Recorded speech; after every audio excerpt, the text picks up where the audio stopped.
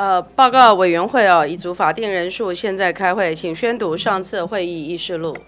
立法院第九届第会期社会福利及卫生环境委员会第三十五次全体委员会议议事录，时间一百零五年六月二十七日星期一九时至十三十二分，十四时至十六时三十分；一百零五年六月二十九日星期三九时三分至十二时三十三分，十三时三十二分至十四时二十一分，十七时十二分至十七时十六分。地点：本院群贤楼八零一会议室。出席委员吴坤玉委员等十四人，列席委员肖美琴委员等五。五十人，请假委员陈莹，列席官员六月二十七日，劳动部部长郭芳玉等相关人员。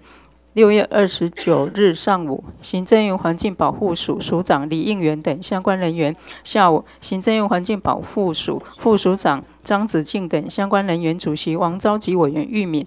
六月二十七日报告事项：一、宣读上次会议议事录，决定议事录确定；二、劳动部、交通部就新政府如何缩减劳工工时、落实周休二日及国定假日休假之政策配套与修法规划，并由华航罢工争议事件检视新政府如何建构协商自治之集体劳资关系制度，列席报告并被质询。本次。嗯，会议初始委员吴玉群等七人提议变更三天一次会之各天会议议程，经协商后，议程变更读议事录所列。本日会议由劳动部郭部长方玉等列席报告，同时就委员提案提出说明，并被询委员吴坤玉等十八人提出质询。均经劳动部郭部长方玉及各相关主管等及时答复，决定一本日会议报告及询答完毕，二委员口头咨询未及答复，或请补充资料者，请于二周内以书面答复。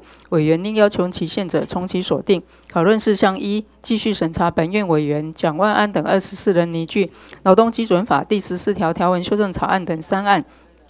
决议一审查结果一第一项第四款，赵委员李燕秀等三人之修正动议修正通过，修正为：四、雇主、雇主代理人或其他劳工患有法定传染病，对共同工作之劳工有传染之余，且重大危害其健康者；二、第二项后半段赵委员蒋万安等三人之修正动议修正通过，修正为。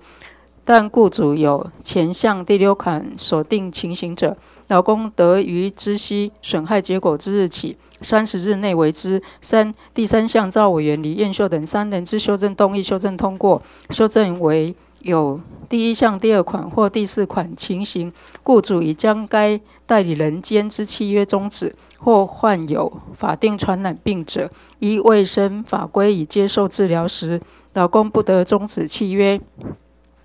二、全案业已审查完据拟具审查报告，提请院会公决。院会讨论本法案前，不需交由党团协商，并由召集委员王玉敏于院会讨论本案时做补充说明。二、审查本院委员李彦秀等十八人拟具劳动基准法第五十条条文修正草案等二案决议。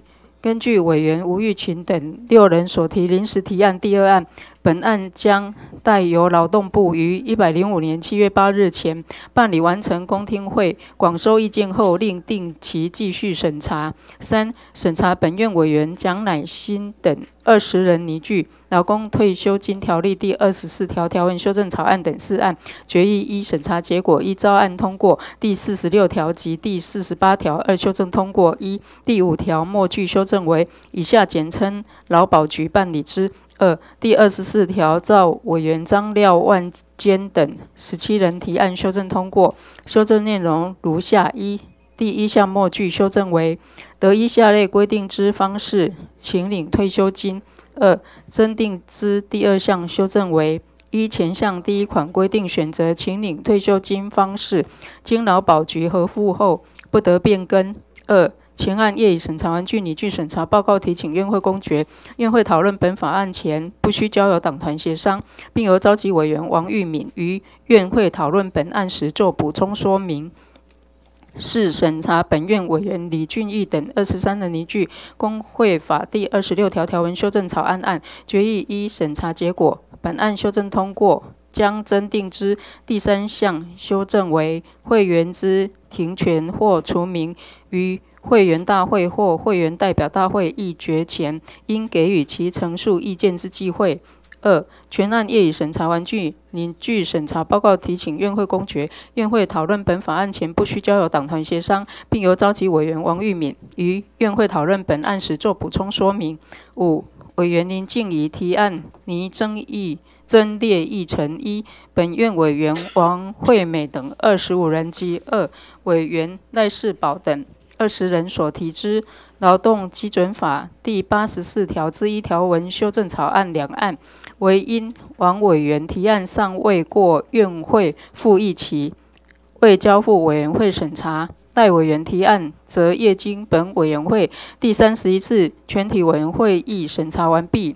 因此，针对委员林静怡之提案，本日会议不予处理。通过临时提案八案，请委员酌参。六月二十九日。报告事项：行政院环境保护署、经济部国家发展委员会、行政院农业委员会、内政部就全民总意志贯彻缺电不是问题，新政府如何减少碳排放、落实节能节电、发展再生能源，确保夏季尖峰时间供电无虞之具体对策列席报告并被质询。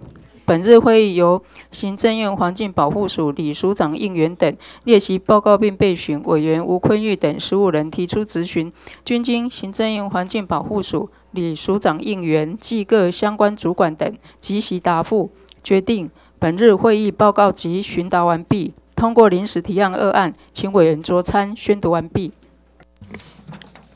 好，呃，请问委员会对上次议事录有无修正或遗漏之处？好，吴委员，啊，有一个议事录更正的提案，来宣读一下。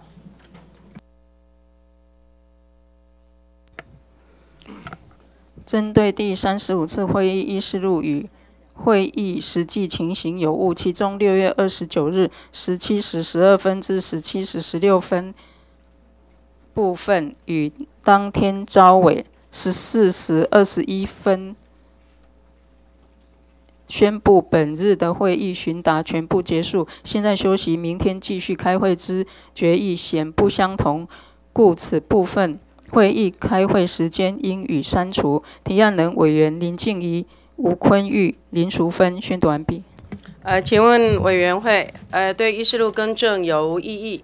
没有。好，那我们就照更正的提案通过，呃，修正这个上次会议议事录。好。那我们继续啊，本日会议的议程为：一、审查本院委员吴坤玉等二十九人拟具的邮政患者照健康照护服务条例第四条及第十二条的条文修正草案哦。第二，我们也邀请了卫福部、劳动部就护病比与护与健保护理费给付联动政策，对于改善护理人员血汗劳动的成效来列席报告，并被质询。那我们还要第三个哈，还要继续处理。呃，中华民国一百零五年中央政府总预算案有关卫福部主管预算公务预算解冻案六十八案的询答及处理。好，第四，那要处理中华民国一百零五年度卫福部主管财团法人预算解冻案二十一案询答及处理。好，那今天的议程各位有异议？没有。好，那我们议程确定哦。那我们就呃，现在先请这个第一案的提案委员吴坤玉委员，就由证件患者的健康照护服务条例修正草案哦，说明提案要旨。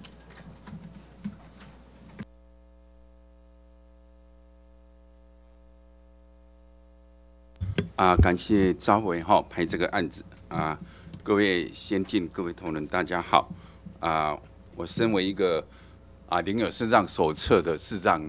人士哈，我今年今年年初去参加邮政造物学会的会员大会的时候，啊，听到啊这些会员的感谢，他们对上上一届立法委员能够通过这个邮政造物者造物条例啊是非常感谢的。那当然就是说，经过近一年的实施以后，他们发现有一点有一些可能可以改善，让他们。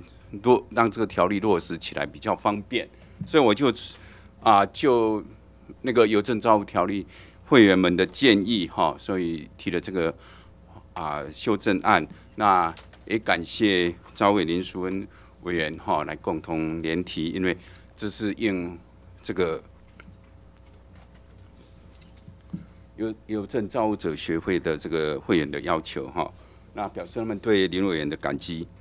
好，那第一个就是说，我们在第四条里面本来有一个要，如果说现在没有资料的人，那他们如果要来申请变为成为这样的受照护者的时候，其中有一项就是要抽血检验代奥辛哈。那抽血检验代奥辛有一个问题就是说，第一个哈，检验那个样本其实要抽蛮多血，好，过去大概三十五十 CC 的血液，那现在可能可以到三十或者四十。西西，那再就是说，代药性的检测事实上是蛮贵的，好，可能是两万七千多到三万都有了哈。那但是呢，另外一个最重要的说，即使我们抽血检验的，那这个浓度能不能代表有没有中毒，这也是一个学术上的争论。好，那所以这对这些啊邮政患者来讲的话，很多人是弱势的家庭，好，生活不是很好，你一次要让他拿拿出这么多钱来检验大药心。那万一它的浓度又低，结果就被排除了，那等于他就浪费了这么多的钱，对他来讲是一个经济很大的负担。那如果家里比较多人的话，那那个金额更大，所以他们就很不很迟疑要不要来申请。好，那所以我想这这件事情就会很重要。那再来就是说。好，中毒到底我们根据日本的浓度来判作异常值，但是我们没有考虑到很多的事情。第一个，我们是不是当时中毒的浓度跟日本人来比，我们比较低还是比较高？我们实际上是不知道了。再就是说，四十年前分析的仪器，事实上是比较不所谓化学专利性是比较差的，差很多。目前四十年后，我们的分析仪器的化学专利性很高，那这样子分析起来浓度都会偏低。好，所以在学术上，我想用目前用血液来检测，可能会碰到很多的困难。好，所以我们会建议说，还是中毒的铺路资料经过专家审查，必要再来辅助用抽血检验的方式来鉴定，可能是比较好的方式。哈，另外就是十二条这个抚恤金的问题。哈，因为啊，根据我的同事就是郭义良，目前是国家卫生研究院环境医学研究所的所长，他做了很多研究，显示说这些患者。对下一代是有影响的，所以当时的中毒者可能他们就不想结婚，甚至结婚的不敢生育，好，所以很多人往生以后，事实上找不到直系血亲来帮他们请领这笔款项，好，所以可能需要修改，让他们的父母也都可以来，哈，来来请领，可能这样会比较好。所以目前执行到这里，哦，我想因为掌握的资讯有限，那加上请领的人事实上是相当少的。所以我们建议说延长请领的期限，好，那再来就是说，很多人他不愿意站出来请领这些这一些钱，主要是说他怕社会上有那个异样的眼光来看待，哦，所以这对他们也造成困扰。所以希望说看怎么样来帮助他们请领到这一件这些款项也很重要。所以我们做了第四条跟第十二条的修正案，请大家公平审查，谢谢。好，谢谢我们吴委员的提案说明哈。那我们是不是呃，接下来要请卫福部就本日四项议题一并报告，劳动部就本日第二项议题报告，报告完毕以后要进行询答。那呃，今天的询答哈，每位委员的时间是十加二分钟，十点半发言，呃，这个登记截止。如果有书面咨询，请于散会前提出，逾期不受理哦。那我们今天的临时提案啊，因为有四个。有四个呃议程，有四个案子哦。那涉及到的这个预算案呢，还有这个呃法人的这个基金的解冻案哦，大概有将近八九十案。所以啊，我们今天也暂时不处理临时提案了。那我们是不是先请我们卫福部部长来呃这个做说明？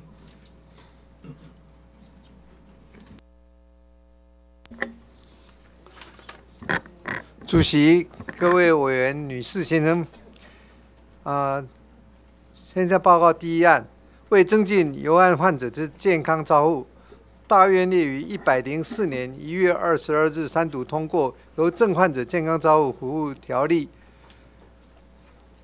啊，本部今今天关于吴委员昆利等二十一人拟具《由症患者健康照护条例》第四条及第十二条条文修正草案。提出本部意见，敬请各位委员不吝指教。一背景说明：民国六十八年，于台中彰化地区因厂商提炼米糠有之脱臭过程，以多氯联苯为热媒剂，查发生多氯联苯或者简称邮政的事件，政府从事发当年起积极从事健康照护的服务。在九十六九十四年，更纳入女性邮邮政患者的第二代子女健康照护。目前邮政患者列册服务计一千八百三十四人，第一代邮政患者一千两百六十九人，第二代邮政患者五百六十五人。二、对于务员昆利二等二十一人所提修正草案本部的意见，第一。有关疑似邮政患者申请确认，应检具血液中多氯联苯或多氯呋喃浓度异常的报告，系经本部多次召开专专家会议，并且参考日本邮政患者以铺路史及血液检测之判定方式，共同定之。然因邮政事件事发至今已经三十七年。可能部分患者血液中的多氯联苯基多氯呋喃浓度已降到一般平均值，因此，只如只具啊中毒铺路相关证明温证者，本本部赞同，将由中央主管机关邀请专家学者成立委员会审查之。第二，有关邮政患者遗属的抚抚慰金，邮政患者。遗属抚慰金的请领对象系参考汉生病患，啊，汉生病患人权保障及补偿条例定定，发给配偶、直系血亲、卑亲属。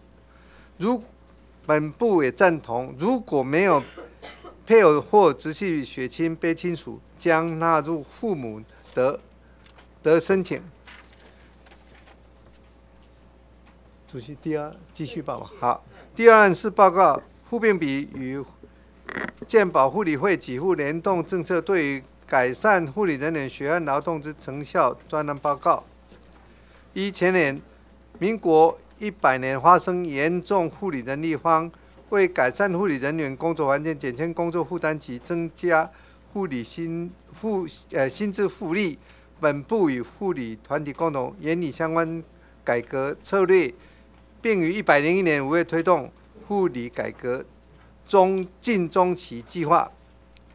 那同时，为了充分反映医疗啊护护理贡献等一系列的改改善，来特别在一百零二年七月二十九日至三十一日，特到日本考察该国之医疗保险给付住院基本费与护病比之联动制度。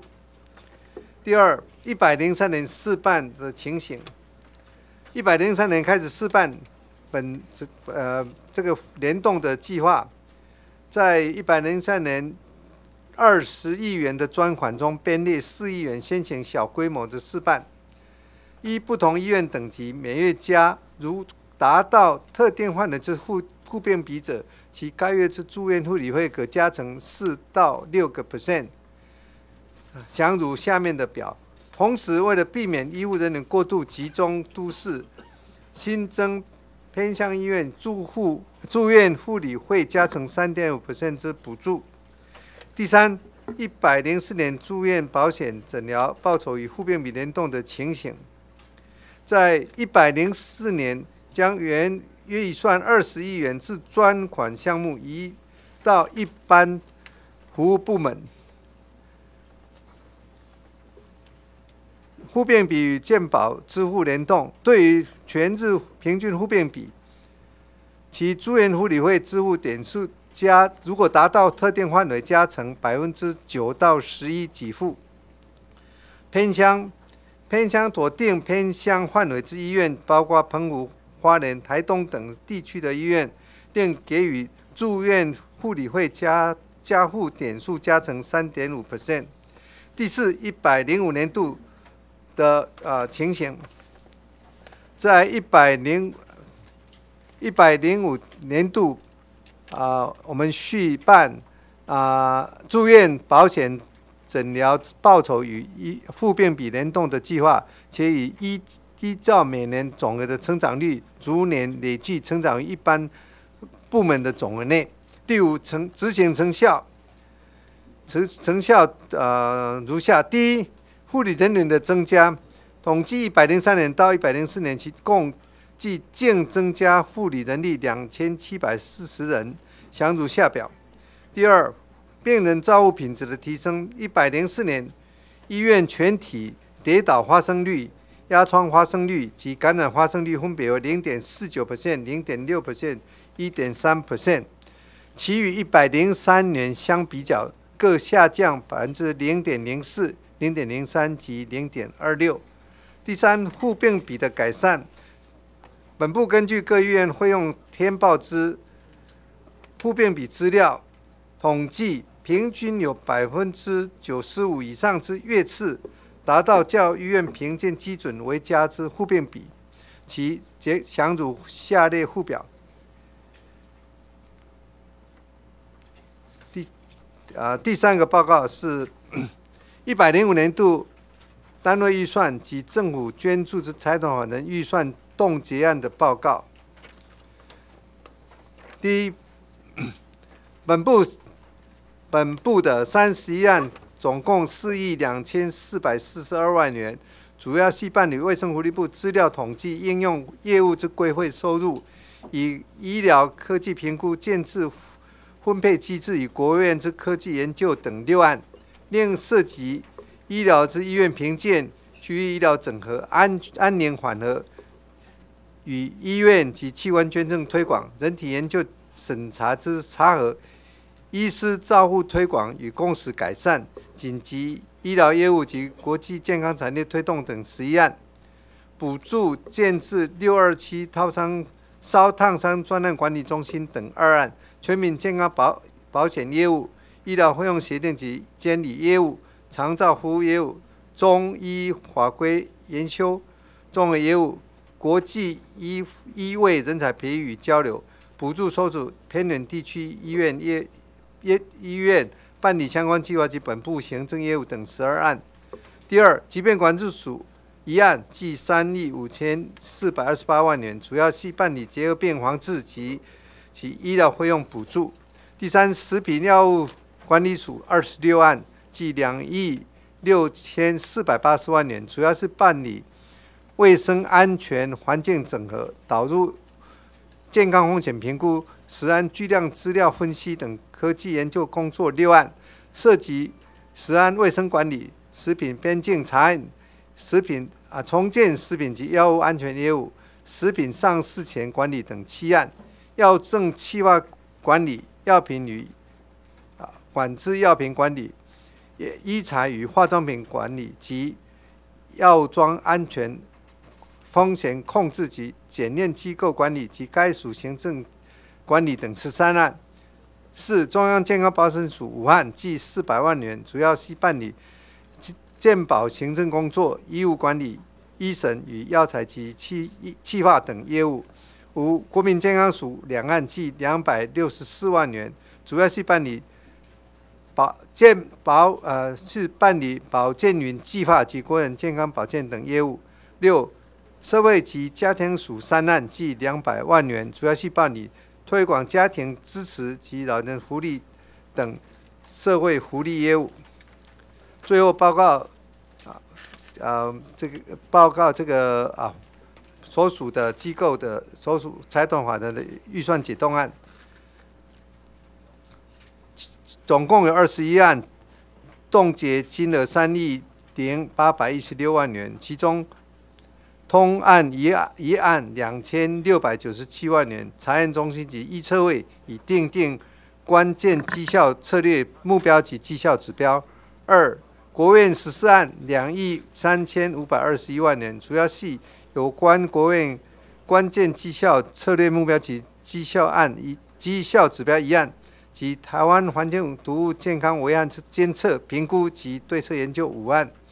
PM 二点五特征对民众健康影响之研究两案综合性食品健康风险评估机制建立两案提升国人健气候变迁之健康智能及调试研究两案及合作研究会预算一案，及福利会应订定合作计划管理策略一案。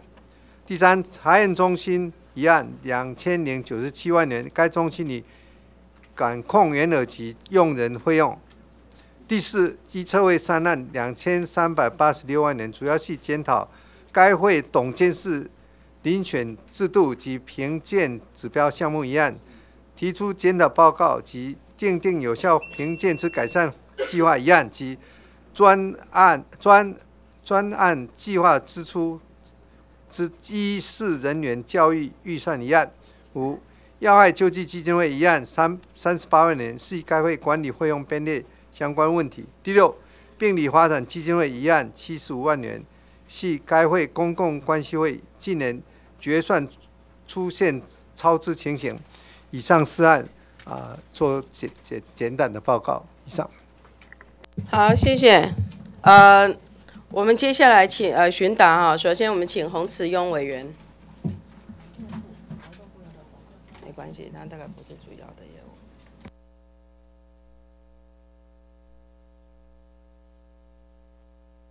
好，哦，抱歉，对，呃，劳动部其实是因为在整个议题上，大概是呃配合做一些劳动检查、劳动法令的把关，我们是请次长也简单报告一下好了。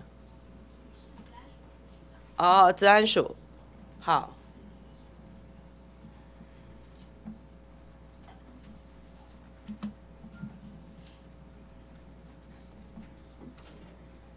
麦克风。主席、各位委员，呃，劳动部有关呃今天的专案报告呢，没有准备书面资料，那我仅就这个呃历年来我们针对劳动检查的部分呢，做一个补充报告，呃。劳动检查大概我们分成三大块，第一个就是专案检查。那从这个九十七年开始就有医疗院所的专案检查，特别是呃一百零三年我们做了呃地区医院以上四百八十家四百八十家的专案检查，当时的违反比例是偏高的。呃延长，比如说延长工时、未依规定加给工资呢，占了三十 percent。那我们这违反的两百呃。总共是两百七十九家呢，我们就分成一百零四年跟一百零五年呢，分年度来做复查。那去年一百零四年已经完成了一百二十八家的复查，那违反的比例呢，已经明显下降。呃，比如说呃，违反这个相关的大概只呃明显的大概只有违反大概十几个 percent。好，那今年度呢，还有一百五十一家呢，我们呃到六月底会完成检查。完成检查之后，地方政府劳条的检查会呃依据检查结果会登录在我们的呃资讯网，那我们会尽快会这个结果呢就会呃在媒体上会出现。那第二大部分是呃我们呃禁用了三百二十位劳条检查员之后，我们有做所有的专案检查呃。劳动条件的检查，那这劳动条件检查呢，包括医疗保健服务业跟养护机构，所以大概在去年一百零四年呢，已经完成了大概五千场次的劳动条件检查。好，那这个当然也有一些违反的呃的事情，呃，我们也经过裁罚。那第三个是符合职业安全卫生法，比如说呃身心保护啊，呃过劳预防，还有这个女性的这个健康、母性的健康保护，这个我们在职业安全卫生法的，我们也今年呢启动了身心保护的这个专案检查。那这个身心保护专案检查也是到今年六月底，我们呃完呃预计呢执行一百二十家，包括医学中心二十一家，七呃区域医院七十八家，以及。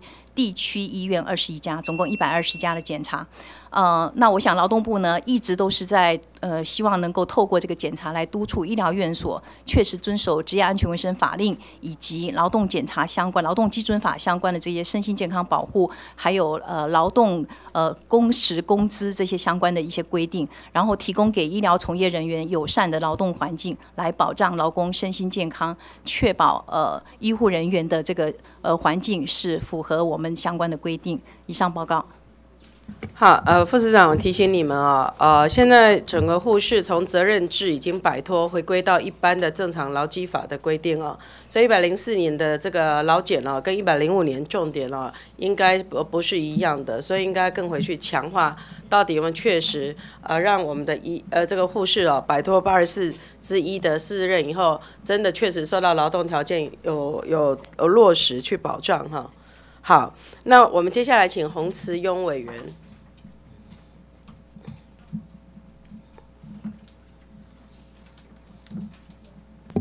嗯，主席，我们请林部长跟来，请部长、劳动部的陈副署长。副市长，呃，署长，抱歉，专属。委员早，哎，部长早哦。呃，首先我先问一下部长哦，嗯，你知不知道前几天啊，台北市联合医院哦的工会筹备处，他有爆料说，院方他透过各种的方式在压榨劳工哦，啊员工，然后他们现在，呃，然后包括了这个差勤的一个系统的一个作弊哦，还有各种的一个方法哦，他们说哈，估计说这五年来，呃，大概员工。呃，大概被吞了大概五亿的一个加班费这件事情，卫福部有大概掌握这个状况吗？有这个是呃劳动局去做的，去年十一月所做的检检查了。那我们在七月二号，本部的造物师跟医师室也会同去做个呃去做检查回来。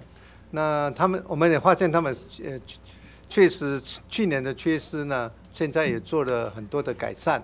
他们的加班费从一千万提高到三千万，那这个补了一一百二十万，呃，一百二十位的这个护理人力，同时电脑程式也做了修改，那这个也有申诉的申诉的这个专线，还有这个呃，要劳资要双方要定期来做协商。所以目前的掌握状况是。呃，去年的一个问题，那今年有做一些改善。是，目前的状况是这样哦。那因为其实我们根据这个资料哦，员工的一个说法哦，他们有指出就是呃，北市联谊它有几几项手法，我不知道部长这边有没有清楚。然后他们之前有说哦，他们如果不是急诊，他们不能申请加班费。然后他们申请这个加班的这个审核的这个系统，如果超过三天哦，这个单子就会跳回去哦，就没有办法做审核。那也就是说，他上班超过八小时。他的这个打卡系统也只会有八显示八个小时，然后他半年前结算一次的这个绩修欠的这个时数，他会加减时数之后逐次去扣除，那以及就是他的这个会规避劳基法哦，那会用这个金额比较少的这个奖金去替代加班费。好，那我想要问部长的是说，他讲了这么多多项，然后我相我相信这员工不会空穴来风哦，自己讲的这些东西，然后那我就要问说，部长，我们这五年来哦。就他员工讲的这这五年来哦，你们呃针对于就是台北呃北市联医哦他们的这个医院评鉴哦，总共做了几次？在这一段期间里面做了评鉴一般四年一次，那这样子有只做了一次还是两次？啊，这五年内应当是一到两次了。一到两次哦，那在这一个评鉴的过程里面有没有发现这样的问题？评鉴，我请还是员工爆料了之后才知道这件事情。好，我们请医师是王市长，市长谈一下的。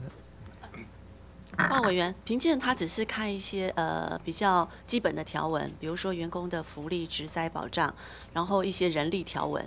但他有一个条件，就是说，如果你有劳动检查不符合规定的话，应该要辅导改善。所以这包含评鉴，也包含地方卫生局也要。持续性去督导考核，所以这个事情如果说是违反法令规定的话，我们也会请那个地方的政府还有劳动局呢，应该是加强严办。好，那是你们在评鉴的过程当中有发现，就是呃地方的劳动局有就是反映这样的一个事项，让你们来做评鉴的一个标准吗？这个过程你没有发现吗？这个可不可以让我事后准备一下上一次他的评鉴资料再？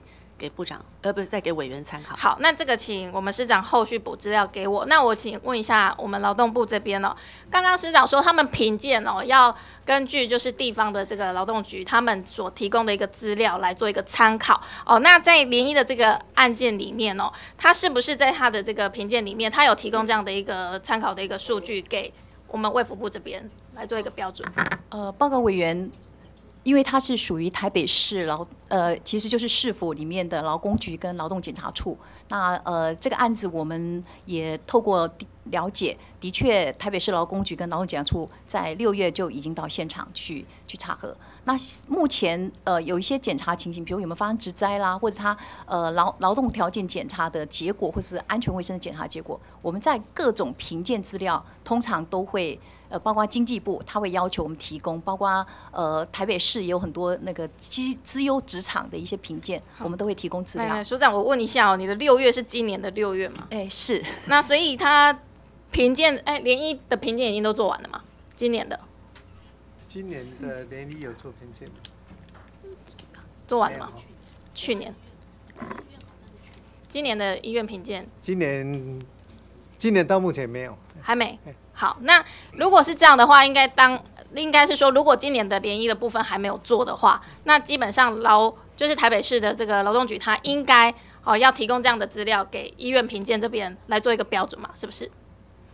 报告委员不用等那个评鉴，因为评鉴四年一次哈，是所以现在只他劳动，我们这几年的合作方式是，如果他们有任何劳动检查的结果，告诉我们，我们马上是行文给卫生局就去辅导改善了。是哎，好，我我只是要问说了哦，就是你们劳就是在评鉴的时候，到底有没有把这些东西放进去？那啊、上礼拜我有在提醒部长哦，就是劳动条件的部分呢，未来我们在呃调整这个评鉴的项目要简化的时候，这个部分还是得放进去哦。我是要提醒这件事情，然后那我就要问一下哦，劳动部你们。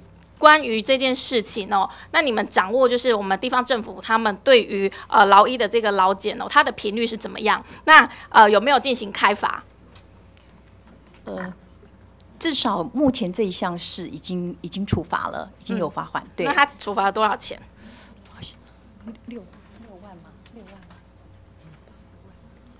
八十万八十万年，八十万，确定吼？好，没关系，这个会后请劳动部再补资料好不好？再问一下地方的这个地方政府哈，看罚了多少钱哦？如果是刚刚听到几万八十万哦，还是八万，这差很多哦。好，这请后会后补上来哦。那再我要问到的是说，呃，其实去年哦，台北市的这个劳动局，它对于大型医院，它有做过劳检，那十八家里面有十六家是呃没有符合，就是要发放这个加班费去做做到违规的哦。那这个联医它就九个院区就五个院区有这样的一个违规的一个太阳哦。那呃过去几年呢，我们卫福部在推动这个全民健康保险提升住院护理照护品质提这个方案哦。这个北医它呃北市联医它也是大户啊哦，它在一百零三年的时候，它五个院区它拿了三千四百万的一个奖励金哦。那呃但是这个。就是联医的他的一个护理人员，其实好、他的一个缺额却是增加的。好、那在这个方案里面，我要问到的是说，这几年哦，这这六七年来哦，就是北市联医在这一个方案里面总共拿了多少的一个奖励金？有没有人可以回答？因为我们每年有二十亿嘛哦，那二十亿里面北医在里面拿了多少？二十北市联谊亿的这个专款，二十一是专款，后来就进入一般服务项目里面，哎，这个用北北市联医副署长，好，我们马上查一下。好，这个也，我我我想你们可能也都没有掌握哦，他这个医院他拿了多少的奖励金哦，在一百零三年之前，至少他都是这样的一个方案在执行哦。那他的钱到底用到哪里去了？好，这这个部分其实我是蛮质疑的，因为在一百零二年，其实监察院也纠正过这个这个方案了哦，因为他没有专款专用哦，他钱用到哪里去，其实的掌握程度其实不高的哦，所以这部分哦，呃，我想会后哦，请我们卫福部这边呃详细的把这个资料再提供给我们办公室哦。再来，我就要问到说，哦呃，部长你来自于来自于医界。哦，那其实我们健保署跟医师是对于医院的一个经营状况，应该都非常的一个了解哦。那像北市联医它的这个员工数哦，呃，我们去看了一下它的那个人力银行哦，它大概写了大概将近六千位。那以这样的一个医院规模的一个，就是就是大型的医院哦，它一年的一个加班费大概多少是比较合理的范围？是全部医护人员吗？对，因为他六千位，我不晓得是只有医生还是有应当护士是。全部了。好，全部那报告委员，这个部分我没有特别的数字，没有哎，没有大概一个概念性。副呃那个署长，那个署长，其实这个加班会应该是属于夜班会比较多啦，嗯那都有一个市场的行情。对啊，所以说上一次那个健保署提供这样一个资源的时候，其实那一段时间我们都夜班会都大概提升，大概都是有一百块啊，所以本来大概是四百块变成五百块，嗯，哦，是用这个方式去概念。嘿好，来来，因为啊，我我针对于这个刚刚部长你讲的这个，就是北市联谊他的加班费，其实我我是蛮怀疑的哦，因为他们哦之前是说，呃，编的预算是一千五百万，那到去年呢，它是增加为三千两百万，然后他说今年呢，它是增加到四千一百万。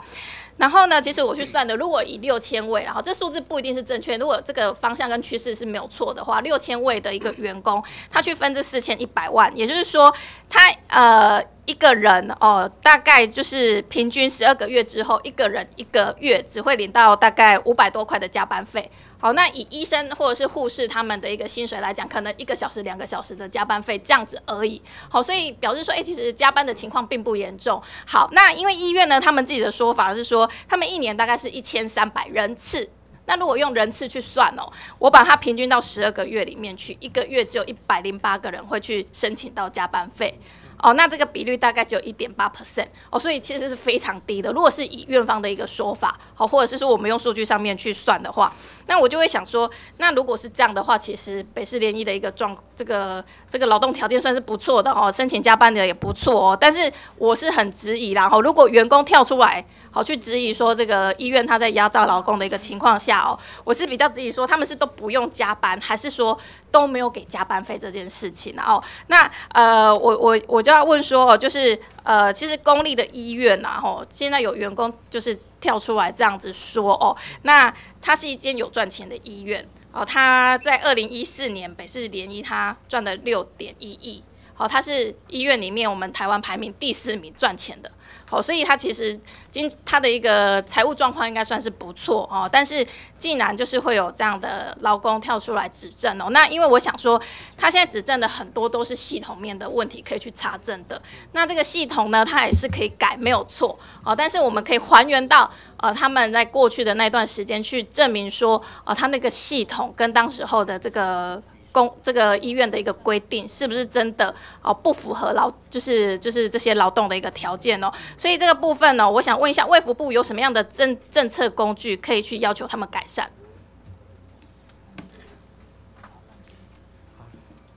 其实其实委员你好，因为我觉得说，其实，在很多医院的一个管理面，事实上就是说，健保署提供这个资源，那重点就是说，当然是加班会是一回事，不过加班会占的比例不高，市场是夜班会是很重要。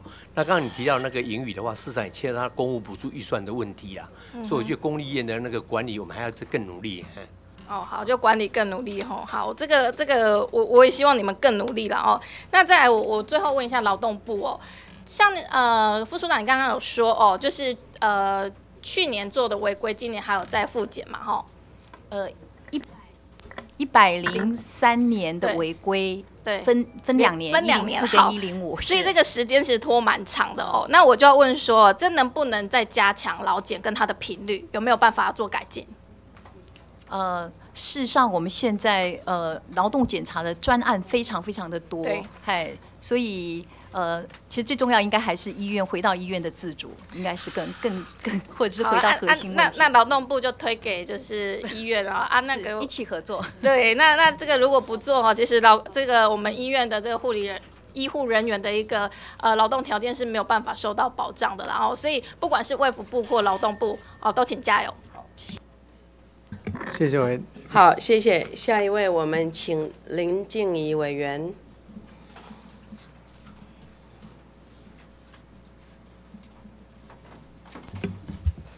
好，谢谢。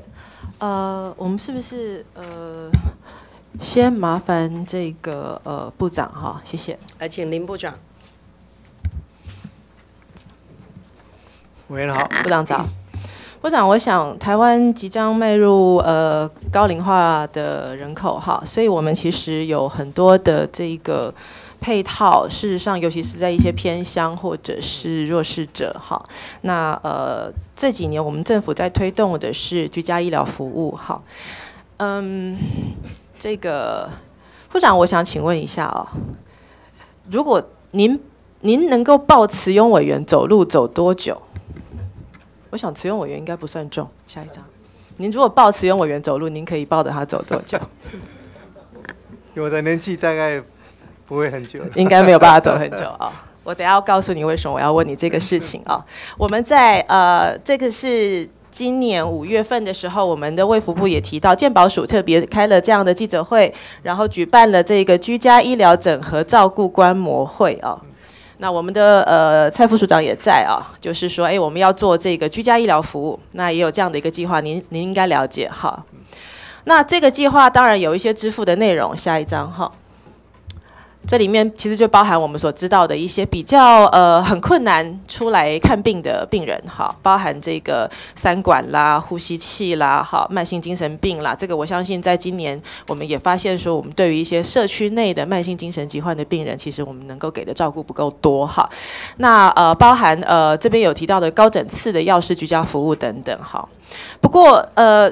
说那个那个部长，您知道说，如果我要一个一个呃去承接这个全民健保居家医疗支付的这样子的一个单位哦，我去看诊的医师，我要备哪些东西？我要准备哪些东西？我可以请副署长好，没问题。啊，跟委员报告，嘿，其实他带的东西大概基本上呃需要有。啊，我们的读卡机是哈，然后呃，还有他如果跟他的呃总院之间有联络的话，对，处方可以直接连到他们总院的主机的话，就带带他的 notebook 去。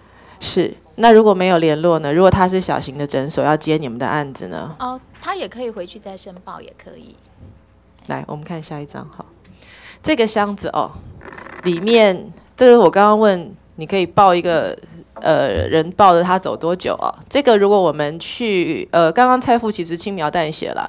我如果去做居家医疗服务，我必须要能够这个去到案家的家里面之后，啊，我在看诊的过程中，根据我们的健保署的德证，为了要能够确定药品不要浪费，所以我要能够连上云端药力，确认这个病患这个呃病家他的。过去这三个月，他到底拿了多少药？所以第一个，我要连上云端药力。我们不要以为这些居家的个案，他们家都有无线 WiFi 让你上。所以，我们出去的这个医疗人员，你要有办法能够，我不知道你用自己的手机，还是你的车子，还是你的电脑，要能够有办法及时上网。上网查了云端药力，帮病人看完诊疗之后，你要开诊断，你要开诊疗，可能要开药。那开药的过程中，因应我们现在的医药分业，所以这个医师不是从我的这个单位里面拿出药来，我要能够刚刚提到了，我要上网，呃，把我的这个诊疗的记录放上去，放上去之后，我要把我的这个相关单据，尤其是领药的单据印出来，所以这里面好，至少我要有笔电。相关基本的药箱，这里面包含什么测血糖的啦、测血压的啦，基础的一些工具，然后还要印表机，因为我要印我的这个呃这个这个我们的单据哈，领药单，让我们的家属可以去领药。所以，几斤差不多细了三公斤呐。好啊，我刚刚就问我们部长嘛，你可以抱着持用委员走多久嘛？好啊，如果我今天接这样的案子的一个医师。或者是我这个案子不只是医师做哦，居家访视还有护理师，所以如果我要申报这些东西，我要能够及时上网查云端药力，还要能够及时的把我的这个这个诊疗的结果全部都上传。我要有一台车，而且我要身体强壮，可以扛着四十六公斤左右的东西走。好，当然这个其实这个还是贴心的这个啊，公家机关帮我们的。出去做居家医疗服务的医师准备的，好。那如果没有贴心的公家机关帮他准备这一套看起来很熟悉的，好，我要自己凑。好，下一张。所以这里面哦，我我常常其实我一直要提醒健保署，就是说不要自己在办公室里面觉得我这样子做的事情很好，你们就自己去跑一趟。这里面遇到一些问题，当然第一个，我的这些呃医师人员我要提供服务的话，我要事前报备。好，当然事前报备理论上不难。我知道你刚刚有一些紧急状况可以不用，那是紧急状况，也就是我去紧急的看完这个病人，给他服务之后，我赶快回来补申报说，哎呀，报告健保署，我今天因应的这个需求，所以我赶快去看了一个病人。你不要罚我，因为我没有在事先通报的状况之下去看了。好，事先通报、署长这边要麻烦您想想啊，很多的事先通报，其实这个叫备而不查啦。是不是？我想您也知道，好，这个事先通报就是我今天在 A 诊所，我今天要去 B 的这个地方做执行业务，那我要事先上网到你们的网络上登录，我要去 B 的地方。那基本上，如果我上去登录，我要去火星看诊，大概你们也不会知道啦，因为没有人在查嘛，不用核嘛。好，其实我会建议啦，你们要开始做居家整合服务，这个事先报备的系统，检讨看看有没有必要。造成这么多的业务上的麻烦，当然这里我刚刚副署长有在旁边讲哈，遇到紧急状况的时候可以不用事先报备，你事后再报备。不过你们也要求这些去做居家服务的要有二十四小时的电话咨询哈。那我刚刚讲了，偏乡没有网络资料，你医生自己带去才有办法查云端药力啊哈。啊，如果我自己没有办法带 WiFi，或者是那个地方网络很不通的话，好，我还要自己回来想办法跟你们申报，还要。我记得听说你们说要 key 一个特殊的代码来表示我这里没有办法啦，不用把愿意做这种偏向医疗服务的哈，探博虾米钱啦，不用把人家当贼看呐。好，下一张，药品的部分我也问了在做这个业务的医师，我说，哎，那你们药品怎么给呀？因为根据医药分业来讲，医师是不能调剂的，不能给他。好，所以他告诉我两个做法，一个就是说，这个呃，如果是周围在某个范围之内没有健保药局的医师可以处理这个事情，如果有就释出处方签，让他们自己去拿药，对不对？阿丽在居家服务这条几个条件，接爱郎包括说，呃，三管患者啦，哈，末期患者啦，哈，呃，这个呼吸器依赖患者啦，啊，他就是出不来去你那边看病，才需要你们的医师去看他。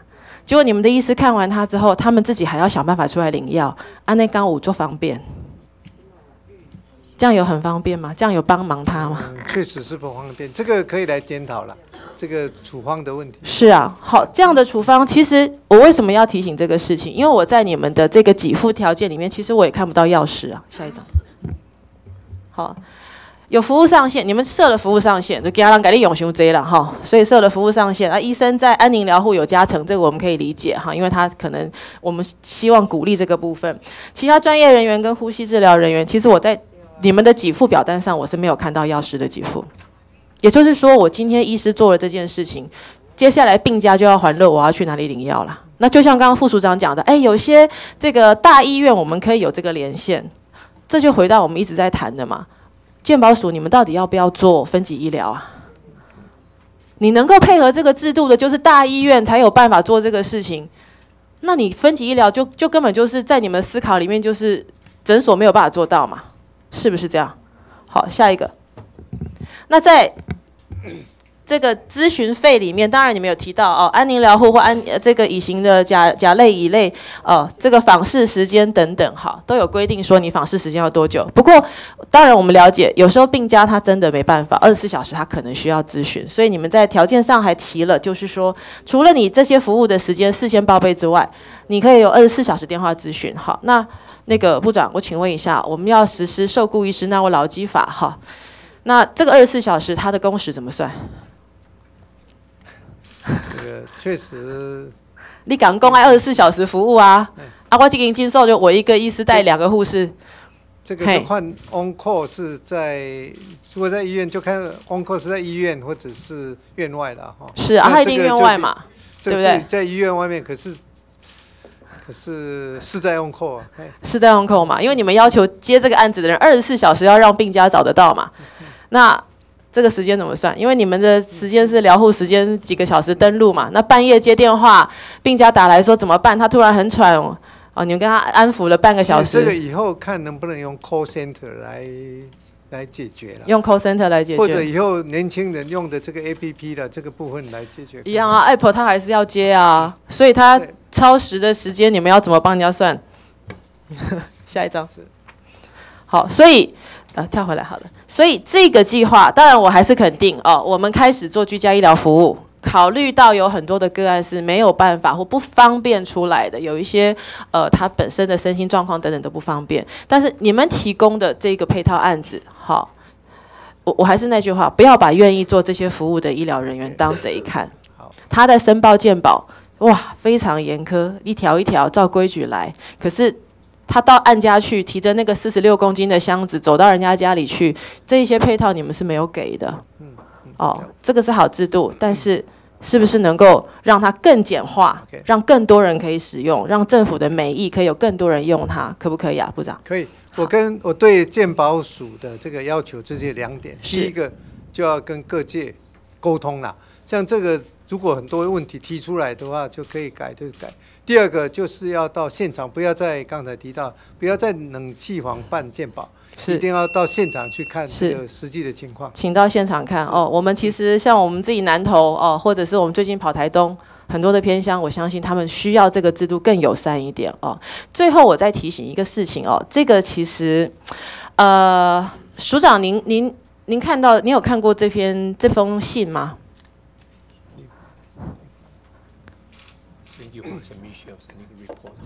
好，我肝胆共哈，这篇是狼狈投稿了哈。之前我们一直在鼓吹说，台湾我们的研究做得很好，我们鼓励大家利用健保资料库来发 paper 啦。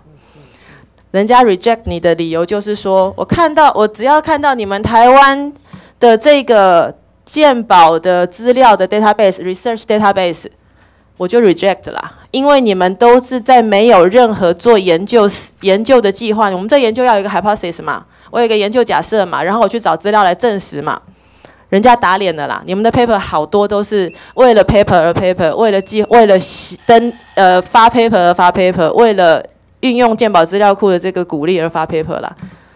署长怎么办？我，我们这个是事实上是事这个实啊，很丢脸哎，他直接起了台湾 National Health Insurance 哎，就是说，当然是说一些实证可以作为临床的参考，不过就是假如用来 publication 或那个升等的话，是目前在成大医学院对这一部分来讲是比较保留，是他们就是委员委那个委员会的委员哈，是认为还是你假如是说你要做一个研究的论文的话，还是要有一些利润的，是哦，所以说这个部分的话，的确是在很多大学里面目前开始就是有考量哈，不要去用健保的资料库做 publication，这个我们也跟部长这边提醒哦，我相信这个是早年政府前一段时间的鼓励嘛，鼓励大家用健保资料库来做研究哈，但是。这个行为已经在国际的期刊里面受到了一些质疑，甚至人家就是看他直接就写的很白，你我看到台湾的国家这个 health insurance research，我就直接就否认了你们的想不过这个法。部分哦，有两两方不同的看法。是那这个这个这个医院呢，它是用同样的 methodology 是把不同的病一直放进来，是啊所以一下可以写好几篇。是啊，但是会最近升等而生等嘛。对最近对于我们肠病毒会不会引发这个癌症的增加癌症风险的这是登也是用健保资料库，可是是它登在 Lancet 上面，是。所以是你的 hypothesis 对你的 methodology 好的话，我想还是可以登在是很好的没有错，我们很多研究是做得很好，但是这种为了 paper 而 paper 的，我想我们国家在政策上，因为过去我们是鼓励的啦，好，所以也请大家这边稍微这个事情我们注意一下了，好不好？好，谢谢。好，谢谢委员。好，那下一位我们继续请吴坤玉委员。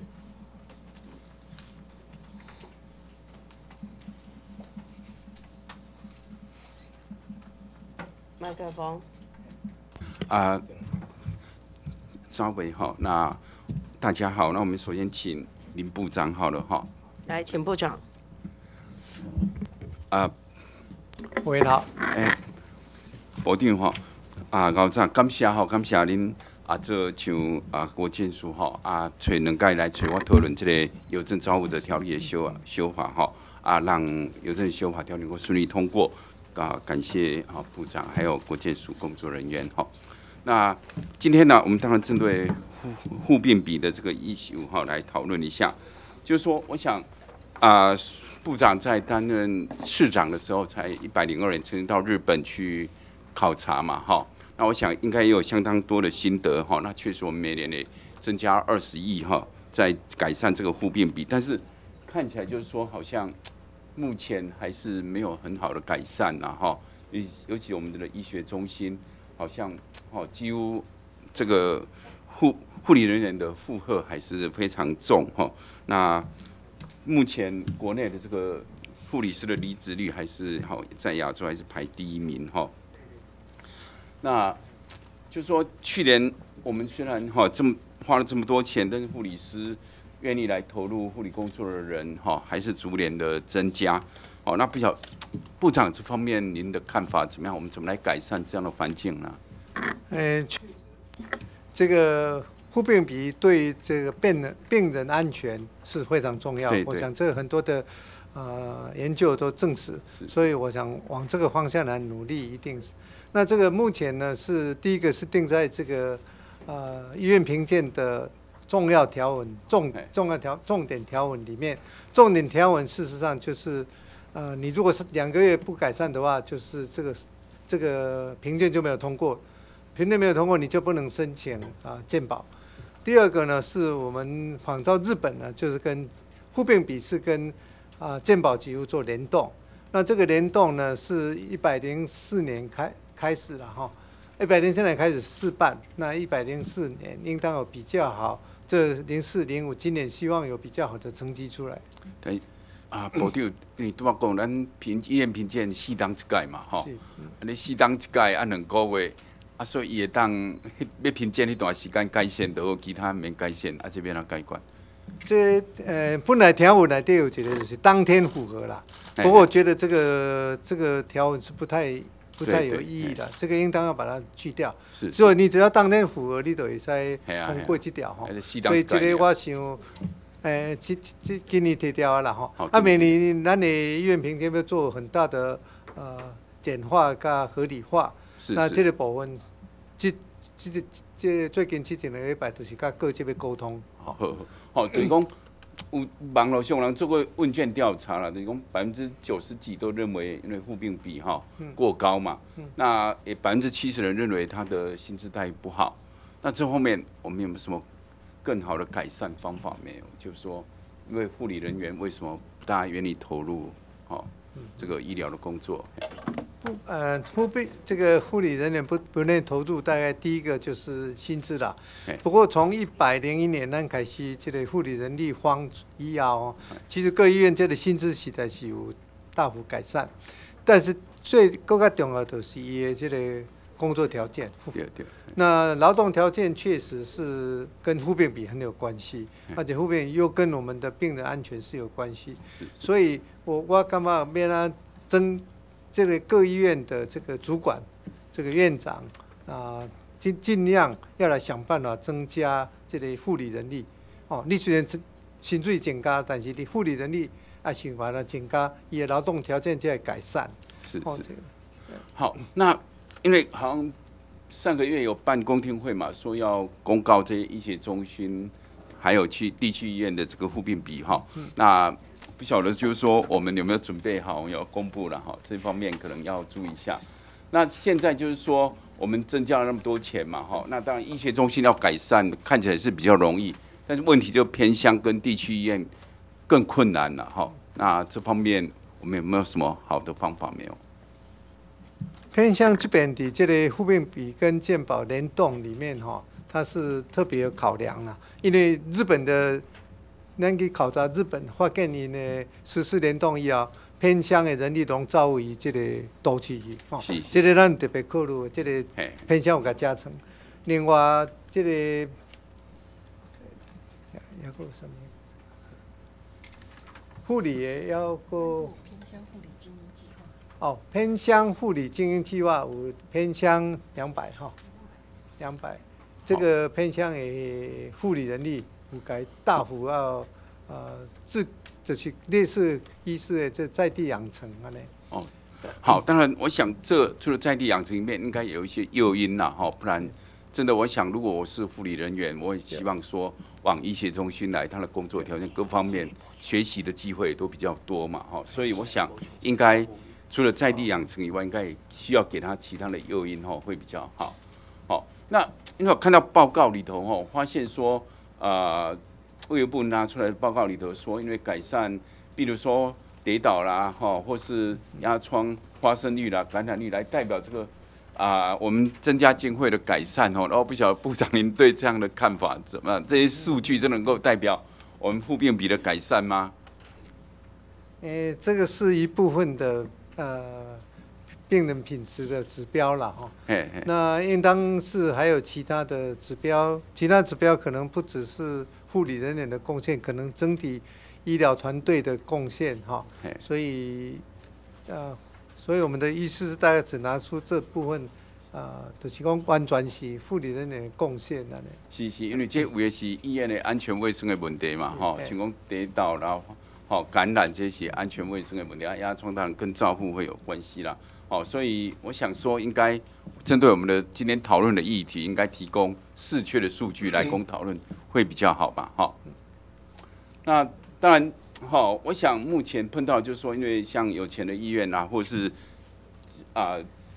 医学中心，它可能有机会可以增加护病比，甚至它可以去租牌照了哈。那所以它可能看起来医疗品质哈改善嘛。那偏向就可能哈资源各方面比较缺乏，人才缺乏哈。这方面我想刚刚有讲过。好，所以我想我们怎么来去哈来来改善这个护制度，我想是非常重要了哈。那不要让啊我们的护理人员哈在。这种过度的负荷、过度的超时上，哈，来增加他们不愿意就业的、从事护理工作的这个基这个理由嘛，哈。那我想，我不晓得我们的护理护理系的学生每年训练这样人够吗？呃，没有高。呃，谢谢委员的关心哈。其实事实上，呃，从我们我们从去年我们也执行了一个，就是对未来护理人力的十年的预估。从现在的少子化跟老年化来看，事实上是还有一段距离。那我们也最近开始跟教育部那边在做密切的呃沟通协调，看是不是可以从教育的体系上面能够增加护理系的招生。那护理系的招生会受到我们啊那个少子化的影响吗？还是说，我看很多的护理专科学校或是？护理以护理为主的科技大学，他们护理系的招生应该都还不错啊。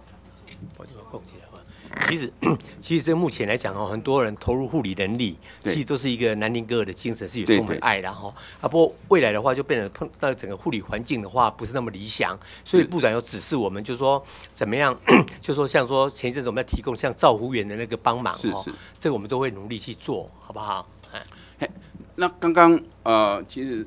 前面的哈有洪慈庸立委问过，就关于联谊哈这些啊，比如说超时工作的问题，那职位所也说有去查，那他现在是说把这个责任回到卫务部来，那我们怎么去来啊来划或是来取缔这些违法超时超负荷的医院呢？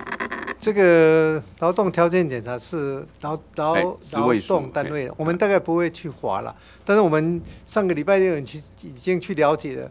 那今天这个劳动局会再去复查，那我们会我们已经跟啊总院的院长跟副院长谈过，那这个我们看他今天复查的结果，我们看的大概大部分都有改善，但是我们持续呃关心或者追踪这个改善的情况。好，为了提高这种啊改善的效率，是不是能够建保水采取一些行动？如果说哦他一直重复。这样不改善劳动条件，会不会从啊健保给付的点数上来做一些措施，增加他们改善的诱因呢？对的，当然是用一个处罚是一个态度。不过说实在的，我自己的感觉是，其实医院的管理者真的要那个真的落实尊重那个护理人员的专业哈，这才是长长久久。哎哎，对，那为了让他们改善他们对护理人员尊重他们专业的这个诱因嘛哈，那。我想是不是从鉴宝上可以采取一些行动，这样子？对，就是说我们这个都是不管万一违规的话，我们的一些那个月的奖励金，那个月的奖励金会减少了，会扣扣除那样。哎，好，扣除多少？那从什么时候开始？我们一直都有，就是一直都有吗？但是为什么他们一直还还没有感觉呢？为什么哈还是有一些啊持续违反这样的劳动条件？嗯，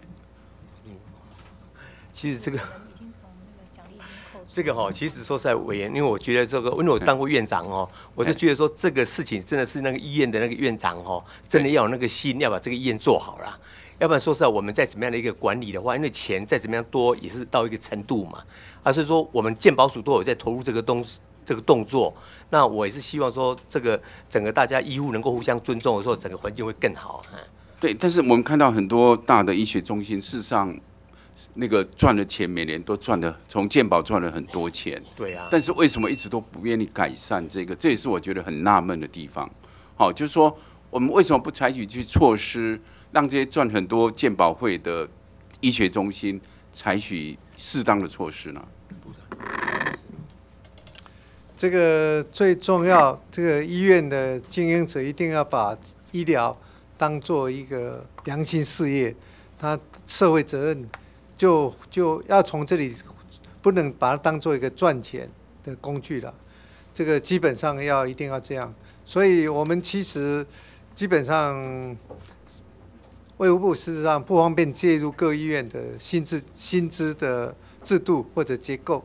但是我们是要提醒各医院，这个该给该尤其健保或者我们很多部里面很多的补助措施下来的钱，该到医师口袋，该到护理人员的口袋，就一定要花下来。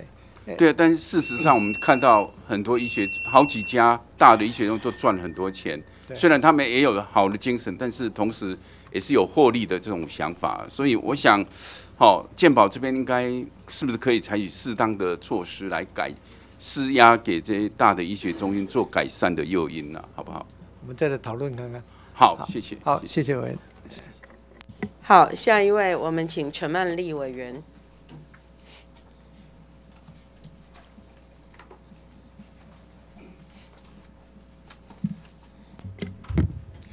谢谢主席。那呃，我要请呃卫副部长。来，部长。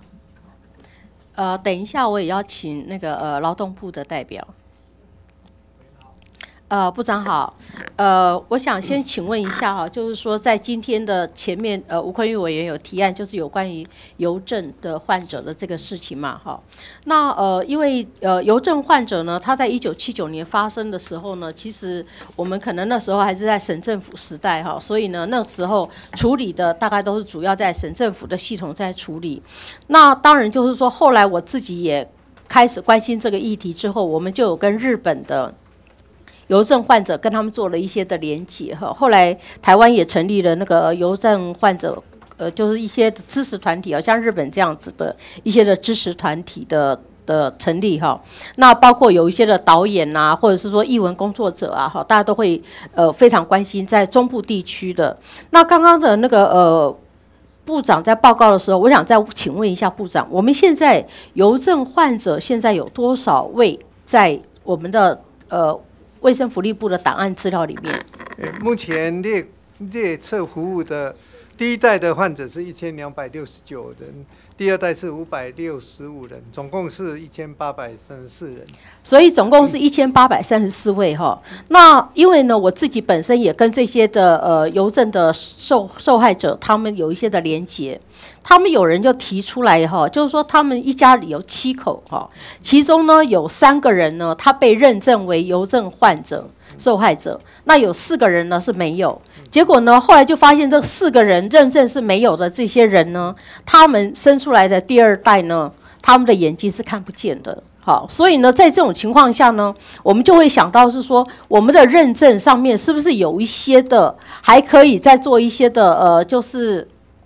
扩大申请哈，而不是说我有第一代，所以有第二代，所以有第三代。有的人根本就还没有成为第一代的认证，但是呢，他的第二代就是这种现象出来了。我想说，这个部分在我们台湾各地应该也是，因为后来大家又分到各地去，所以我想请问一下部长，我们现在的认证的部分，还有就是说我们现在能够提供服务的这样子的一些的单位，它有分布在全台湾吗？那目前的认定是两个，一个是铺路史，一个是血液的检测了。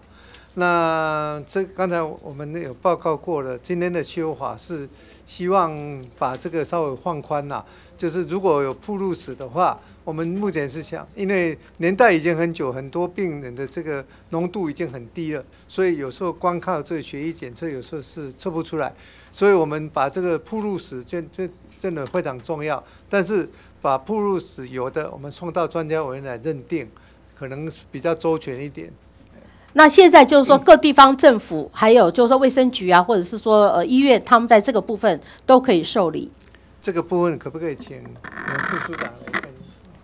嗯，跟委员报告，如果说是认定方面的话呢，他们会由这个县市卫生呃县市卫生局送到我们这边来，那作为一个认定。那只要我们有看到相关的这个以往的一些证件列册啊，或者是像原始是这样，如果没有的话，那就要有一些。但是如果说他的第一代是没有被认的呢，没有被认定的，但是后来小孩子出来的时候，就是眼睛就是看不见了，这样子的情形，你们还是会处理吗？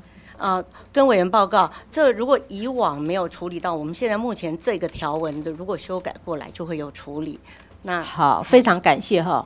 那接下来呢，我就是呃，对于这个刚刚其实前面的委员也有提到，就台北市政府的这种情形哈。台北市政府的联合医院会让大家比较震惊的一个状况，就是说它是首山之都，然后呢，它的这个呃市长是柯文哲哈，是柯批。他自己本身也是从医医疗体系出来的人呢，所以在这样子的一个现象，就是说他打卡，但是呢他没有下班，或者是说他的那个加班的时数呢，他用手写这样子的方式来进行，所以我不知道这个东西是不是我们在医疗界的一个常态，部长您认为呢？是不是常态我不知道，但是确实有存在了，就是啊八个钟头到打卡完。再回去上班了哈，呃，确实有有听过这样的情况。是，所以这个部分的话，卫福部会怎么样来来处理呀？来防堵？因为我觉得现在的呃，大家的身体呀，或者说大家都讲是说，这个医护人员也是要受到他应要有的权益。那卫福部会怎么处理呢？那这个因为去做劳动检查还是呃劳动劳工局的哈，如果他们去的把资料 pass 给我们会。来加强督导了哈。那个劳动部这边可以设一个什么什么报案专线吗？让劳动部就那目前像这个北市联医呢，它就改善之后呢，就有这个申诉的专线了。呃，对，但是我是在想说，如果卫福部他你也能够同时在这一方面给他们一些的，就是说大家申诉有申诉的管道的话，我想医院大概就不太敢，这个一定是累积了很久才会上新闻哈。好，所以我想这个部分我们是申诉的管道。好，那我就想请问一下劳动部，如果是说那个台北市政府他们违反了这个呃劳基法的话，那我们会给他什么样的一个处罚？如果经查属实，我们会呃除了陈述意见之外，我们会会立即罚款，然后要他限限期罚罚怎么罚怎么罚？因为台北市劳动局都已经说是确实是违反。对对，已经其实劳劳工局已经台北市劳动局已经处罚了。好，那劳动部会再加加强处罚吗？哦，没有，因为劳动条件是呃他的主管机关是各县市政府。所以这个是呃劳动那劳动部可能用这个案子再去看别的县市吗？哦，因为我相信这个刚刚部长也提到了，就是说这个应该不是个案。对，因为呃会今年我们本来就有相关的这个专案检查，其实除了专案检查以外，我们还有劳动条件的一般性的检查。一般性检查涵盖包括诊所那个呃，它涵盖的这个家数是蛮多的，就近将近。去年就做了五千好，那现在呃，劳动部先请回，我再请问一下我们的部长哈，就是说我们的这个呃，就是在一百零三年的时候，一百零四年，我们大家都是有一些的呃二十亿的这个经费嘛哈，二十亿的经费呢，呃，看起来就是说一百零三年的用途和一百零四年的用途是不一样的哈。那在一百零三年的用途看起来它是有一些什么增聘人力呀，或者说提高他们的薪资啊，发放奖励金啊等等之类的。可是到一百零四年的时候，然后呢，看起来他就已经不是用这样子的一个方式来来进行，因为我们看到了，呃，就是我们健保署的一些的新闻稿哈，看起来一百零三年和一百零四年的做法是不一样，这一二十一的做法。那我们再看下一章，就是说我们的这个呃住院哈，我们当然是在住院护理的这方面的照顾。那我们也接到了一些的护理工会呢，他们跟我们澄清哈，就是说他们发现是说他们的这些的。就是说，因为钱已经转到别的地方去了，所以呢，他们就是说他们的这个护理的人力，或者说他们的加班费，或者是说他们的这个呃薪资，或者他们的这奖励金呢，好像都没有了。所以我想知道一下这个部分，我们是不是还是有一个款项在那边？呃协助这些部分，就是说他们应该有的福利，或者说他们应该要有的机制，还是继续保留？对，委员就是说，在这一百零三年之前的时候，就是很明显的，就是刚刚您提到这几个项目哦，是我们可以专款专用了。可是，在一百零四年的时候，它针对变成健保会当时的一个议那个决议的时候，变成是改善这个医疗品质哈，所以钱变成灌到医院里面的整体收入是。可是对于这个护理人员来说的话，他们就会认为他们。的服他们的应该要有的那个保障就没有了，对所以就变成说，当时的话，我在当院长的时候，我就发现，哎，怎么变成这个样？因为变成医院整体的收入就没有办法很明确，因为在在一个医院的系统里面，有时候会变成说，谁的那个贡献度会回到他的一个奖励金。是，那这件事情在现在一百零五年要怎么样来补救呢？我是觉得哈。这个可能，当然医院的管理者，只要在处理这个事，他会把这个本来有了这笔费用的话，还是能够回到，就是他本来。那如果没有呢？他们说，如果说没有呢？还是说我们在我们的经费里面本来就有这样的一个规定，他们还是这个部分是不能打折扣的。对了。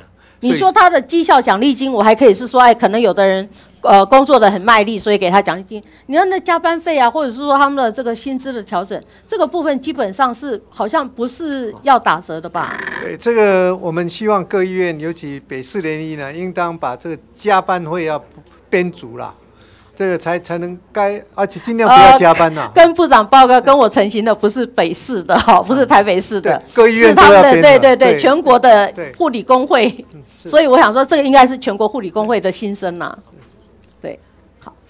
好，那接下来我想再请教一下哈，部长，就是说你对那个大数据的哈食品云的这个部分，好，好像也是非常的觉得这是推动的食安的政策的一个亮点嘛，好，那我先请问一下部长，食品云，你可以简单告诉我们，食品云是一个什么样的一件事情吗？食品就是利用这个这收集各类的数据了哈，来做分析，甚至做预预测或者是预。那目前是我们收集的，在在我们的有一个食品收集六个部会的所有的资料，都会整到目前是汇整到我们的 FDA 里面来。好，我想就是说，我们大概就是说，希望能够透过大数据的目标哈，来让我们的资料库呢能够建得非常的完善。那当然就是说，这样的一个目标，包括我们要找出一个高风险呐，或者是说我们的呃违规呀，还有。大家关注的议题哈，这个我们想都都非常的认同了哈。可是呢，我们就看到就是说，我们今年做过一次的测试哈，我们要找出它的这个呃高风险的这些的食品。可是呢，我们在这个找出来的过程里面哈，我们就看到了一个问题的存在，包括就是说它的这个找出来问题，当然就要有一些解决的方法嘛哈。那我们看到大数据呢，它其他是必须要有资料的完整性。资料的完整性，所以呢，它资料的正确性也是需要的哈。那我最近也是跟一些的农业单位、跟他们农民呐，还有中小企业跟他们在做联络的时候呢，他们就是说，他们的资料是很难填进去的。资料很难填，包括卫福部给的一些的的的的表格，还有还有些好像听说是是不是呃有些软软体还要他们自己花钱哈，所以他们就会觉得说资料很难填又很难处理，所以这样子的情况下，我们卫福部怎么样能够掌握到我们百分之八十到百分之九十？我们认为它的大数据就是数量要大，那这个资料的正确度要怎么样去控管呢？可以请署长回答吗？呃。报告委员，我们在所有的资料里头，在卫福部有五个非啊，非都不可。五非。其实，在所有的主要八十到九十 percent 资料都是正确的。可是你们卫福部的资料有些也还需要向农委会啊这些这些单位来配合啊。对他们上传我们的平台，我们再再去抓取他的资料，其实这些都是正确的。他们就是认为上传资料很难输入。然后呢，他们其实是非常的痛苦，他们觉得这个非常的扰民。呃，其他部会的部分，其实，在所有的部会之间的共同的共识会议里头，他们都解决了，就其他部会的问题都解决了。署长，你会不会太乐观了？因为上个礼拜我跟吴坤玉委员，我们才才跟这些呃业者稍微沟通了一下哈。我想有机会，我们是不是可以好好的跟这些的有需要沟通的、澄清的这个这个。业者能够好好的跟我们的这个主管单位能够做一些的澄清，是我们有委托一些厂商来做这一方面的呃书验的一个处理。呃，我觉得委托厂别的厂商做书院的主语是一种最不好的方式，因为呢，他们就做到一个程度就卡住了，卡住了以后他没有上报，所以呢，我们的主管单位就会被架空哈，尤其他们的这个没有第一线的沟通，所以我还是希望我们有机会能够做第一线的沟通。我想是说这个是比较能够听到真实的声音，而不是他们给的一些的呃资料的回报，然后写的非常简略，根本也不都没有办法很完整的传达他们的意见。好，谢谢，我们会举办说明会来做沟通。好，谢谢。好，谢谢。呃，我补充说明一下啊，呃，我们今天呃与会比较特殊的有三位人士哦，呃，因为邮政的问题，所以呃当时邮政患者最多的都在中部地区，所以我们今天也邀请了台中市彰化县呃两个卫生局的科长呃到现场哈，台中市是陈淑芬陈科长。彰化县卫生局是姚玉金姚科长。那先大家如果有询答上的需求的话，可以呃请他们呃呃回答哈。那另外呢，呃有一位刚到的是我们台湾护理产业工会的理事长，我们的资深呢呃我们护理界的前辈，我们的卢之燕卢教授。啊，就如果说大家对于这个护病比和这个健保给付联动政策哦，我想他们就是护理工会的代表，那也欢迎大家可以就教于呃这个卢资燕卢老师。好，那我们继续询答，下一位我们请吴玉琴吴委员。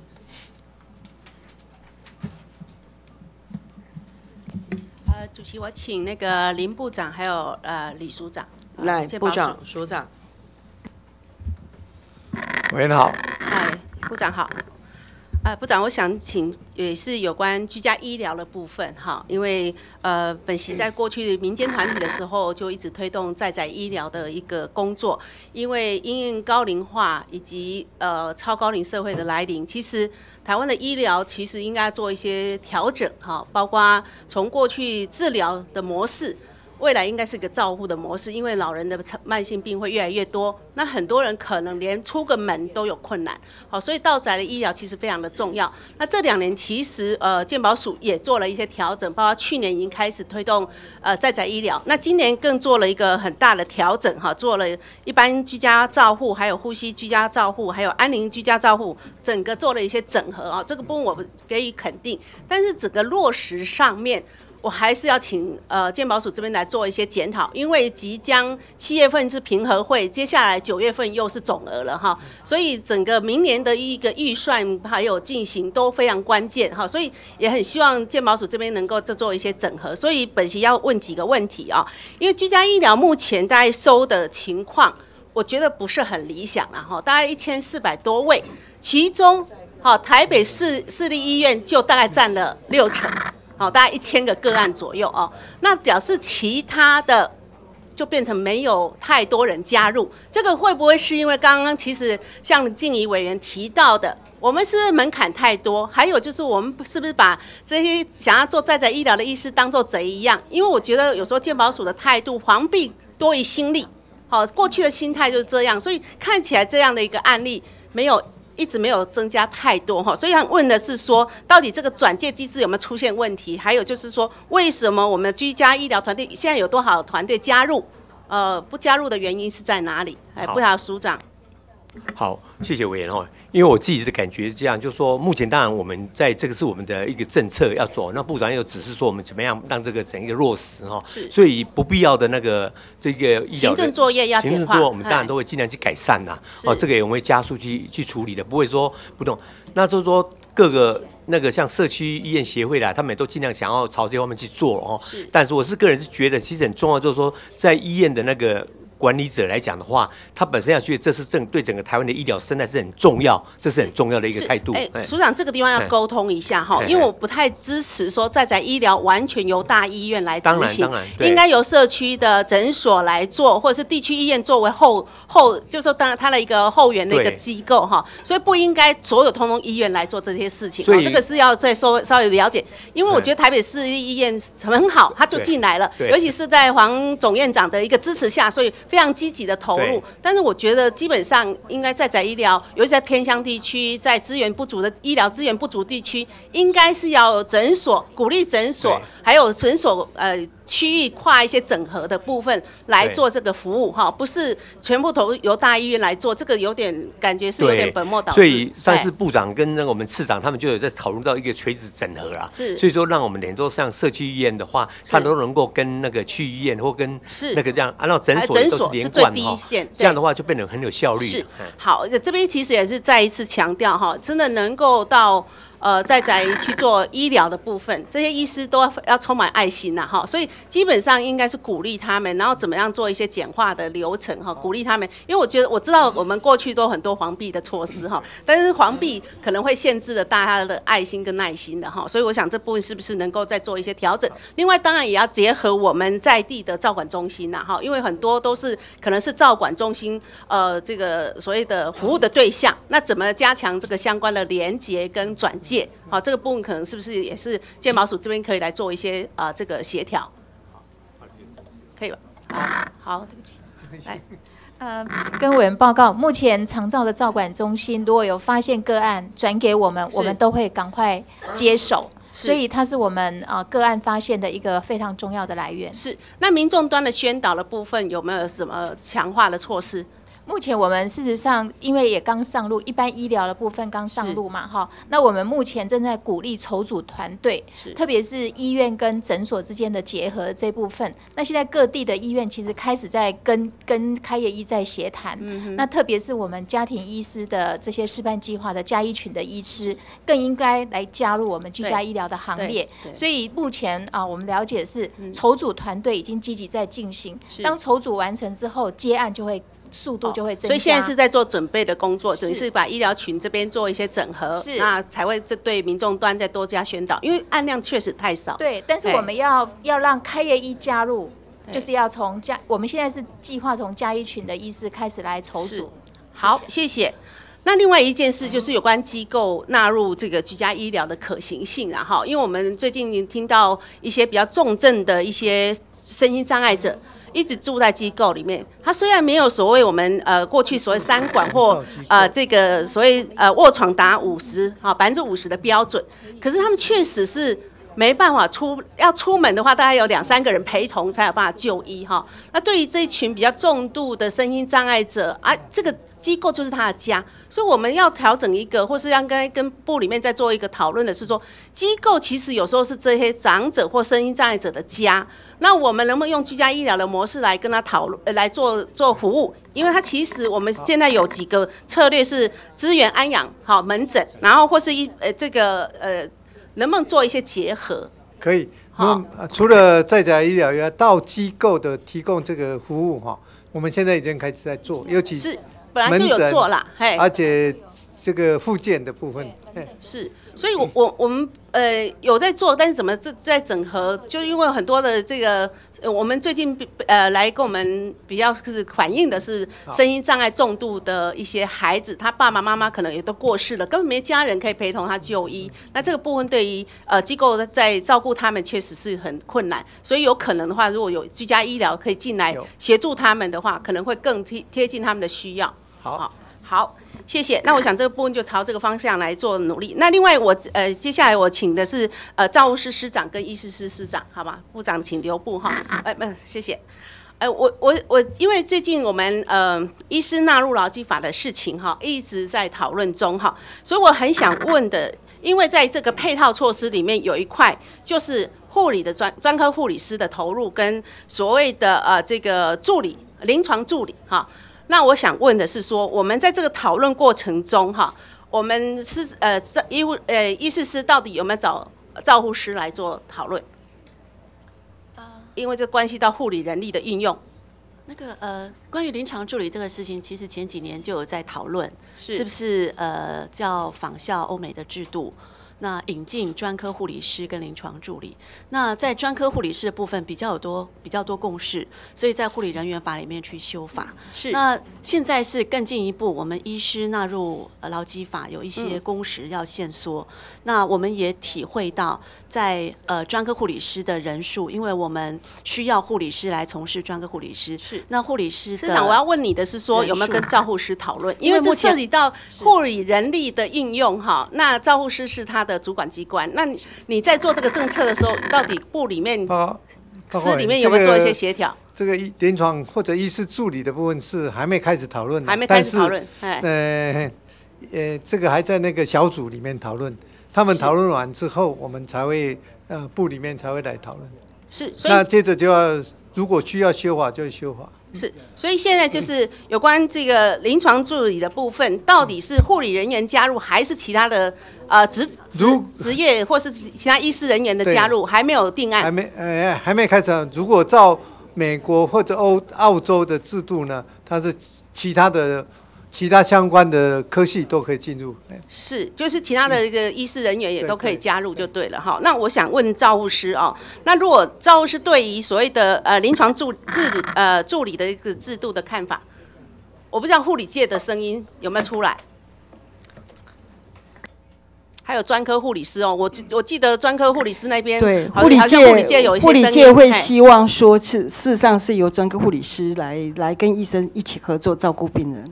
好像我听到也是这样哈，就对于呃临床助理这边的制度有一些的疑虑。对，报告委员，在美国也是这样，这 PA 跟 AMP 本来就是三范围有重叠嘛，嗯所以都会有一点点不同的意见。是那我想台湾多元的社会有，而且其他的科系现在人力也充裕，所以事实上可以讨论了。好，好，我想我比较强调的是说，呃，因为护理的呃主管机关是照护师了，哈，是不是让呃在整个人力配套上面本来就是一体的，要去思考，因为你这边专科护理师的人力拉过来的，可能一般的护理人力又减少了，所以这是一个流动的哈。医师这边问题解决，结果护理那边的问题又出现，所以我想应该是要呃照护师、医师是在这个议题上讨论，应该是一并要进来讨论的，而不是。呃，因为我我我一直很少看到照护师的角色了哈，所以我觉得这部分应该要被好一起来讨论哈。好，谢谢。那有关呃另外一个议题啊，两位可以先回去啊。有关有呃邮政患者的一个健康健康照护的议题哦，想跟部长来做一个请教啊。因为目前呃这个邮政患者是有大概我知道的是一千八百三十四人哈。那在呃这个是比一百一百零三年你们列册的时候呢，呃大概多出了五十八个人哈。不晓得这个多出来的呃这个人是什么原因呃多出来的？哎这个我可不可以请副署长？好，副署长。嗯，在我们一直还是在陆续哈陆续把那个地方当时各个地方送来的一些列册，再做一些比对。那只要我们有找到当时在地方列册是有的，我们就会再让他进来。所以这些进来的人，大概第一个条件都要铺路史，对不对？是，对他，所以因为这个法是针对当时呃三十几年前、三十七年前发生这个呃这个多利联本的问题而延续特别立的法嘛，所以它一定前提是一个有铺路史。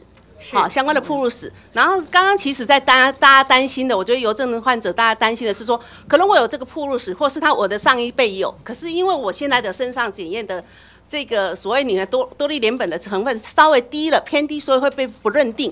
他所以才会在今天这次修法里面把之一放进来做这样的一个修法，是不是？是跟委员报告，就是现在目前其实呢，这个两者全部都采是，当时也是参访这个啊、日本的一个啊、也是我们很多专家嗯学者，但目前我们确实是有一部分的浓度上面可能已经到无法测，那所以我们会把它放进来，但是铺路史还是必要的，是一个必要条件嘛？是必要条件好，了解。那另外一个就是我们现在有死亡的有三百五十八位哈，是，但是领取的只有九十一位，是不到二十五趴哈。即使还有十个还在做审查哦，那为什么执行率这么偏低？嗯，跟委员报告，那个我们目前其实呃。剩下一百一十八位，我们还在找寻，就是我们有这样的名单，但是我们要找寻他的家。你们用什么方式去找他们呢？呃，是不是一一纸我公文过去而已？还有我们都是直接到该地的这个户政司去做比对，是，嘿，所以这个也是透过地方政府一起协助吗？一起做，所以地方政府都有你们有主动去找就对了。好，因为我们很怕你们呃没有主动找，只可能一纸公文过去，那可能民众端也可能不知道有这个福利，因为福利的资讯去年才刚立法哈，那能够让他们知道其实有点难度哈，所以本席也是支持说，如果能调整这个年限，让这个时间作业可以拉长一点，来作为一个呃补偿的一个一个基本的一个时间的一个呃，给你们更多时间啦，哈，因为我觉得民众端那边可能不容易取得你们的资讯，好，感好谢，谢谢。谢谢委员。好，谢谢。下一位，我们请陈英明委员。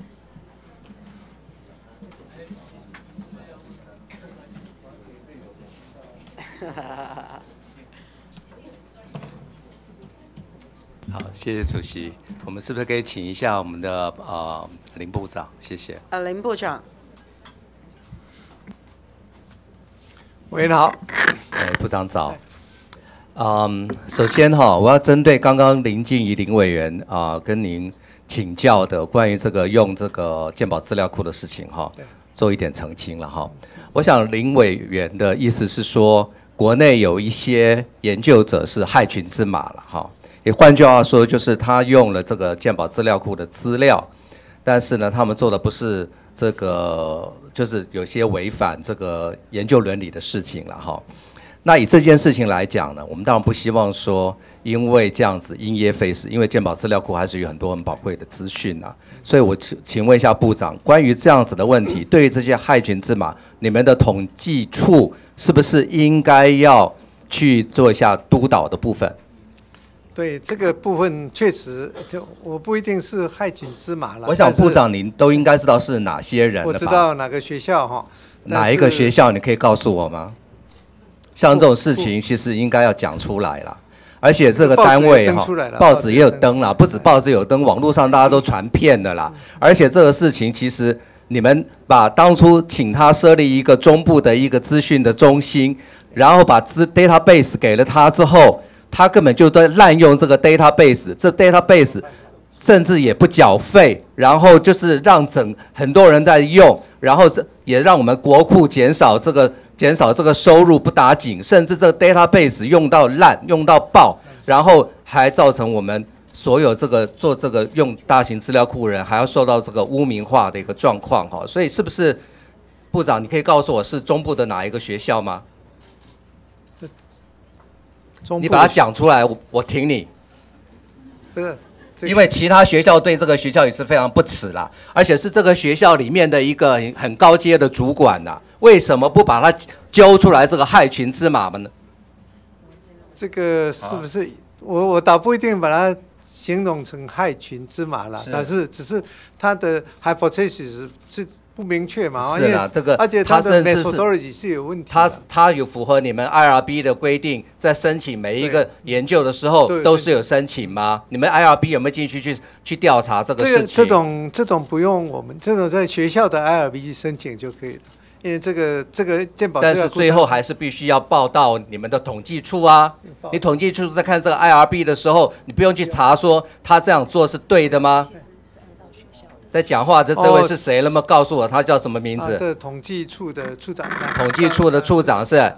你你的 background 是什么？你是社会社会司之前是不是？统计，你就是做统计的。是。好，那你们在调查这个东西的时候，每一个案子是不是有回头去查他的 IRB？是，呃，报告委员，我们现在啊、整个资料的申请计划都有一定的程序。好，那请你把过去五年来的资料送过送过来给北席做本席做参考。是。好，呃，下一张。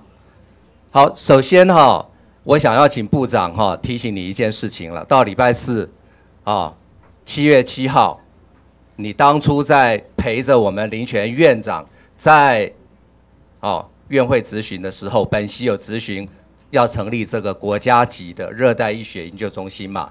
那个时候有答应我一个月内要提出对案，是不是可以在七月七号的时候把你的对案提出来？好，这个我请那个 CDC 来提出来。好谢谢到好这个委员办公室。好，谢谢。好，下一张。好，那本席呢，其实在六月三号有接到我们高雄左营的一个民众的一个陈情了哈。这个陈情呢，就针对你们的官网的这个医事查询系统，他觉得你们的关键字不够聪明了哈。这个里面呢，就是很多的问题。他说，本来弄查海丢的米件，只要把医师的名字输进去，就可以知道他的专长，知道他的年龄、性别。可是现在呢，你们的官网呢，竟然用了很多的这个，就说写说不再支援旧版 IE，为保障用户权益与网络交易安全，所以就是层层的把关之后，民众就在 complain 说，本来是可以查出来这个医师在哪里服务的，现在也没有这个资料了。若有医师愿意提供他这些资讯或者连接到他的网页，为什么不行？哈，请看下一张哈。而且呢，我真真的是我我国会办公室哈，我的三个助理哈，他们用了他们三部电脑都进不到你这个网页里面去了哈，手机更不要讲了哈。然后呢，医师人员的查询，我们打柯建明三个字进去，没有符合的资料。下一张。我打了柯文哲也没有资料，好打下再下一张，打廖国栋出现三笔资料，好我们进去按进去详细资料，好他的这个鉴别度很差，因为他只知道是男的，耳鼻喉科，西医又加中医，执行的是在花莲县，连在哪里服务都搞不清楚哈，下一张，然后打我的名字进去，出现的是高雄市，但是职业列别竟然写药师哈。我好像不是药师了哈，而且其实我也没有在当地医师工会有登记，因为我没有在职业。好，下一张，所以这个就是很奇怪的一个系统。请问这个系统花了多少钱建制的？好，这个请医师市长帮忙。呃，报委员，这个已经建制很久，那呃近期都是在维护状态。那几个资讯不正确的部分，有请地方卫生局去维护。所以你不晓得花了多少钱建制的？呃。很久以前的去把它查出来，告诉我。是是，那每一年都然后呢？好，下一张。那我们看看哈，法务部有这个律师的这个查询系统啊，法务部就是负责各资法的嘛。你们在过去其实其实这个民众他有打电话到我们医师司，有个科长姓吕，吕科长接的电话，他就跟他反映。然后呢，他就哦，这因为是要保护医师的个资法，所以没办法提供。可是我们看看，相对来讲，人家法务部的律师的查询系统非常仔细耶，性别、出生年份、年份都有资料哦，所以他知道他几岁。然后呢，律师登记啊，登证书的字号都出来。其实这个很重要，你为什么不能不能把医师的这个登记的字号弄出来？这个可以杜绝密医嘛，对不对？然后更不要讲说。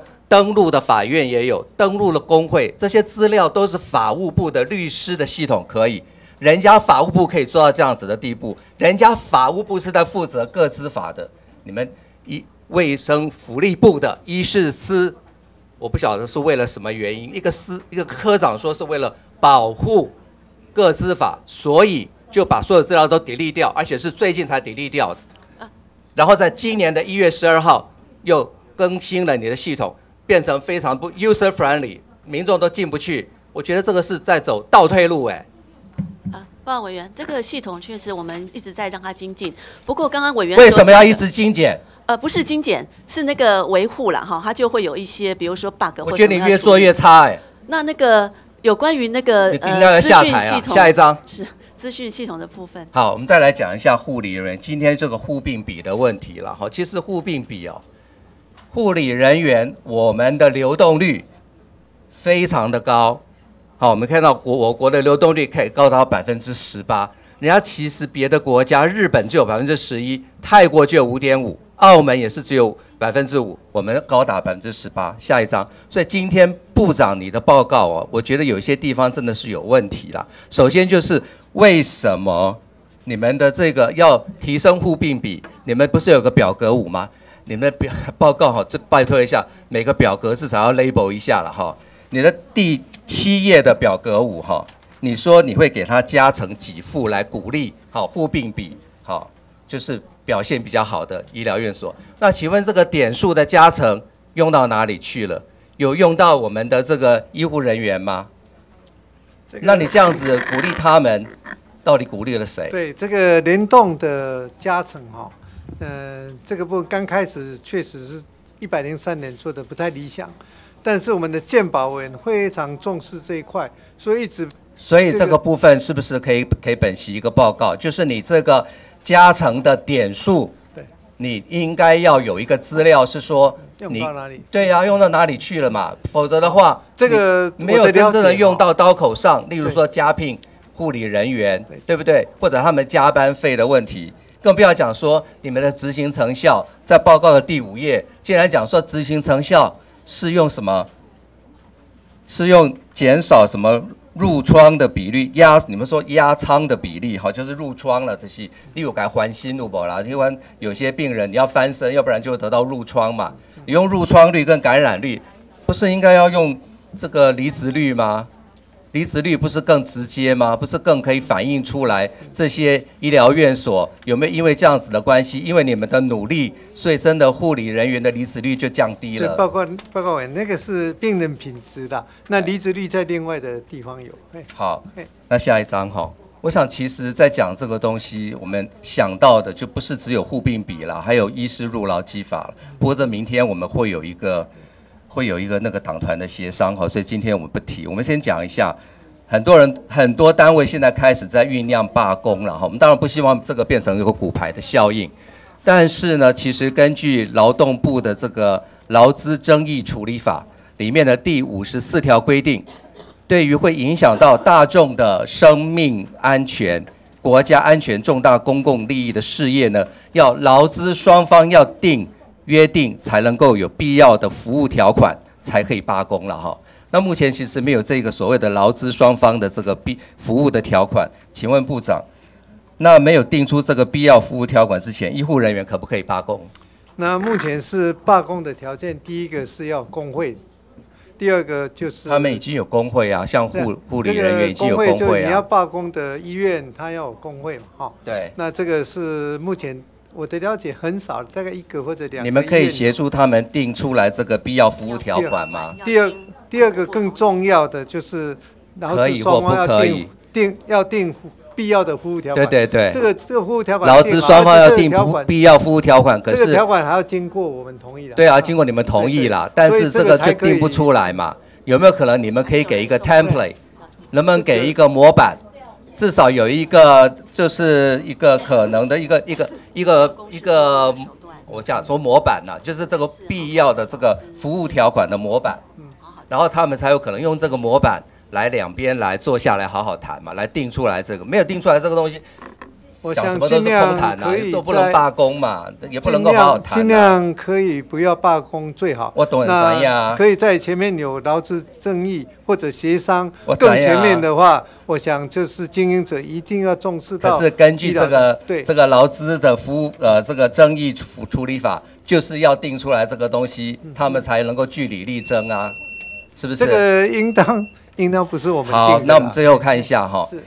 现在最后一个问题就是，我们最近其实有妇都很多的这个妇产科的这个的争议了哈，然后这个就是医师啊，现在好像就是五大皆空嘛哈。那我们看下一章，我要讲一个嗯很重要、很沉痛的问题了，就是其实我们看到这个刘玉志医师，他就计算出来很多县市啊，他们的妇妇产科的医师的人数是比议员还要少了。阿雷西被安诺，阿被被安装，被怎么办？这个是个严重的问题啦，哈。好，下一章。所以面对这个问题，哈，我觉得我们要还给阳阳明医学院的医学系的公费生，还有很多的公费生一个公道。总共培养了六千五百三十七位公费生，阳明医学院的公费生也培养了将近四千名。可是呢，下一章，你们竟然在二零零八年的时候有一个。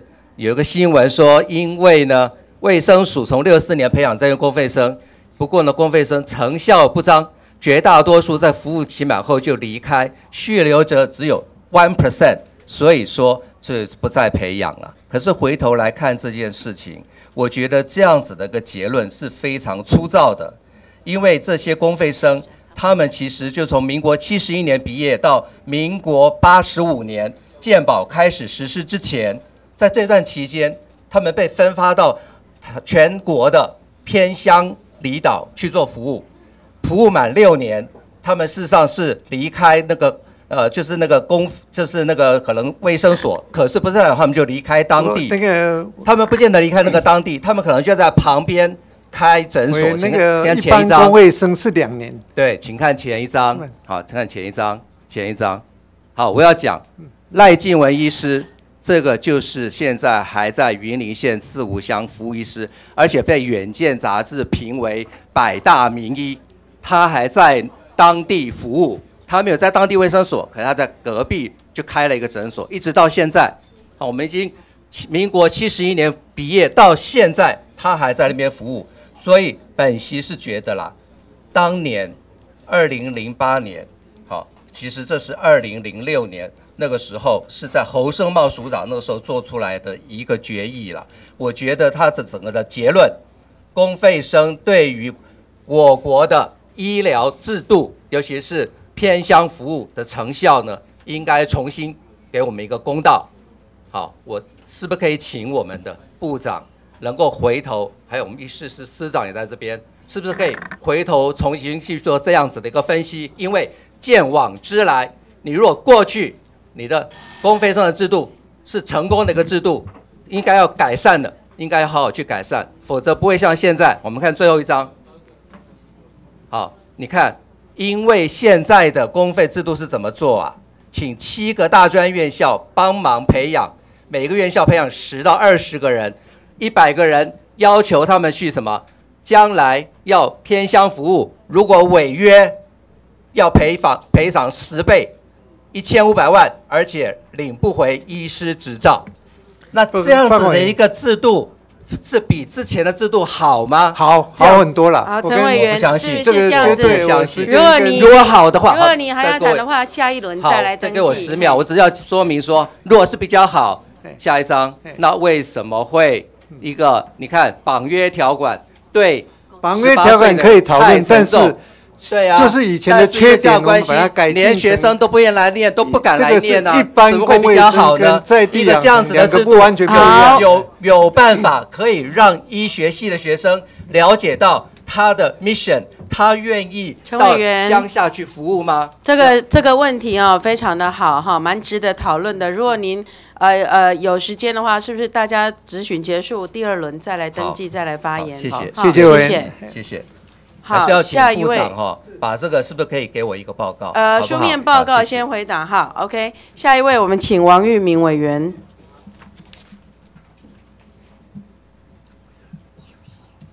呃，王委员，这个呃质询结束哈，我们休息一个五分钟，给大家上个呃洗手间，谢谢。好，谢谢主席，我们请林部长，请部长。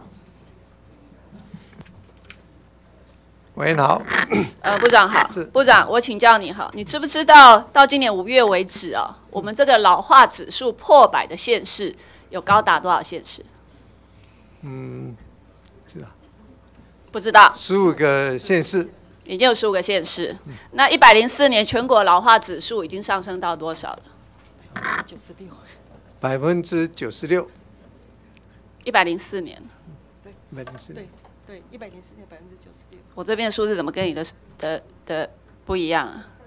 明年、今年预估会到，今年预估会超过百，因为每年成长百分之六，去年是百分之九十。一百零三年跟一百零四年的话是增加百分之六点四八，所以这个老化的问题其实是非常严重的，就是我们现在已经老化指数全国平均下来已经快要破百了。已经快要破百了。那我们新政府上来之后呢，长照一直是一个呃很重要的议题嘛，哈。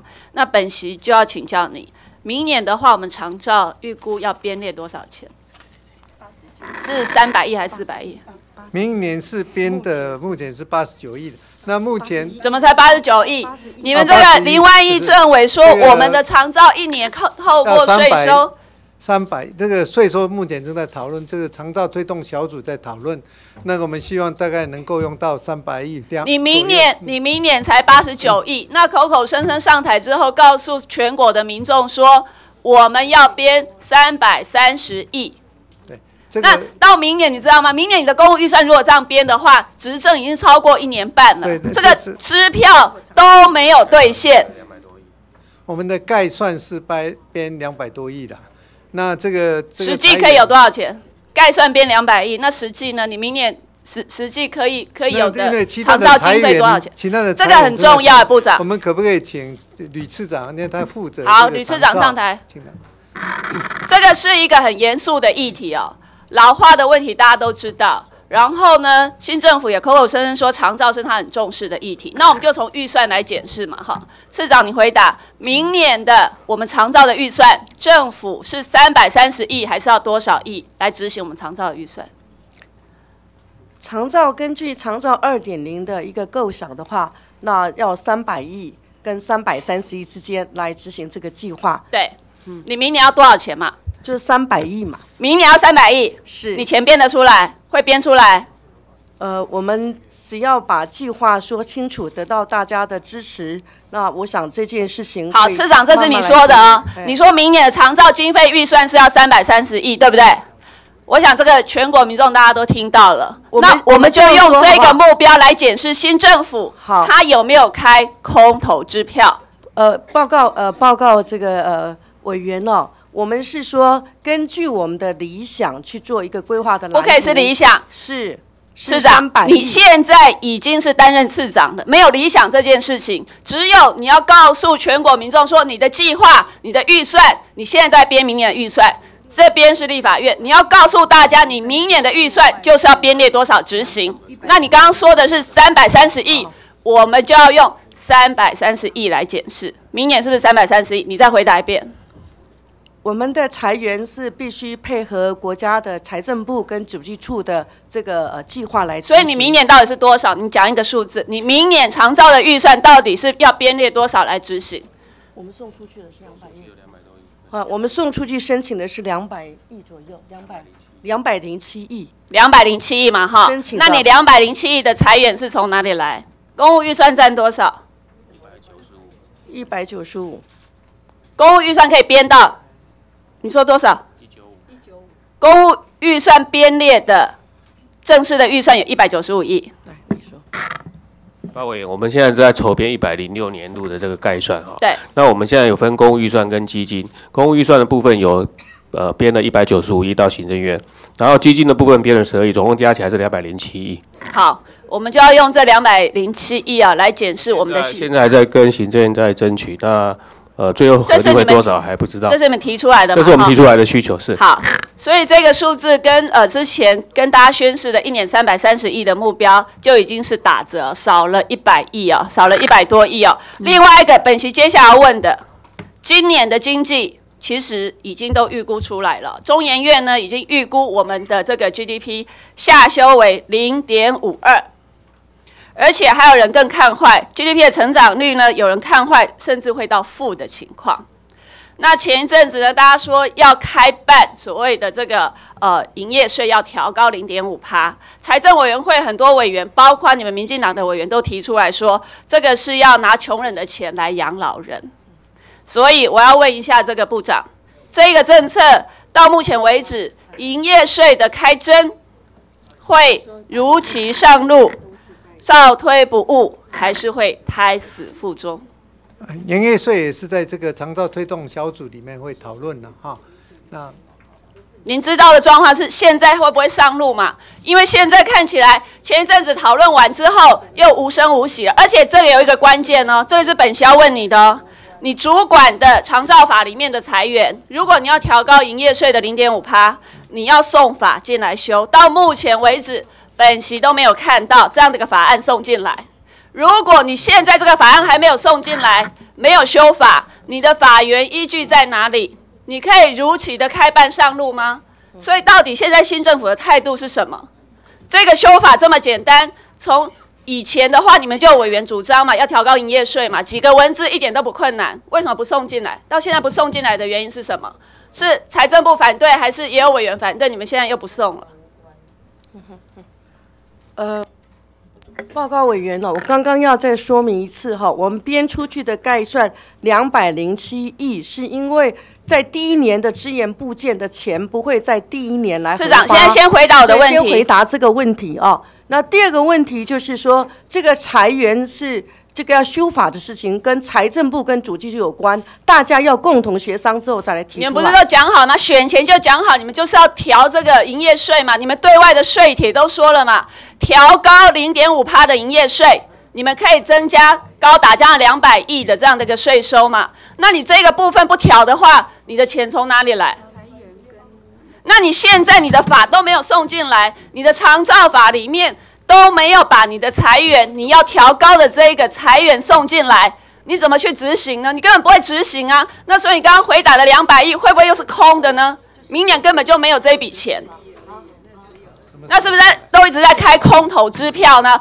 而且我要很严肃的告诉大家，如果这件事情到明年的预算都没有办法编组的话，大家别忘了，到明年年底新政府执政就已经超过一年半了，一年半都没有办法兑现他的支票，口口声声选前说都准备好了，全准备好的事情，你这一个案子应该要在这一次你行政院优先的法案送进来的法案里面要列为优先法案，因为这涉及到裁员。我们且不论税收跟保险制之前的争议，但既然新政府裁定了要用税收，而且说长照这么的重要，要用三百三十亿来解决大家的问题，如果你到明年都还编不出这样的裁员，你已经就任一年半的时间都没有能力处理，你的证件都没有办法兑现，这是一个负责任的态度吗？我刚刚讲，我们老人的问题不能等。前面我已经让大家看到了，十五个县市的这个老化指数都已经破百了，不可以再这样推拖拉，慢慢来做啊！那你们就要展现你的魄力啊！你要调高税收就调嘛。那现在看起来你们是好像不动啊。这个修法的动作是一个关键的指标，你都没有送进来，你怎么去调高这个税收呢？那你钱从哪里来呢？那不是在空中画大饼吗？为什么送不进来？部长还是市长要回答？这件事情是市长在主导，是市长你回答。为什么？为什么修法的法案送不进来？这么简单的事情，民进党口口声声说还要加开临时会，这么重要紧急的事情就送进来啊？就临时会拍板定案呢？呃，报告委员。呃，我想这是几个部会之间共同要来一起讨论的。以我们做一个不是选前都准备好了吗？都拍板的一个立场，我们只是钱给我们之后，我们做。所以现在是其他部会反对，没有在协在在在讨论中啊。那为什么要讨论？大家都赞成的事情，为什么还要讨论？一定有人反对嘛？谁反对？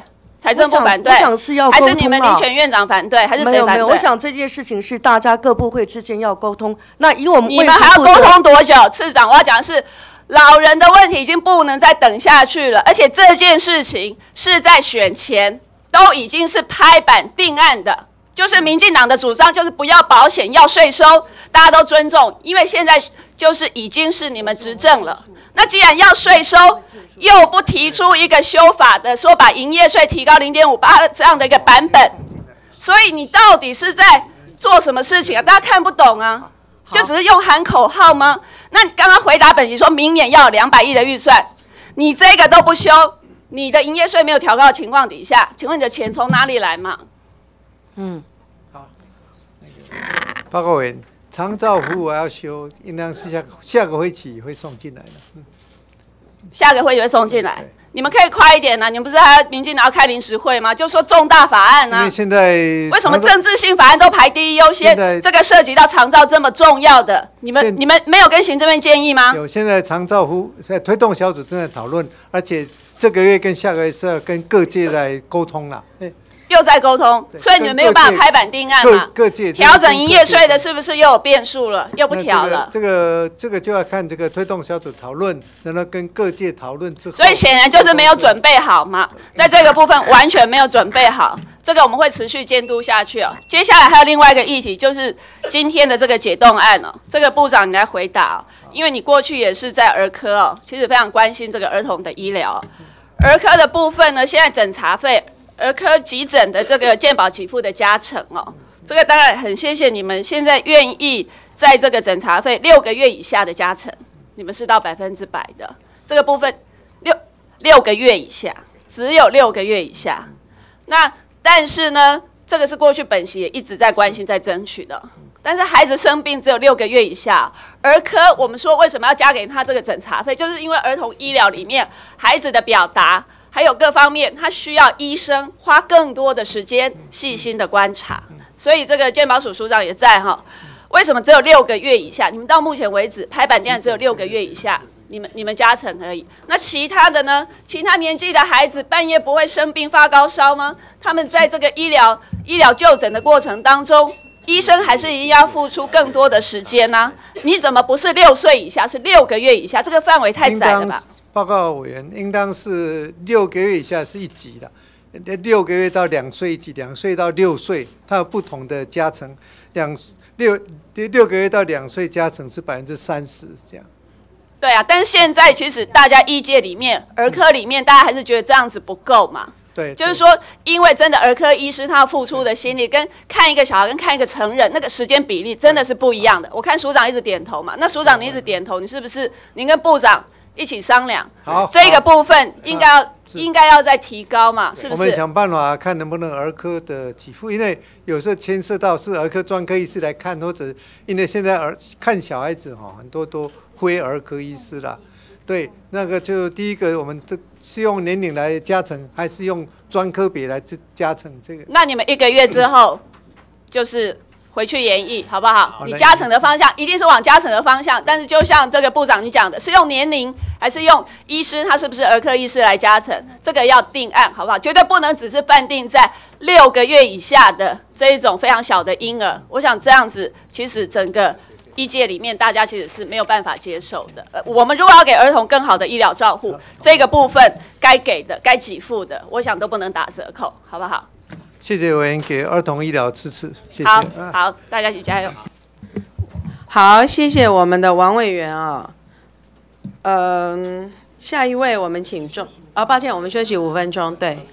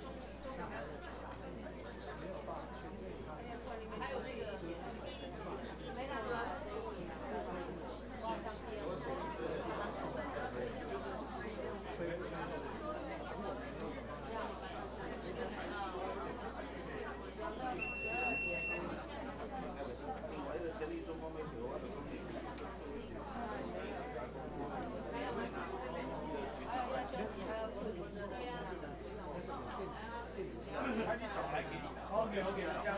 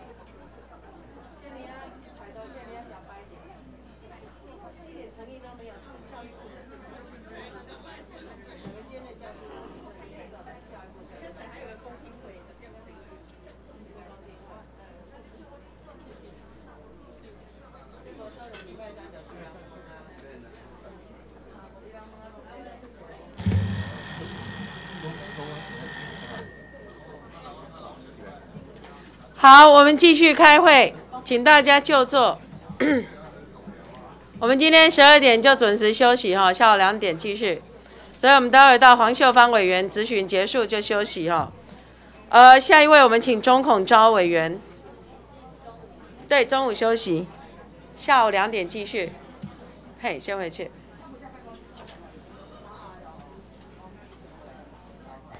好，主席，啊，请部长。请林部长。委员好，部长，还有我们今天与会的各位先进，大家早安啊！啊，部长，刚刚其实我帮你顺便上一下劳动教育啊。好，因为他刚刚有特别提到劳资争议处理法医疗人员到底能不能罢工啊？他所谓的五十四条来电下个就清楚。必要时的一个服务条款，你没有签订服务条款，你就不行罢工啦。安利在不？在，我在。嗯嗯。所以医院来对根本就不可能去签订必要的服务条款。你现在知道有哪一家医院有签订必要的服务条款吗？有没有？应当是没有了，应当是没有。我跟你讲，全国现在还没有一家有签订必要的服务条款，所以那个水电燃气根本就不可能罢工。那医疗人员是因为是涉到生命的安全，所以他必定要签订一个必要的服务条款。那医院不可能去去跟这些医护人员签订必要的服务条款，因为你们怕签了签了下去就会罢工。所以劳资争议处理法来对第五十四条来对，OK，，它的其实它有部分的一些的函释写的非常的清楚啊。所以这一些如果不懂的话，可以请教我们的何启功和政策哦。他来自我们劳工局，他常常被我受劳工教育训练。好，我再跟他请教。这边也特别感谢。部长啊，哈啊，刚刚这么多委员的一些的询问，我其实我现在想问部长的就是，从一百零一年的数据中立的报告书来对，我们现在持有护理护照人数的和实际从从事行业的人数的比例，到底有多少的差别？因为我想大概应该有其他的委员也特别问过你嘛，他的比例大概刚刚是讲说比例差别，有些达到三十几，有些达到。达到四十几，有些达到十八趴，到底是多少？持有护理证照师和实际从事的从业人员，应当是百分之六十啊。所以有护理证照在职业的，所以落差百分之四十嘛，对不对？是。那复病比跟健保的支付的联动率，当然是医医院很好的一个诱因，就是要增加护理能力了哈。所以我很想请问你。为什么失败了这么多？成效从你们的报告书来对了哈，成效比较好的都是医学中心跟区域医院了，啊，地区医院没有什么差别，到底是怎么一回事？那些偏乡更不用讲，因为你医学中心跟地区医院的病床数本来就不同，人数的增加情况办法也没办法，实际上反映的复病的比比例情形，能不能在这边直接跟我们说说明清楚？复病比的比数字哦，不然我看你今天的那个报告哈，我觉得你们还是在回避真正的问题啊。是不是部长能够正确的、精确的能够能够说明一下？我刚刚特别提到人数的增加的情况没有办法反映复病比的实际情形啦。你看看你们的报告书来对。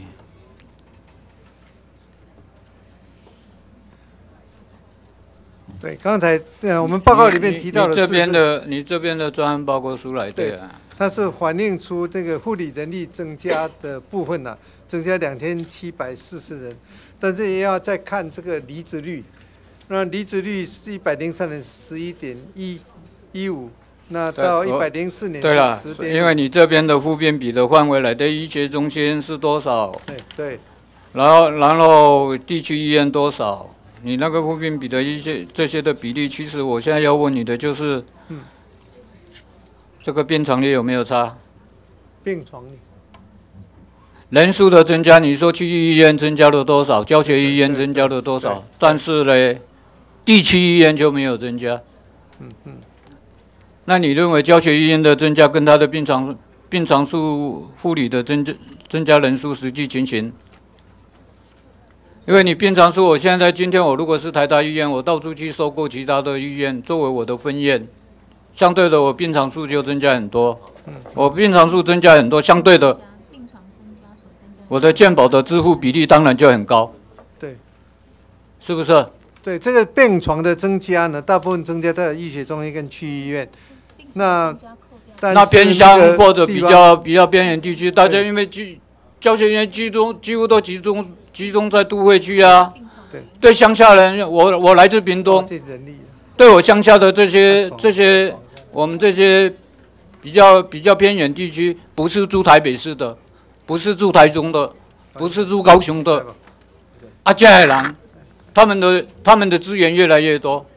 我跟你讲啊，你那个工会生也是一样啊，你给他签五年哦，五年期满他还是跑回都市啦。不相信你问侯启功，他怎么可能跑到六龟？干个五年之后，他一定跑回跑回高雄市来，他不可能永远待在六龟，五年待在六龟啊，时间到了他就回来啊。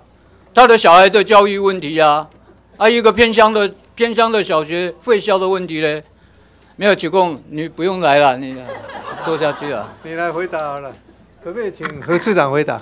没有，我没有请他回答，我是说，我是我是比个例啦，我是说，当你工会生给他摆摆五年，绑到偏乡去了，五年之后他还是回到都会去了。我现在要问你的就是说，你现在的医学的医学中心跟区医院的比较，跟地区医心的差别性这么大了，对，你怎么怎么去照顾这些？尤其是你们，包括你们的护理改革的中中层计划，这二十亿来对，你们当时的第一要项就是回归护理专业。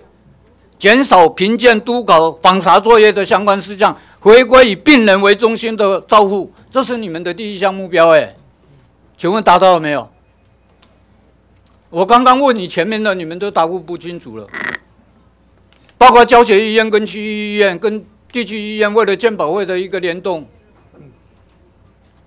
光这个复孕比的比例，你们这这个数目字都要做一个很漂亮的数目字，这但是没有实际去做检讨啊。这个联动哈，一百零三年的那个数目不不大了，只有四亿元，所以这个要有这个我我不觉得要数目字大不大，四亿元大不大的问题。对我来讲，四亿元很大，啊，对你们来讲可能不大。我讲的四亿元不是高雄市四亿元，是四亿的哦。可能你们认为说四亿不大，我要叹起西洋，你去看我的财产公报，啊，财产才六百多万，干了一辈子公务员，你那个四亿对你来讲好像不大。我现在就那个四亿也是要有效益啊，对，那个不能钱以钱的多少来看啦。有些你钱可能很少，但是效益很大；有些你可能钱很大，效益又更大。那那个四亿钱总是要花在刀口上嘛，所以所以的效果可能，我那二十亿的专款只拿四亿元出来，可以拿多一点的话，效果会更好。那你你你现在是呃现在那个，包括你第一项，包括你第二项，第二项的策略就是让妇女人员做专业的工作，对不对？让妇女人员做专业的工作。我跟你讲，你到医院去，哪一个护理人员没有在做那些你说专业不是他专业的，包括喂食、换身、换药片，哪些不是护理人员在做？请你跟我讲。有没有护理人员要不要做这些？护理人员要做这样子。对呀、那你的目标要讲得很清楚。护理人员要做专业工作，其他会专业的工作要有辅助人员来协助。我今天光看你的报告，我就可以给你问一个早上了。但是，淑芬委员不可能让我问这么久了。时间到了，我还是要鞠躬一下台。不不不，你可以问那么久，登记第二轮和第三轮。不，像光这些的问题就是问题了。我我我不知道说像这这个问题，我们怎么去做解决？我们面临面对这个问题的时候，你总是要有一个解决方案。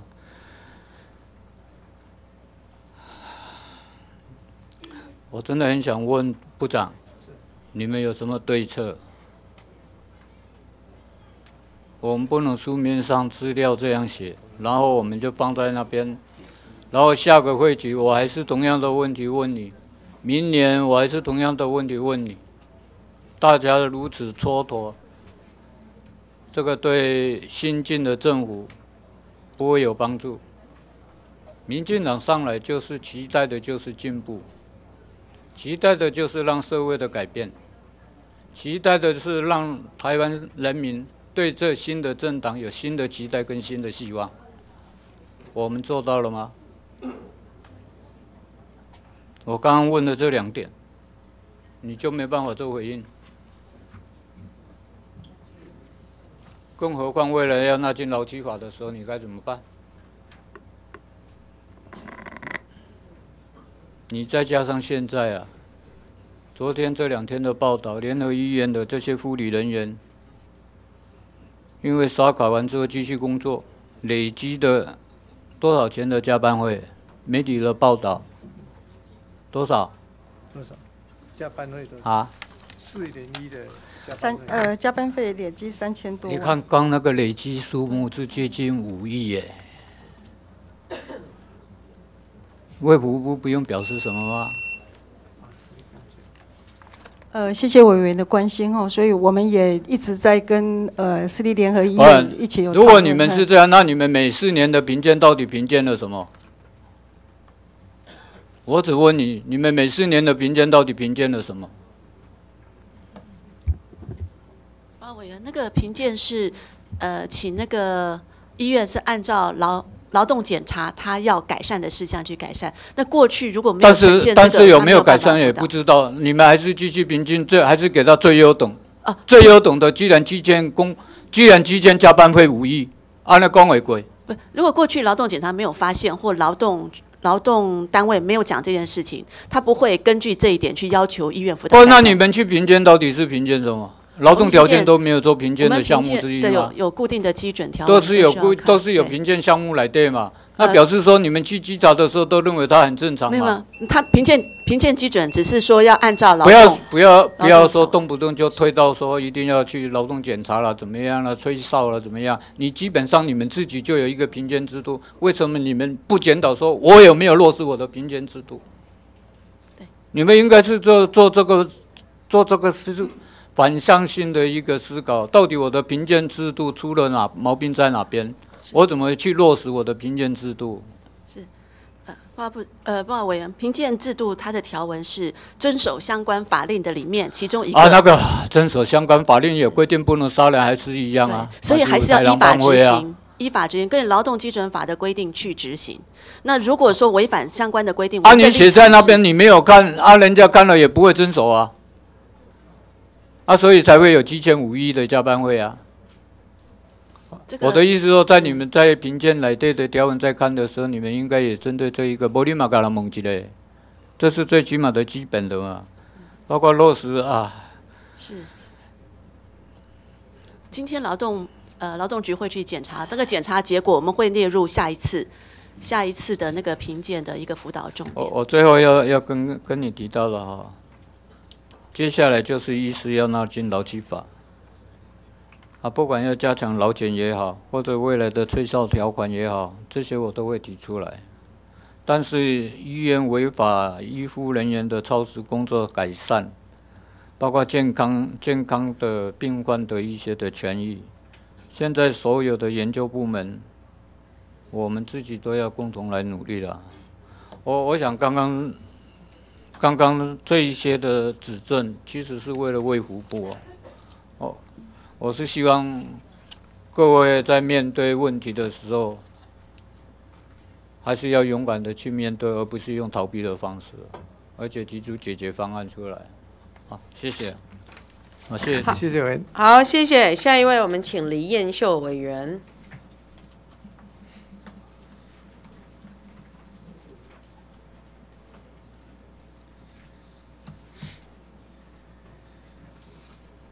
呃，请林部长，谢谢。呃，请林部长。委员好。呃，部长，这几周哦，大概都是呃，所有新闻媒体关注的，还还是都跟劳工权益相关的议题哦。那呃，当然呃，过去我们卫环委会针对于医师的纳入劳基法跟护病比，我个人也都提出临时提案，也希望要去做修正哦。所以，所以今天一大早从早上九点听到现在，呃。很多不同委员的意见哦，但是大致上方向其实都是一致的哦。我先请教一下部长，你六月二十八号上午十一点有召开，带着我们所有呃行政部门各位呃同仁呃有跟一届做了一个座谈会，座谈会的内容是什么？那一届提出很多的问题了哈，包括这个劳基法的问题，包括护理。部里他们很关心，因为部里不是只有，因为很多都是院长来哈。那也提到这个这个鉴宝很多鉴宝的问题。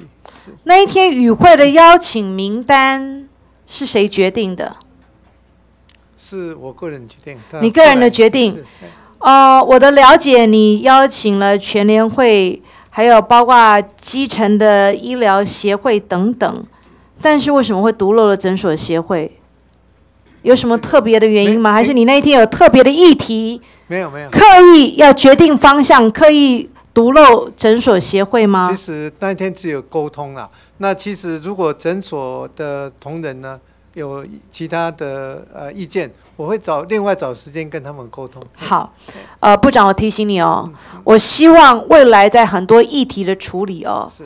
我想，一届包括在总额的分配上，大家对于很多议题，大家意见其实有时候内部大家都会需要很多层面不同的沟通。我想你很清楚那个美美嘎嘎。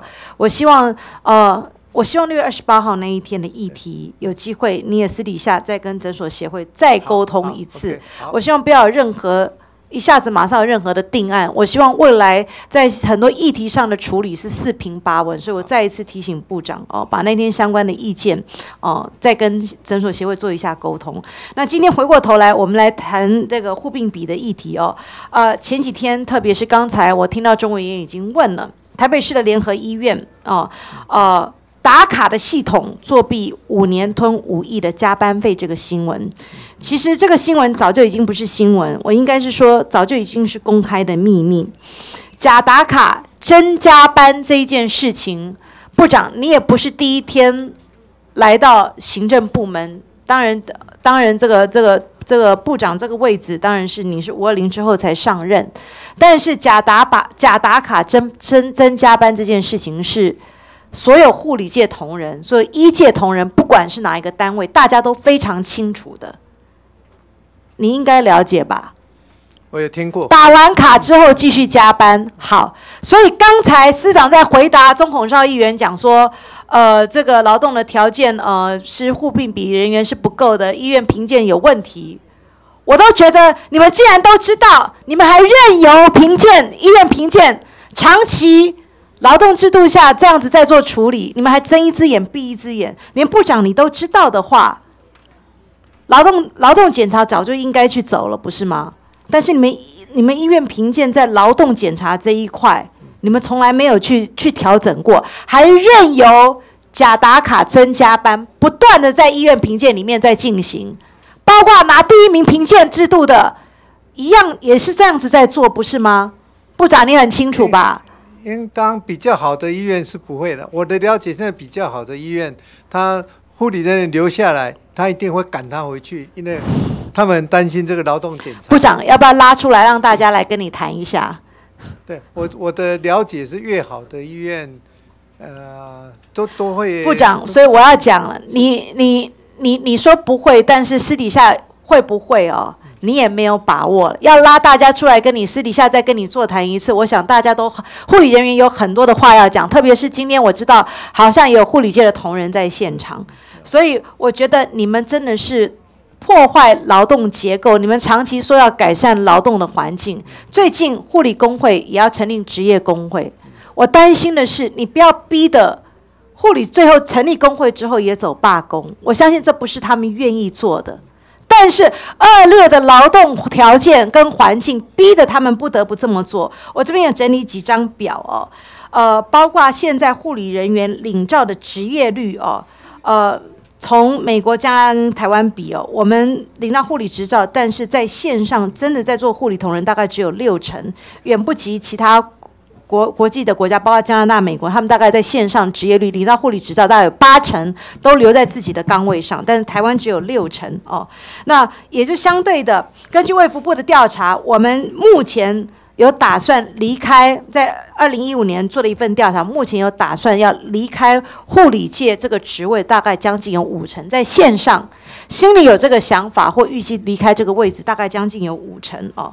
所以部长。我对于未来，不论不论是长照要不要加入医师，要不要加入护护理人员，哦，包括目前在线上的护理人员也是严重的不足。你们这边提供出来的数据跟资料，目前在线上大概有五千多个这个全国医院护理人员的总控的缺额人数，大概都有五五千六到五千七左右，哦。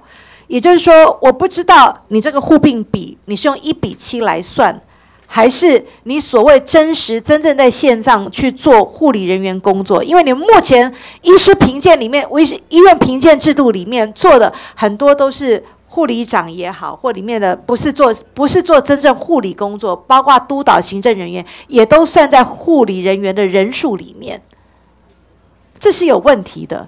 所以我不知道你现在讲的全国护理师的缺口有五千多人，将近六千人，这个人数其实比实际的人数还要低很多。如果真正要探究真正缺额的人口，可能到六七千、七八千，可能都还不止。部长，你同意我这样的逻辑跟推论的说法吗？有可能。对，那如何解决呢？所以还是一样，第一个要解决这个护理人员的薪资的问题。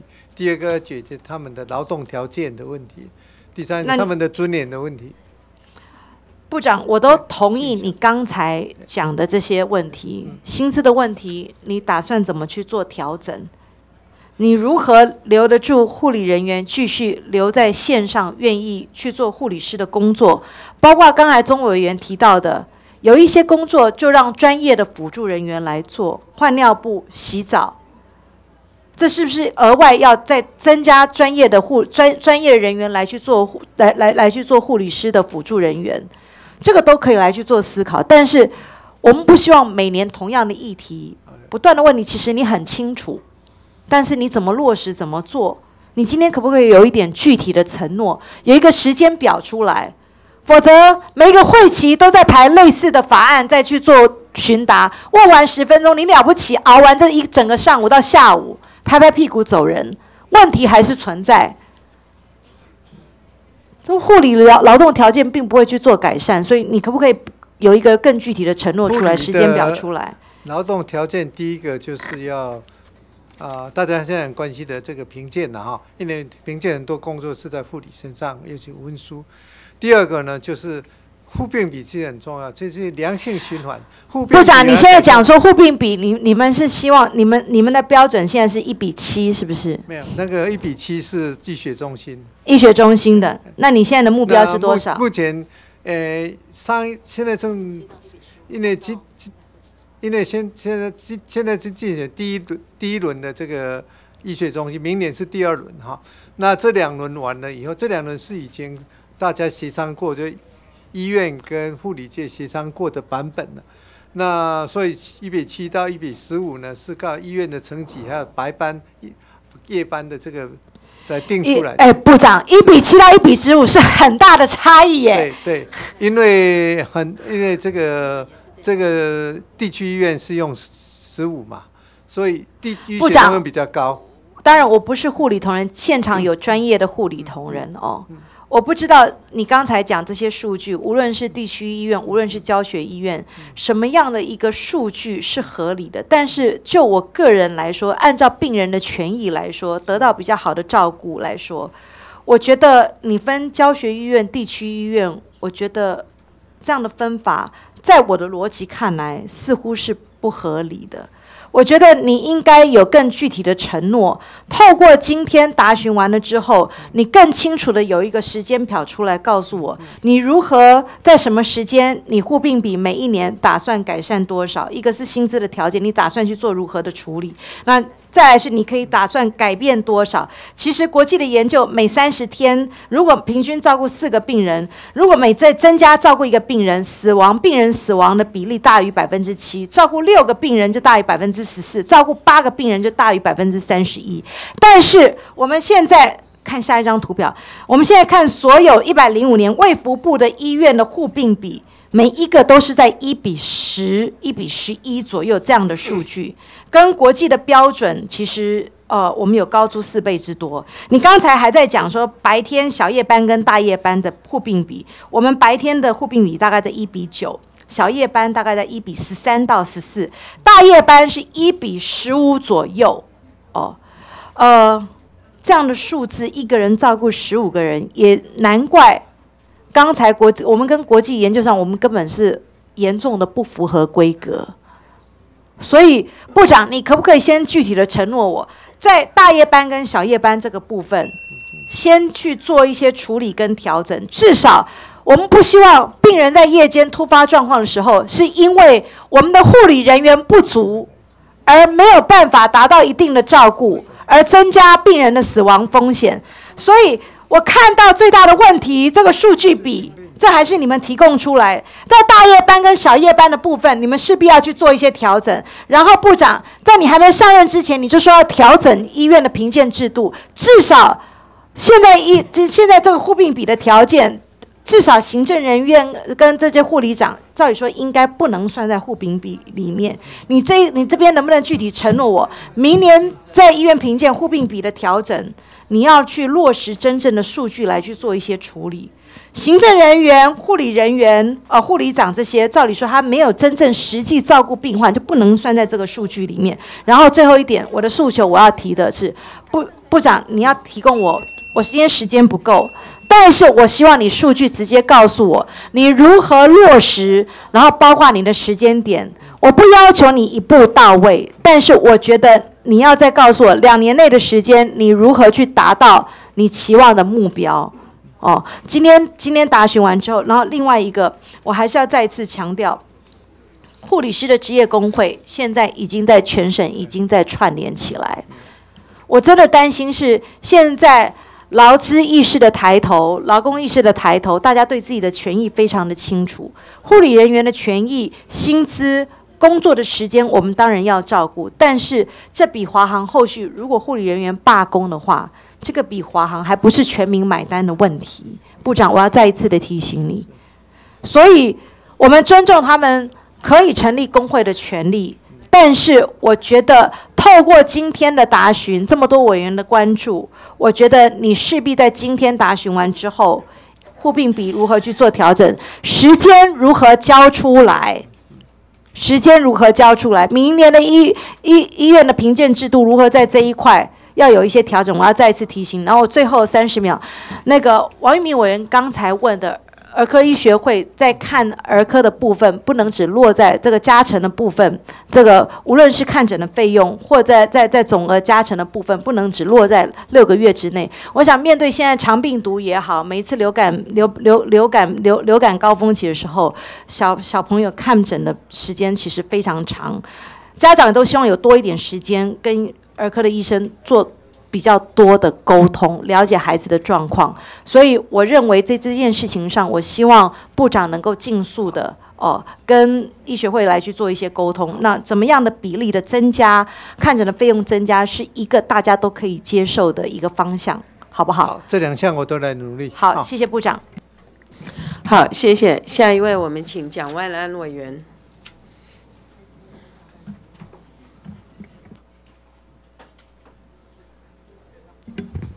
谢谢主席，呃，是不是可以请林部长？呃，我们请林部长。喂，你好，部长好。这个根据调查啊，这个目前全台领有护理师执照的大概有二十六万人左右啊。那实际职业的人数，部长您知道多少？十五万多。十五万多，所以其实职业率只有六成五啊，远低于欧美国家以及其他邻近的国家啊。所以我想大家也都很清楚。哦，造成其实我们专业培养出这么多护理人员，考上了专业的证照，可是实际投入这样的这个市场，投到这个愿意担任护理师这样的一个职业的人数啊，其实非常少。哦，就是只有六成五。所以问题当然很清楚，我们劳动条件其实对于护理师来讲是不好的。哦，不仅是低薪、超时，哦，甚至。在急诊室暴力事件的频传，哦，等等，都造成我们这些受过专业训练的护理师并不愿意投入这样的行业。所以今天啊，我就想要说，请教部长啊，我知道在九十八年到一百零三年哦，我们健保署有推出一个提升住院护理这个呃护理照护品质的方案，也编列了差不多九十一亿的一个预算，哦，但是我发现啊。其实，当然总体来讲，这个根据卫部的报告说，哎，的确我们有增加这个护理师的总数，哦，的确也提升了护理师的薪资待遇。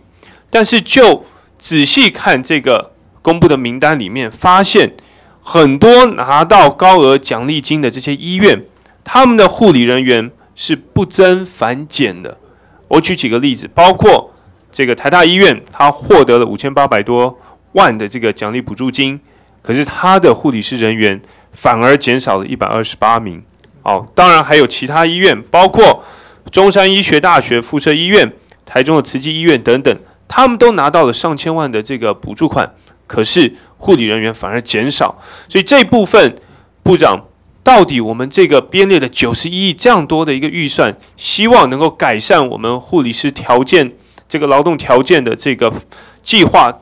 很显然，对于高额补助这些医院，它并没有实际运用到增加人数、提升薪资等等这些目标上面。到底卫部有没有做一个检讨？对，就十八年到一百三零三年，确实成效不如预期了哈。所以我们的护理界的特别提出，那就最好就跟给付来做联动。所以从一百零三、一百零四到今年，就在做护理这个。护病比要跟健保给付做联动，那希望而且这个金额越大的话，效果才会出来。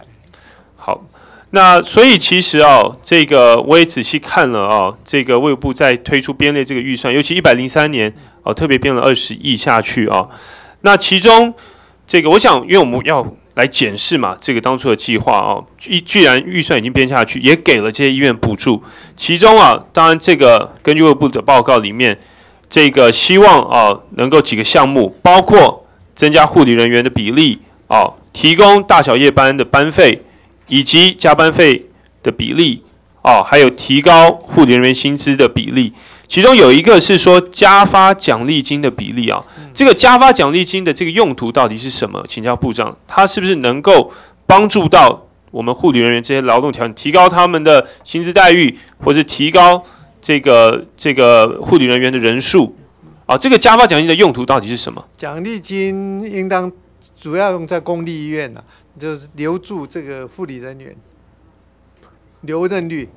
好，那可是哦，根据这个所有这些医院里面哦，总共有三十八个医院，他把拿到的这个奖励补助金百分之百都用在这个加发奖励金上面，而其他项目包括提升护理人员的人数，它的是零；增加护理人员的薪资待遇是零，百分之百放在加发奖励金上面。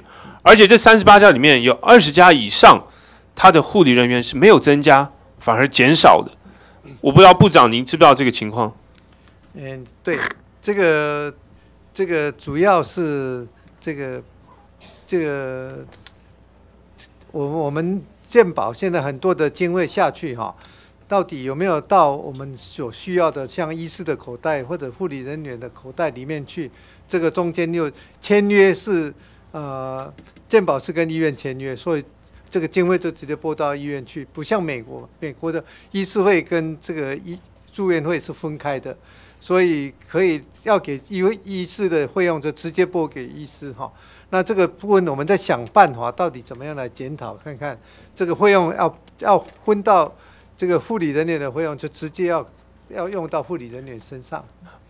部长，我我了解，我我现在问的是说，在这几个项目里面，有些医院他拿到这个奖奖励补助金，但是呢，在卫福部要求他们在用途上面有几项啊，对，包括重点提高护理人员的聘用人数，提高护理人员薪资待遇。可是有一项我实在很怀疑，所谓加发奖励金这一部分，当然部长刚提到，可能直接或间接会。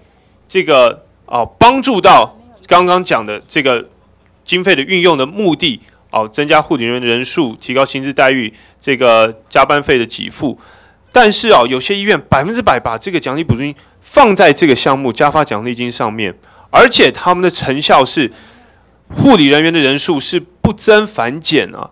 所以我提出来这样的一个质疑是说，未来我们在定这个标准的时候，是不是这一项？我们可以要求设一个上限，就拿到这些奖助奖励补助金的这些医院，它不能够百分之百把这个经费啊全部说用在这个所谓加发奖励金上面。委员，我跟你报告，就说，因为在九十八年到一百零三年的时候，那时候鉴宝署给的这个经费的话，理论上是专款专用。所以专款专用的时候呢，就是可以按照这样一个程序去给给。然后一百零四年的时候呢，那时候我就发现说，哎，他这个经费的话，变成就是等于给医院的一个一个整个医院的一个营运的支付标准的部分，所以并没有说变成专款专用在这一部分。所以当做医院的一个收入的时候呢，那到时候就说我们在公立医院的时候，我们当然是没有限制它经费怎么用。但是，就说在医院的奖励金的管理办法里面，就是我们譬如说公立医院我们有一百 percent 的那个盈余的时候，然后我们八十 percent 的话呢，哎，八十六 percent 给那个医疗医师，然后二十四 percent 或二十六 percent 给那个护理人员或是行政人员，所以变成那一部分就变成奖金的奖金的部分了哈。所以变成说，那个有一些医院的话，他可能就把它放在奖金这部分给，并没有放在说刚刚我们提到一百零四年时候没有这样的一个标准那样。对，所以很显然他们这样做是。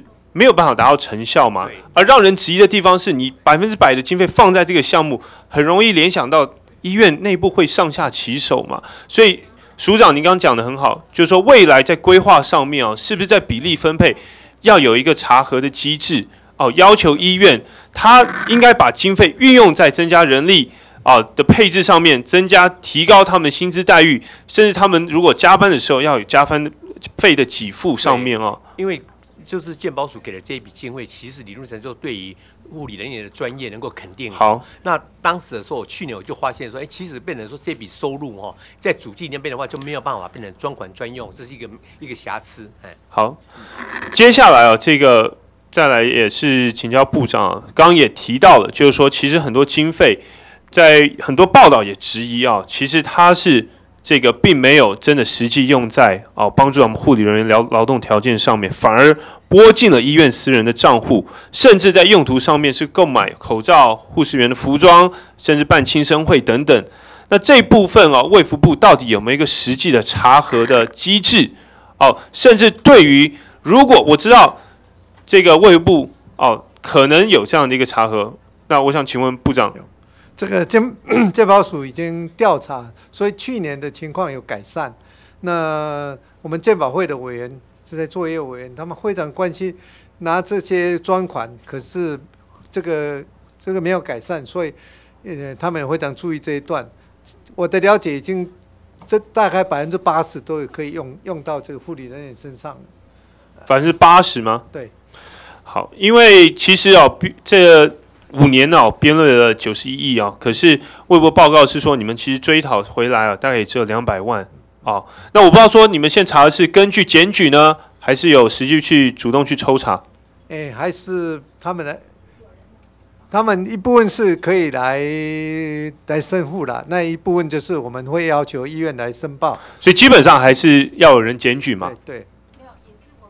会实际去抽查吗？会有。哎。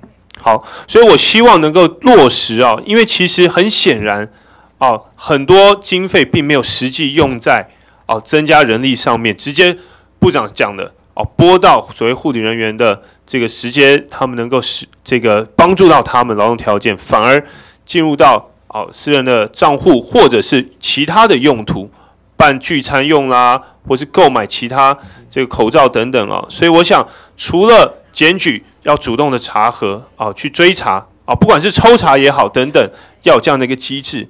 好，那接下来哦，这个台北市政府去年十一月的时候也做了一个调查，哈，针对五百人以上的十八家的说医院，哦，做了一个这个劳动的检查，发现有百分之八十九的医院是未给付给付加班费，百分之七十二是未依规定召开劳资会议，哦，百分之五十六。是超时工作哈，所以很显然，我们在在台北市这几个医院里面啊，大型医院里面，其实劳动条件是非常的严重恶劣的。好，所以呃，我想请教部长啊，对违反劳基法，我们是不是已经确定纳入医院评鉴？违反劳基法，那个是劳劳动局如果这些报告给我们。我们就放在这个医院评鉴里面，但是刚才我们提到的，去年台北市所做的这个调查已经这么明显的话，我们这我们应当是啊，所有的医院都会来重申一次，不管他的加班费也好，他的劳资的协协商也好，都一定要注意，而且我们会去调查，而且到实地去看。所以违反劳基法这些状况，比如说这个劳检违规的事件，会不会纳入劳呃医院评鉴？那个是那个本来就本来这个法规规定的都要执行了。那这个明年度我们说有新的这个医院评鉴的基准会出来，那这个地方我们会把它呃，因为现在是呃方向已经出来，但是跟各界在沟通。所以是目前是还没有，未来规划是有，是这样子吗？法规本来就有，就一定要有纳入医院评鉴。法规一定要纳入，一定要。好，那。因为哦，这一份是卫务部预算解冻案的报告哦，提到哦，违反劳基法已纳入医院评鉴的标准。是哦，所以我在这边想要问部长的是说，你们针对违反劳基法这些事件纳入医院评鉴，那到底是怎么样落实，还是只是做参考用？你们有特别这个医院评鉴的项目是针对劳检吗？报告委员，因为医院评鉴它四年一次，它看的是全面的。那其中有一条是符合相关法令的规范，所以包含劳动基准法都必须要符合劳动法令的规范。如果劳动检查有不符合、不合格，即使罚过，我们还是会再去检查它的改善情形。那评鉴看完之后，还会请县市卫生局再继续看。所以只是做参考用。呃，就是说它必要一定要符合法令，就是如果它都没有改善的话，那我们可能在这一条就会有问题了。好，但是老检他其实抽查嘛，我想司长也很清楚，他有专案检查，专案检查针对每一个医院吗？呃，他几乎很全面，这几年来说都很蛮全面的，所以他检查结果给我们，不管他是什么样的违反的事情，我们都会请卫生局针对这些医院再去看一次。好，我希望啊，这个能够落实啊，对于医院这个。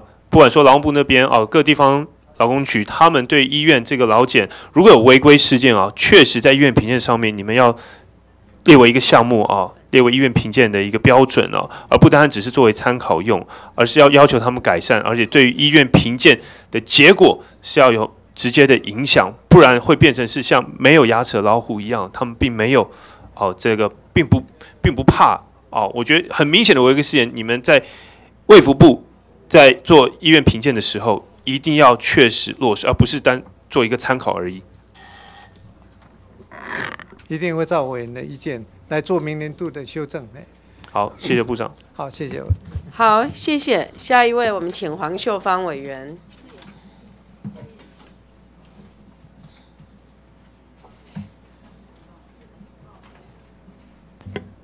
呃，主席，我们请呃部长。呃，请林部长。委员好。呃，部长好，部长。呃，我们知道说，目前我们台湾的护病比哈，其实真的还有一段距离要努力哈。那呃，今天早上这样讨论了一一个上午哈，大家对我们的目前的护病比真的是非常的不满意。那呃，以目前之前我们呃这个旧政府的时候有说护病比希望能够一比七嘛哈，那我们新政府这边应该也也也要朝这个方向去努力。那我想请教我们部长。一比七的这样的互并比什么时候可以达到这个目标？这个 一比七应当是要看层级啦，所以啊，就是要医学中心的白班目前就是一比七，已经是一比七，但是它的夜班跟大夜班呢还没有办法达到。那这个地方有确定是一比七吗？有造假吗？其实很多人对现在目前的评鉴。呃，之前部长有提到说要简化这个医院的这个评鉴嘛，可是我们要重视的应该是评鉴造假的部分吧。所以这个一比七是不是是不是有的是理想，有的是书面上造假？这个这个应当都只是说哪些人纳纳进来，因为护理人员除了专从从事这个真正的护理工作以外，他有的是行政人员，有的是护理师，哎。专科护理师有的是护理长，那这个中间呢是开会协商之后才把这个哪一个哪一个项目放进来而已了，已经都协商过了。是，所以这个要再改变的话，就要明年才能够改变。所以目前哈，目前有。大约我们知道，大约有百分之七十五的医院是还没有达到这样子的一个一个呃标准，就是护病比也没有达到这样一比七的一个标准哈。那呃，我我是认为说，我们呃卫福部这边其实还有很大努力的空间哈。一方面让我们的护理人员能够呃在一个比较好的一个环境下面去工作。那刚刚部长也有提到哈，我们目前哦有有拿到执照的护理师护理师人员有拿到执照有多少人？呃，二十六万。那目前职业职业是只有十五万嘛？那我们可以从这边来看，就是为什么会有这么多的拿到护理师执照的这些护理人员，他不愿意从事护理工作？对，这个就是薪资要够了，是，然后劳动条件要改善。所以，嗯，所以是不是部长薪资这个部分？好，当然就是说你们在啊前几年也有编。编列啊，就是有一个九十九十一亿，那在去年又增加一个二十亿的这个部分哈，那这个跟健保联动会不会也有问题啊？联动是应当效果会比较好，会比较好。那我们我我们担心的是这个评鉴造假的这个部分哈，所以这个部分我们也希望说，我们啊这个如果。针对这个实际状况的部分，我们希望卫福部这边能够能够加强，好，好不好？好，好。那另外就是说，呃呃，针对这个部分哈，我们也希望就是说，呃，在护理人员的这个呃薪资跟这个护理人员的这个呃工作的环境，我们也希望呃我们的卫福部这边能够从地区医院也好，从区域医院，甚至到我们的呃医学中心，好，都都要。呃，要求哦，我们的这个呃医院这边能够确实去做哈。其实很多人认为说，我们呃卫福部我们呃健保署这边给的这个这个钱哈，其实没办法实际上啊到我们的护理人员的这个口袋里面哈。那我们的呃健保署这边针对这个部分，你们未来怎么做改进？呃，因为我自己在观察哈，这个就是说，当然健保本身的财务是一个考量。那当然，在对一个医院的经营也是要很落实，这种务实啊。啊，不过就是说，假如我们能够把不必要浪费控制下来的话，那起雾能够拉高的时候，最后说，我想点子拉高，对于医院的经营者也好啊，对于我们真的是说护理人员来讲的话，应该会有帮忙啊。嗯哼哼，好，那呃，我们我们希望说，因为今天呃，这个主席会排这样子的一个议题哈，那也希望说我们卫福部能够呃确实去重视哈。另外呃，本席要关心的就是我们的呃这个卫福部所属的一些养护中心哈。那呃，在我们之前本席就有提到，就是说我们的呃养护。养护机构外包人力的这个问题哈，那呃，我们发现就是说，我们所有卫福部所属的这个养护机构，好，目前呃这个外包的人力哈，几乎都是呃外包的比率都是百分之六十以上都是外包，都是外包哈。那其实有很多的呃这个呃家属有反映哈，就是说这个外包比例越高的话，其实呃受照顾者的这个受伤的程就是呃受伤的程度好像比例也提高了哈。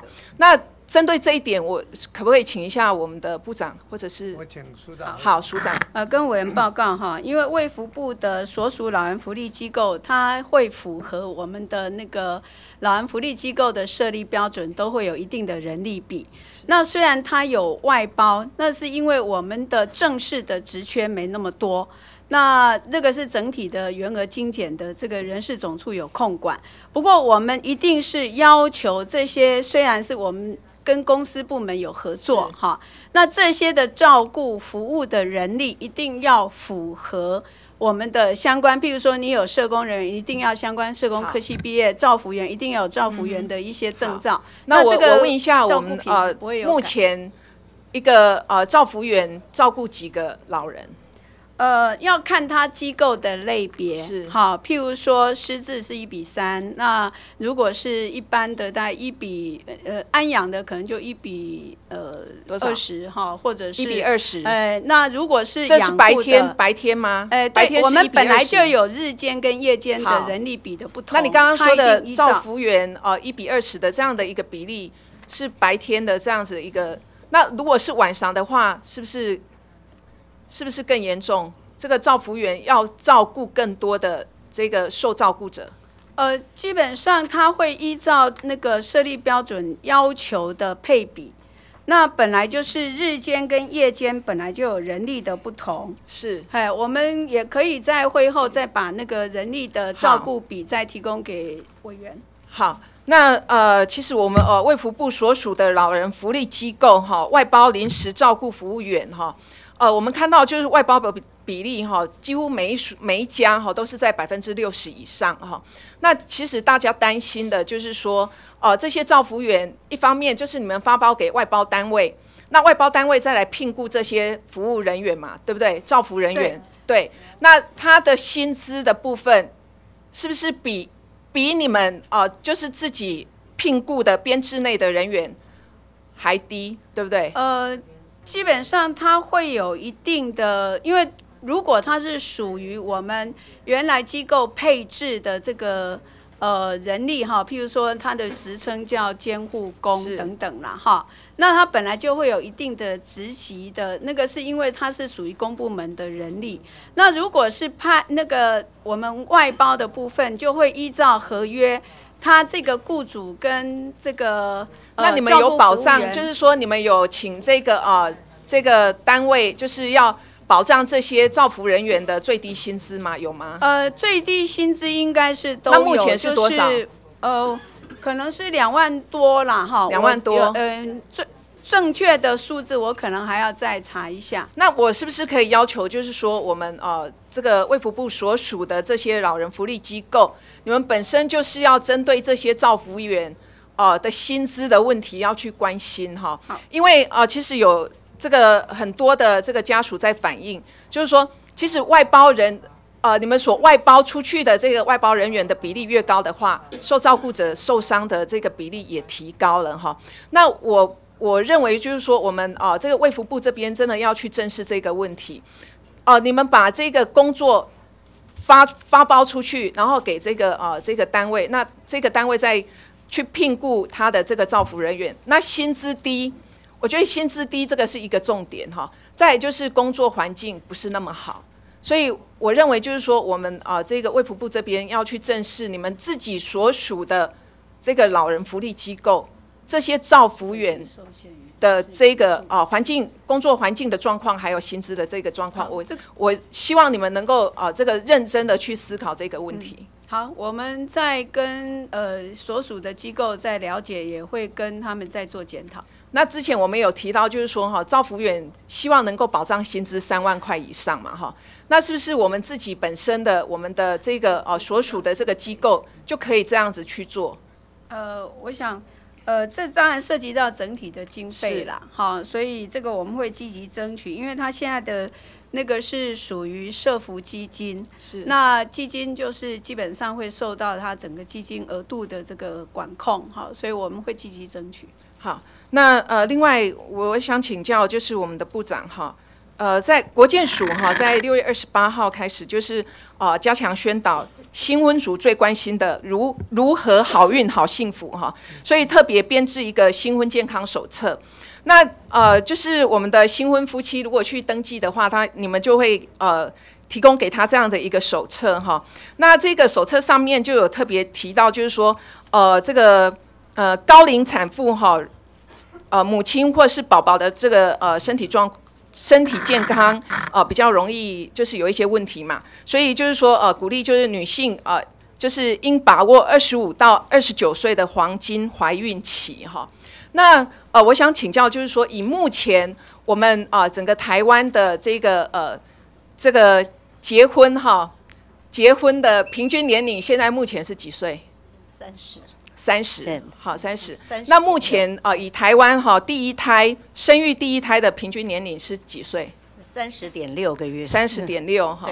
所以你看你们啊、这样子的，就是说呃，在这个手册上面呃，希望大家能够在二十五到二十九的一个黄金怀孕期，可是实际上可能以目前的状况是不太可能。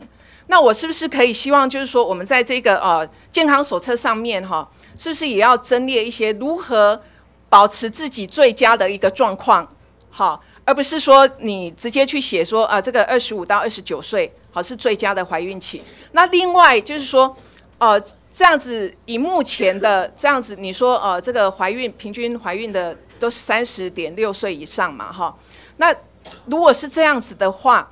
我们目前呃健保有几付，就是呃这个十次的产检，好、还有一次的常规的一个呃超音波检查。那如果说呃未来我们是不是也可以就是针对呃这个高龄产妇或者是高风险的孕妇，好，就是呃不做常常规的超音波检查，做呃高层次的超音波检查，可以这样子吗？呃，先跟委员报告一下，那个我们现在目前呢，二呃平均是三十点六，那是平均呐、对所以还是有一部分是能够在二十五到二十九岁。那对于三十四岁以上的高龄产妇呢，我们确实是除了一般的十次的健检还有超音波以外，我们有给予一些这个遗传方面的一些这个补助。那啊、希望他们能够做这一方面的检查。那我我针对就是说高层次的超音波，是不是可以做这样子的一个呃，针对高风险的呃孕妇可以呃，我们健保可以一次的高风险的呃这个高层次的超音波检查。嗯因为前一阵子也有发生，就是呃，因为她都有做，孕妇都有做这个呃产检，哈，每一次都有做产检，那她也有做常规的超音波，那呃有的部分可能就是呃这个婴儿的呃这个我们的那个婴儿的部分可能。可能照不到他到底四肢是不是健全，哈，这个可能有的部分是照不到的。那如果是这样子的话，针对高风险的这些孕妇，是不是可以呃，我们健保健保这一边哈，呃，他不做常规的超音波，他是呃直接做高层次的超音波，。谢谢委员，这我们会检讨，因为我记得就像跟那个何山一样哈，outlier 就是在不不比较特例的话，我想应该要个案检讨。好，那那我希望说，呃，我们呃这个部里面哈，可以针对这个部分哈，一方面就是手册的部分，可能也要呃提供大家怎么去做，呃，能保持自己最佳的一个状况哈。另外一个部分就是说，针对这个部分，呃，都有呃这个健保都有给付常规的超音波，那这个针对啊、呃这个高风险的孕妇。好，可不可以做这个啊这个呃高层次的超音波？好，我们希望说我们的健保署这边好能够去研拟。好，以上谢谢。好，谢谢。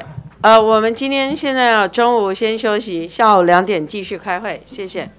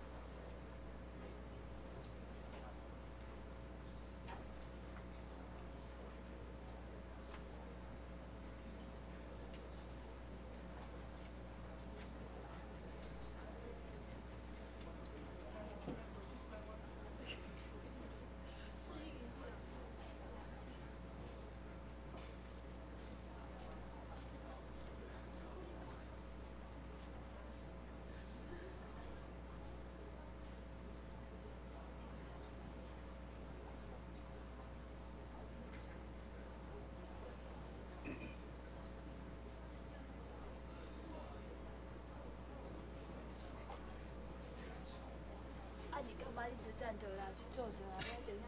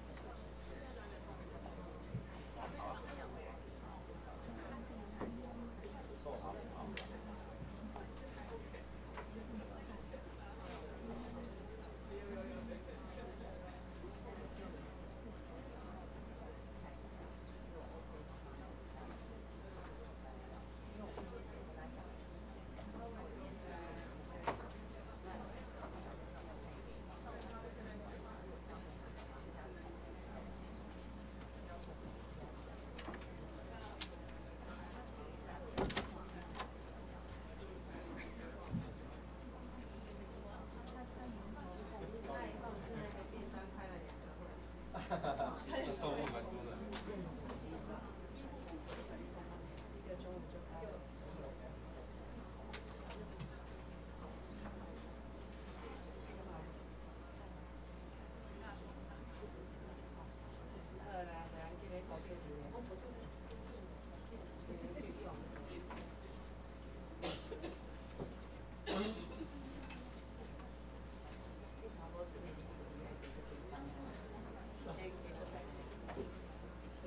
实体店少则三十分，多则一啊。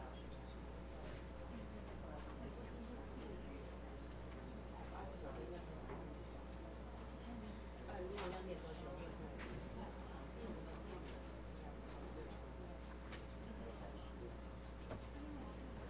啊，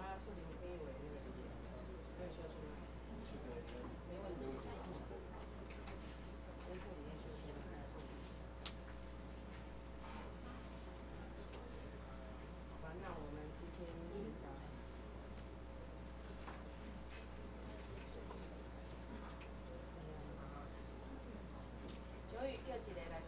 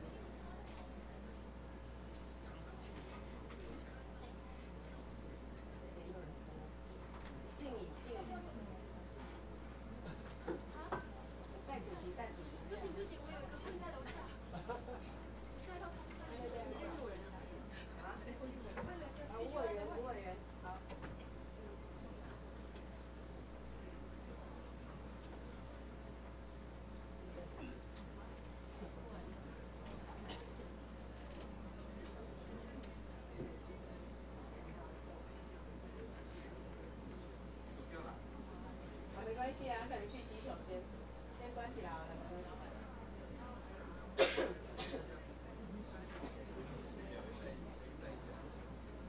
来，帮我带起来好不好？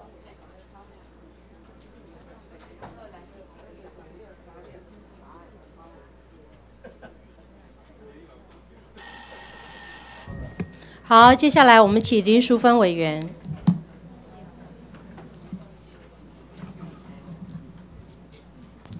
呃，主席，各位大家午安了。我们今天呃特别安排了这样的询答，是因为呃这种那个华航空服员的罢工事件啊，呃给大全台湾的社会呃带来很多的醒思。其实呢，呃网络上也流行了一句话说，呃医护也是血汗行业啊，这个辛苦众人皆知，那为何不罢工哈？那我们看到这个护理人员出来说，对病患的热情及感情啊。足以让他们将尊严放下，不是不敢，是不舍。所以，我们走了，病人怎么办？所以，这些护理人员也不断的呼吁民众，请不要将我们最后的不舍啊踩在脚底下，弃之不顾。那我觉得今天在这里哦，我特别要呃，先让我们的卢姿燕老师，呃，就是说到底今天一整个早上的咨询，阿内护病比啦，跟我们的血汗医护的这个改善。从健保给付的联动，到底能不能真正的解决改善这个问题？那行政部门行礼如仪都讲一样的，到底是不是这个问题？我们请啊卢志燕，我们台湾呃护理产业工会的理事长来跟大家报告一下。卢老师，请。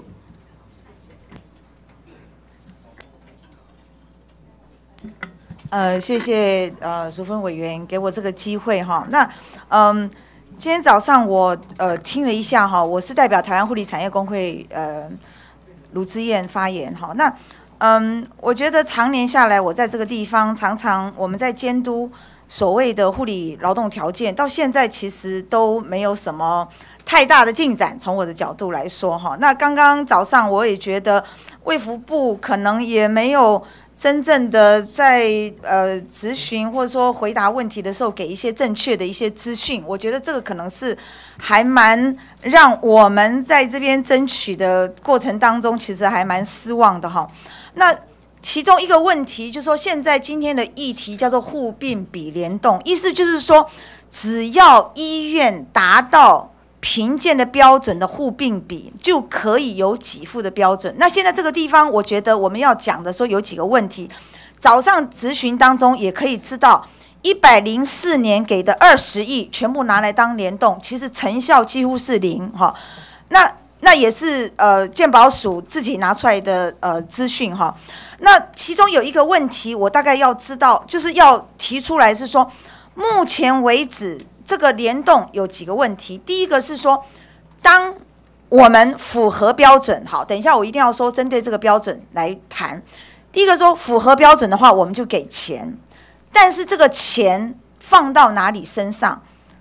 大家都知道，其实这个完全目前为止就是没有看到它是放在护理人员身上。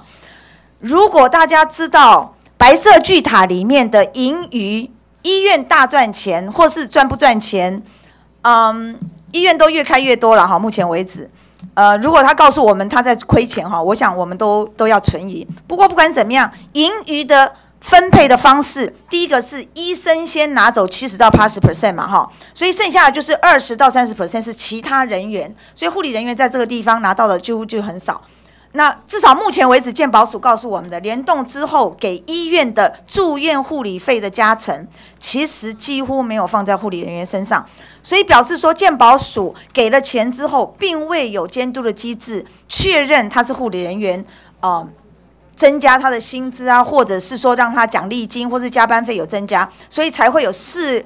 呃，台北市联一的这样子的一个反弹，说那加班费都到哪里去了哈？那这个是其中一个，我们知道就算是给钱了，他还是没有办法护理人员身上。第二个我们要看的是说，那这个给付到底是用什么方式来给他给付的哈？现在目前为止给付的方式是全日平均护病比，医学中心是九，区域医院是十二。大家都知道这个是非常低的标准。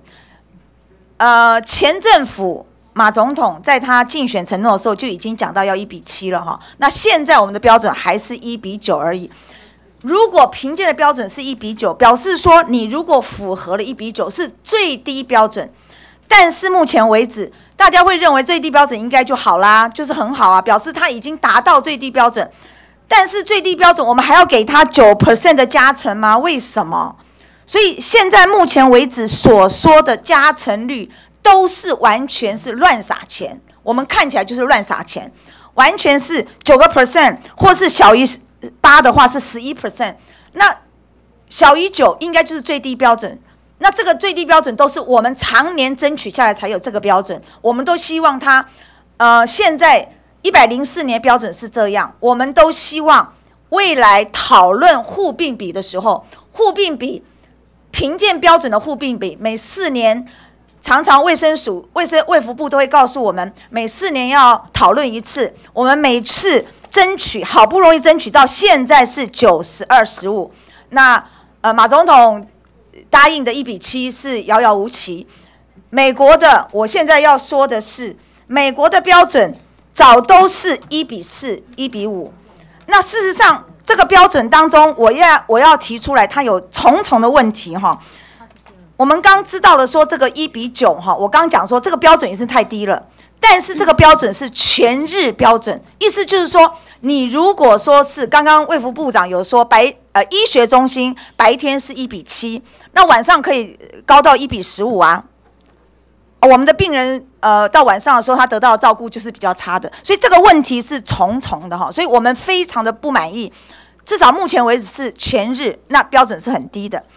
但是我们还有另外一个美感是说，这个标准的定定是一般急性病房，意思就是说，像内科、外科、胸腔外科、医学中心的急性病房，大概只有三分之一吧。意思说，三分之二他乱搞，我们其实都不太不太知道。他现在给的这个标准都是叫做一般急性病房的标准而已，而且医学中心也把护理长的人力放进去的哈。那我们争取了很久，才把争取了很久才把实习护士呢排除。那事实上，其他的层级护实习护士也放进去啊，专科护士也放进去，过去都是 negotiation 的范围。那这都是我们觉得不可以接受的，所以它的标准的定定本身有重重的问题哈。那所以说，只有看三分之一医院呃病床，或者说跟护护理跟病人之间的比例，我们就可以给他这么多的加成的钱，完全就是我说的结论，就是就是呃乱撒钱。那第二、第三个我要说的是说，这个监监督的机制，我们刚刚已经讲的监督的机制，完全是无法呃看到它是否放在护理人员身上。刚刚有咨询的第四个我要说的是，刚刚有咨询已经有问到说，为什么？那劳动标准，呃，基准，呃，劳基法应该就可以看到，如果说医院没有达到一些标准，呃，他的劳动条件不好啊，他加班没有加班费。但是问题是，刚刚已经说了，医院评鉴委员虽然手上的评鉴标准是要符合相关法案，任何评鉴委员有受了劳基法的训练，完全没有。就算他想要评，他也不知道怎么评。然后这些评鉴委员都是官官相护，哈，都是互相评，所以我觉得这是严重的失职。那刚刚，嗯，王司长可能也也不愿意面对这个问题，然后来改善。事实上，我觉得评鉴委员就需要依据劳基法去受训，知道。劳基法里面应该规定的各个医院应该规定的是什么？如果他被罚了，那到底有什么问题？这个应该都是要可以去学习、可以看到的，所以才会有加班费的问题。因为评鉴委员一概不管，一概不觉得这是应该他当做他要把关的范围。所以我觉得种种这些问题，呃，都是造成现在护理人员不断的持续还是在呃血汗的。呃，医院里面工作，那离职率还是持续很高嘛？刚刚的数据是一百零四年还是十到五，意思说十个当中就有一个人走掉，那这个还是平均，新人的话都高达七八十嘛，哈，所以意思就是说我们的离职率还是居高不下。我觉得我们嗯，现在新政府上台，我相信卫福部应该有更多的新的作为，才能让我们护理嗯条件可以更更好一点哈。谢谢。好，呃，我我觉得蛮语重心长，就是说护病比它的意义在哪里？大家都讲说，呃，护病比要支持，可是护病比的意义在哪里？那我们护病比是希望降低基层护理人员的工作负荷，它的目的是要健全这个医疗照护的品质，所以我们应该要责成医院要去改善护理人力的这个劳动条件。那其实很多其实更需要是补充这个人力，那来降低这个流动流动率，哈。那我们却看到说，那我们为什么政府要这个本来是医院成本，为什么政府要编钱帮他们买单，帮医院雇主买单？是因为基于它的公共性，我们要提升这个照护的品质，哈。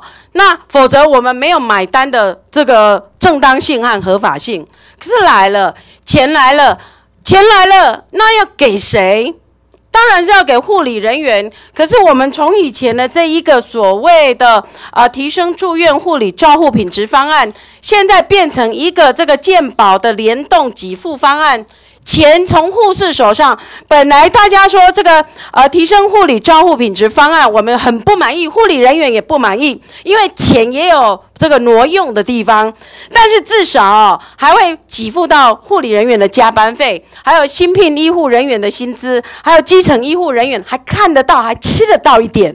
现在通通跑到大家今天一整个上午所有咨询都可以确认一件事情：这个钱都跑到医院里面去，而且花到哪里去是不知道的。所以我们要回过头来说，那我们钱如果不是不是基于公共利益这个照护的品质给护士，你还钱流到医院手上，没有到护士的手上、护理人员的手上、护理师的手上，那这个这个我们又要回头再来问：钱没有拿到，血汗你有没有改善？那我们又可以看得到，血汗呐，其实是没有改善的。怎么说呢？我都还记得啊，卢志燕老师在今年跟我们一起开了一个这个记者会啊，在讲说所谓的这个呃隐形工时啦，交班没有纳入工作规则去规范呐，哈，还有花花班呐，还有这个两班中间呐只隔六个小时，你要回去再来的车程都浪费掉，干脆还在医院继续待命，值班待命，隐形工时，然后这个轮休变成都没有休息。所以我们看得到，就是说啊，从美国，这也是卢老师提供的一个资料，就是说，呃，根据美国医学杂志四月份发表一个长达二十四年，一共有十八万九千多名护理人员参与的研究显示，轮夜班。哈，护理师的心血管疾病风险增加，每一千人就有四点三三五人得病。哈，而你轮班在五到九年这么长的，这刚开始是轮班低于五年的，轮五到九年的增加的一千人都要五点二五七，轮班超过十年，轮小夜大夜的这个心血管风险的疾病一千人上升到五点九六九人。哈，跟不用轮班的工作者来比较，护理人员的心血管疾病是更为严重的，所以啊，两个班之间交班，通常我们已经不排除八十四条之一是周工时四十小时了，但是这种没有纳入工时计算的隐性工时还更严重。然后还有在职教育，也叫这个护理人员自行吸收。那根据美国宾州教师和学教授和学生执行的研究指出，护理人员每日工时超过十二个小时。出错的比例会增加三倍，超时一到四个小时，出错的比例是一点五三倍。但是呢，它又显示吃个饭休息一下就能够确实执行，所以甚至只要提供多提供十分钟的休息时间，护理人员工作上出错的比例就可以降低十个 percent。所以这个研究也强调，每周工时超过四十小时，护理人员出错的比例啊高达两倍。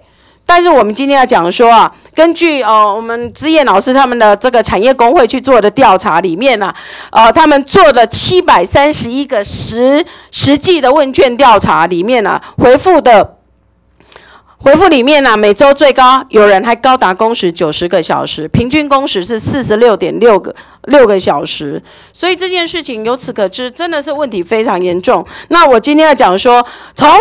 给钱给护理人员变成给钱给医院这件事情，我们看得出来，卫福部在开会的时候，所谓的三班护病比合理的条文草案会议记录里面看得出来，由护理人员的全联会、台湾医院协会、中华民国区医院协会来表达这个护病比健保住院给付这个给付采联动这个条件哦，但是台湾产业护理工会啊，还有基层护理工会表示反对。但是还是硬推过去啊！护理工会工会反对，卫福部还是硬推。好，那我们再讲出最后再讲一个观点，就是说护病比哦，并不是采各科或者是啊班别去计算，哈，而是以全日平均护病比去看，所以它无法反映基层护理的工作负荷，没有办法，就是没有办法。然后之前的护理人员的流动率一季呀。一季一年有四季哦，大概这个从一百年到一百零三年还不断的在上升哦，从三点一六 percent 一百年到一百零三年是三点七二 percent 乘以四倍，你看流动率有多高？所以之前的护理人员他的流动率这么高的状况，除了不容易累积相关的工作经验，也与医疗团队人员不容易形成默契。对资深的人员而言呢，资深的护理人员来讲，还需要耗更多的时间去训练新建新进的人员，还会压缩到对病人的照护。所以，我们真的看一看哦，我们到底把护护理人员纳入这个周工时四十小时，有没有改善这样的劳动条件？如果这些数字都没有改善，就看得出来，通通都没有。那我们看一下，我们跟人家那个护理护理人员的工作职业年数来比哦。我们平均啊，一个护理人员在这个护，在这个医呃这个医护产业里面，大概工作六到七年。韩国是八年，日本是十五点七年，泰国是三十一点二年。也就是说，泰国的护士当了护士护理人员以后，他会工作到三十一点二年。我们只有六七年待不住，劳动条件太差了，远不及芬兰的三十五年、英国的三十年、爱尔兰的二十五年。为什么一个专业人力养成这么困难，而一个经验经验是这么的这个不容易培养的这些呃专业的护理人员，流动率职场上待的时间这么短，流动流动率这么高哦，我们是真的蛮讶异的啦。那我们今天也是更希望说啊，这个。刚刚之燕老师讲的非常有道理，马总统宣誓一比七的互病比，可是从来都没有做到。结果你们在评鉴的时候是以一比九的低标当评鉴标准，一比九过了最低标过了，那是那个是为了保障照护品质啊，结果变成联动到给付率加成率九趴，然后互病比呃这个小于八的还有十一趴。我们来讲说这个钱哦。这个钱哦，是要为了改善这个血汗劳动，是为了提升照护品质，而不是来增加医院的裁员收入的。我们还是正本清源的呼呼吁哦，呃，把钱还给我们的护理人员。国家要花钱，这个公共利益就是要保障护理人员的这个工作待遇、劳动条件，进而改善医护品质，而不是给医院去做更多的这个。乱搞了，不知道他们花到哪里去了哈。所以呃，请部长和所有相关人员，我们来讲说，也不是要来这里咨询爽的啦，我们也是要看到改变啦。那未来要怎么做哈？我们希望以后要更具体，不，今天不会只有今天咨询结束就没了，我们还会继续追，包括下个会期要审预算，大家也联动在一起，绑在一起。好，我们绝对不是来这里咨询爽的，大家在拭目以待。这个改革不能停止，改革是刚开始。谢谢。好，谢谢林淑芬委员。接下来我们邀请陈颖委员。陈颖委员。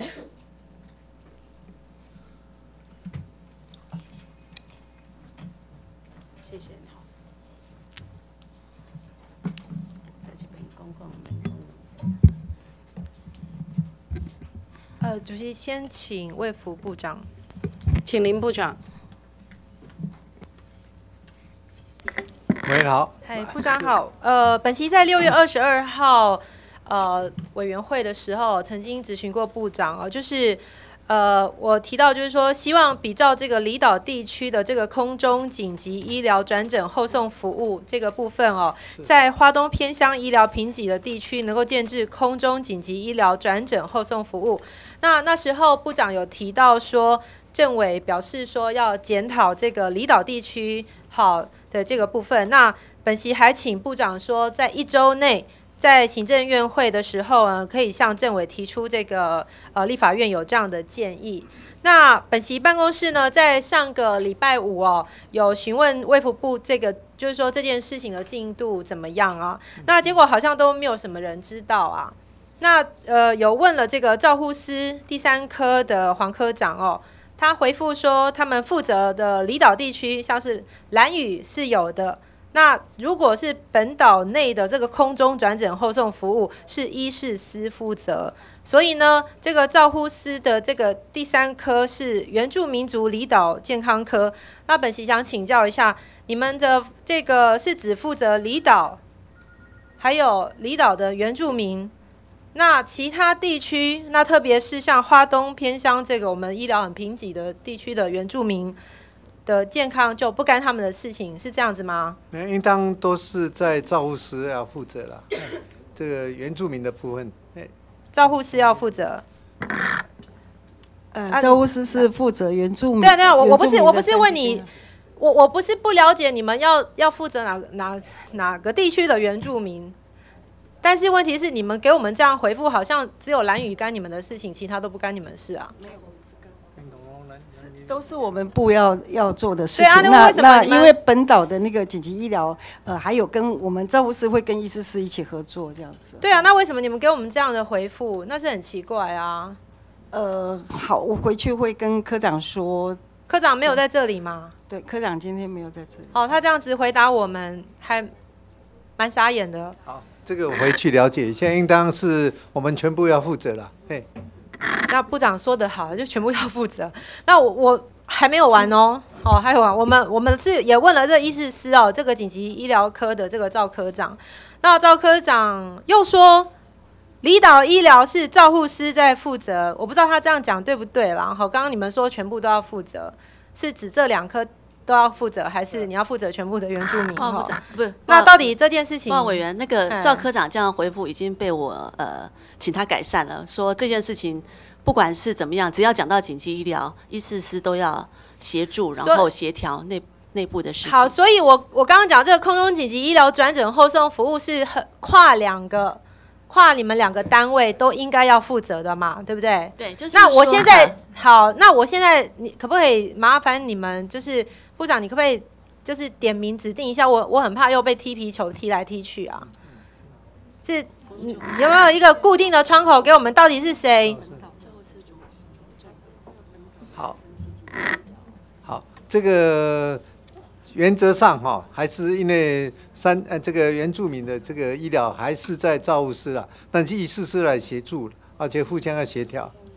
我想是这样子哈，就是说，呃，我不知道是因为部长刚换人上任没多久，然后下面就一团乱，还是怎么样？我觉得这个横向联系还出了蛮大的问题，因为你们来备询，应该有人负责要记录每一项委员要求的事项，然后提醒部长，提醒各科应该要各个应该要负责的单位。那今天怎么会出现这种很离谱的状况？好，这个是这个我们能改进，应该要要改善的哈。那呃，我想我们之前已经有强调很多这个花东偏乡地区哦，就是我们医疗这个瓶颈的状况是不输离岛的哈。那虽然就是说我们虽然没有本岛虽然没有大海相隔哦，但是就说好像开车就可以到，但是因为离岛地区有这个呃紧急的后送服务，所以第一时间就可以直接到达这个北部的荣总。好，或者是南部的荣总长庚这一类的这个医学中心哈。那我们花东这些偏乡，特别是这个南回公路的居民，我上次有讲过，要花一点五个小时哦、才可以有一个区域的医院哦。那有不少的病人就在这个途中就过世了。那呃。我我想这个后送的这个转呃空中的紧急医疗转诊后送服务是对我们来说是相当相当的重要哈。那目前就是说行政院呢，它已经核定通过了总经费一亿四千四百六十四万元的这个大武乡卫生所暨南回县紧急医疗照护品质提升计划，并且在一百零八年呢就会完成。但是呢，这个提升计划哈有大概还有长达四年的时间。那提升的计划是不是就可以满足我们偏乡所需的这个医疗？哈，我们到目前也是一个未知数哦。所以，嗯，所以希望部长哈能够在行政院院会的时候呢，再可以再强烈的建议哦。呃，我现在要又要请部长再建议，所以麻烦你们幕僚可以记清楚。好，请部长卫福部这边能够主动积极来规划哦，就是说，嗯，在呃，现在就是说，呃，卫福部呢，希望我呃可以比照这个离岛离岛地区的空中紧急医疗转诊后送服务，呃，能够在你们一个月内哦提出提出这个花东偏乡医疗贫瘠地区这个空中紧急医疗转诊后送服务的计划，并且在三个月内开始执行，请你们确实记录。好。部长也自己记下来了哈。那我们接下来，好，那个人已经走了。接下来呢，呃，我们继续今天的主题哈。嗯，卫福部呢，在跟这个中华民国护理师护士工呃护理师护士工会全国联合会，曾经在一百零二年七月的时候呢，到日本去考察他们的这个医疗保险给付住院基本费与护病比的联动制度。那参考日本的制度，在一百零三年的时候呢，有在国内试办这个护病比与健保给付联动机制。一百零四年的时候呢，呃，更扩大办理。那从你们卫福部的这个报告里面呢，平均有百分之九十五以上，哦、有这个月次有达到比这个医院评鉴基准还要更优更佳的一个护病比，那符合这个加成的范围哈。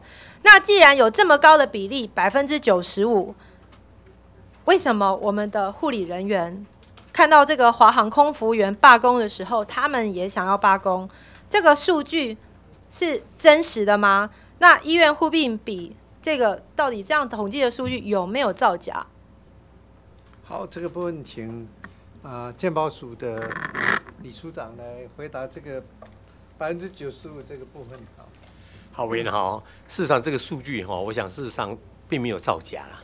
但是呢，就说这些护理人员在实际上的一个工作环境，就刚跟那个卢理事长一样哦，这个工作环境不是那么好，因为病人的那个量大啊，整个说我觉得说那个感觉还不是很好，所以护理人员在目前的工作里面，他持续性都有，就是到一个年龄以后，都会有一点有点落差那样，嗯。所以这个报告这个百分之九十五的比例，它的意义在哪里？我想这个这么高的符合呼病比的比例在哪里？这个意义在哪里？我想这个护病比是这样，它就是刚刚也提到很多个那个那个有一些美感哦，就是有时候譬如说，诶、护理长啦，或是行政人员被算进去里面，那这个都是有一点就是符合那个标准是绝对没有问题的。但是实际上就是说，病人有时候就是白天的护病比跟晚上的护病比哦，还是要需要去检去检视的啦。往这一部分的话，部长有只是说我们回去的时候会好好针对这一部分的那个。九十八年到一百零三年的那个几户跟一百零四年的几户，对，所以。所以你这样讲，代表这个评鉴，他没有评鉴是没错的。对啦，他没有错，但是他是没有用，呃它没错，可是它没有用啊，也就是对不对？我这样讲对不对嘛？你你自己都说啦。我我我说的是，说说这个是，来哎，来，我我们我们继续看，来继续 继续讨论哈。就是这个护士照顾病人哦，在医学中心、区域医院还有地区医院所花的心力是不一样的嘛，哈。那所以在医学中心呢，我们按照这个比例来看，是不是护士就比较累？那在地区医院啊或者区医院就可以比较轻松，是这样吗？我都可以，你们谁回答？其实真的都很累啦。其实都很累哈。如果如果不是说比较轻松的话，那你们现在卫福部目前规定就是说，全日平均护病比，医学中心是一比九，区域医院一比十二，地区医院一比十五。那是没错，就是说以那个一些医疗的一些操作的那个细节，是医学中心的那个就是比较多的那个医疗行为嘛。但是呢，其实就是一个病人躺在病床上，你不管各种的动作要做的时候，都是需要人力。好、所以我觉得说，其实，在目前我的感觉是很多护理人员都是相当疲倦的。哎，好，都是都是一样累，一样疲倦哦。但是，呃，我我之前一直不断的在强调，就是说，花东地区哦，医疗资源就是相对的缺乏。那医院缺，医师缺，护理人员也缺。那我们除了花莲有个这个慈济医院是医学中心之外呢，其他都是区域或地区医院。那医学评鉴呢，又规定说至少是一比十二或一比十五的一个这个护病比。那到底这样子，我们要不是不是你们要如何去吸引这个护理人员到华东地区的医院来服务吗？这个护病比的部分，我偏偏乡的医院是有加成的，护病比的这个联动的时候是有加成。好，说到这个加成，就是意思说他们到那边就是可以领的比较多嘛。但是部长还有是加成是整个给医院的这个加成。对啦，整个给医院，但是这些钱不用到护理人员的口袋里？这个部分就是我们今天一直要呃要检讨的地方，就是有这个机制来来管理这个这个这笔钱下去，是不是可以到医生或者护理人员的这个口袋里面去？所以部长，按照你刚刚的回答，已经直接间接的告诉我们，不好意思，以前从九十八年到现在，我们一直在处理。在改善这护病比的，总共花了九十几亿的这个钱，其实是白费的，因为它没有真的确实进到护理人员的口袋，就是被被医院不晓得花到哪里去了。我在这边有看到有这个二十亿，看有多少呃有有被拿去盖大楼，被医院拿去盖大楼的，还有被拿去聚餐买衣服的，好，这个都很夸张的行为啊。这个没有吗去年的情况就已经改善很多了。好所以，所以部长，你你有没有就是彻底去了解调查过，到底到底这些费用，好，这些过去到现在这个改善的费用是怎么花的？这个健保署都有在调查，呃，我希望他们呃医院也都要配合了哈。那这个看有没有其他的机制，这个一定要把这个钱直接要放到真的需要的刀口上面。哎，我我是不是这样哈？那个我我想请卫福部啦，在你们在一个月里面哦，提供给提供给本办公室哦，就是这个住院护理费支付点数加成补助和这个偏乡护理人员薪资成长的关系报告给我。好，那可以证明就是说，我们政府花出去的钱是真的可以吸引护理人员，然后未来这些钱都会很确实的进入我们的这个护理人员的口袋里。好，那我我想大概就是，呃，我们目前就是说有几个几像这个呃护理人员的这个团体啊，哈，大概有哪些？护理护理人员团体对，有一呃护理师工会全联会，还有护理师学会，还有专科护理师学会很多了哈。那工会这个工就是基层护理工就是好，好，那个你觉得 部长觉得哪个哪个团体比较可以代表护理人员的声心声？这个如果全全部都要参加，就是护理师工会全联会了。这个当然啊、全部的护理师都要参加。那工会是有有有一些人他的理念相近的，就会成立这个工会。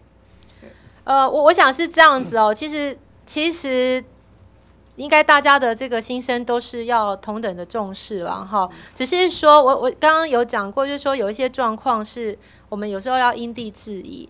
那希望就是说我们未来制定的这个政策呢，跟立法的这个方向是要符合，是要符合实际的状况，而不是。而不是一体一体适用，这个这个哈，我们还是要好好的检讨一下。那就是说，希望呃，在这个卫福部呢，对这个护病比的规范哦，要真的很彻底做一个全面性的检讨，然后给我们这个呃病呃市单位哈，跟病人的属性给予护理人员哈合适的这个工作量。上谢谢。好，谢谢委员。好，谢谢。呃，向大家报告啊，呃因为我们还有这个一个法律的修正案，还有八十九案的预算呃案要处理哦，所以我们除了第一次本会发言的这个委员外，呃，时间询答时间呃改为六分钟哈。好，下一位我们请吴炳瑞委员。吴炳瑞，吴炳瑞委员不在，我们请钟嘉宾委员。钟嘉宾，钟嘉宾委员不在，我们请卢秀燕委员。卢秀燕，卢秀燕委员不在，我们请赖世宝委员。赖世宝，赖世宝委员不在，我们请吴志阳委员。吴志阳，吴志阳委员不在，我们请徐增伟委员。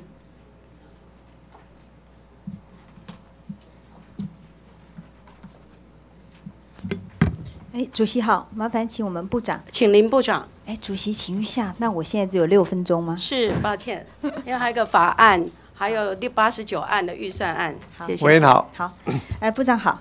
呃，今天呢、真的很很高兴呢，我们这个招委哦，可以排我们有关于这个这个呃护病比的部分哈、那刚才这个也听了我们陈莹陈委员讲，我们华东偏乡地区哦，这个医疗的这个人员很难久留这个部分，本席在这里也。也不断的为花莲、哈台东两个地方的我们东部地区的医疗资源能够这个得以呃资助和翻转的部分，更多的经费还有人才能留住的部分，在这里也多所表示。然后请卫福部来支持哦。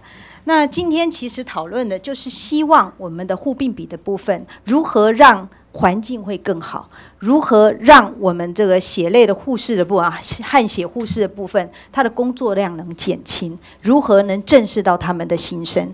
那刚才这个呃，我们的招委还有我们的呃陈呃陈颖委员都讲得非常的好，所以是不是在这里哦，我也本席也可以要求我们的这个部长哈，对于陈颖陈委员这个呃我们花东医疗偏乡后送的计划的部分，好、以及我们花东地区我们医疗的部分，是不是呃也给这个本席书面的部分会好不好？没有问题谢谢。那另外啊。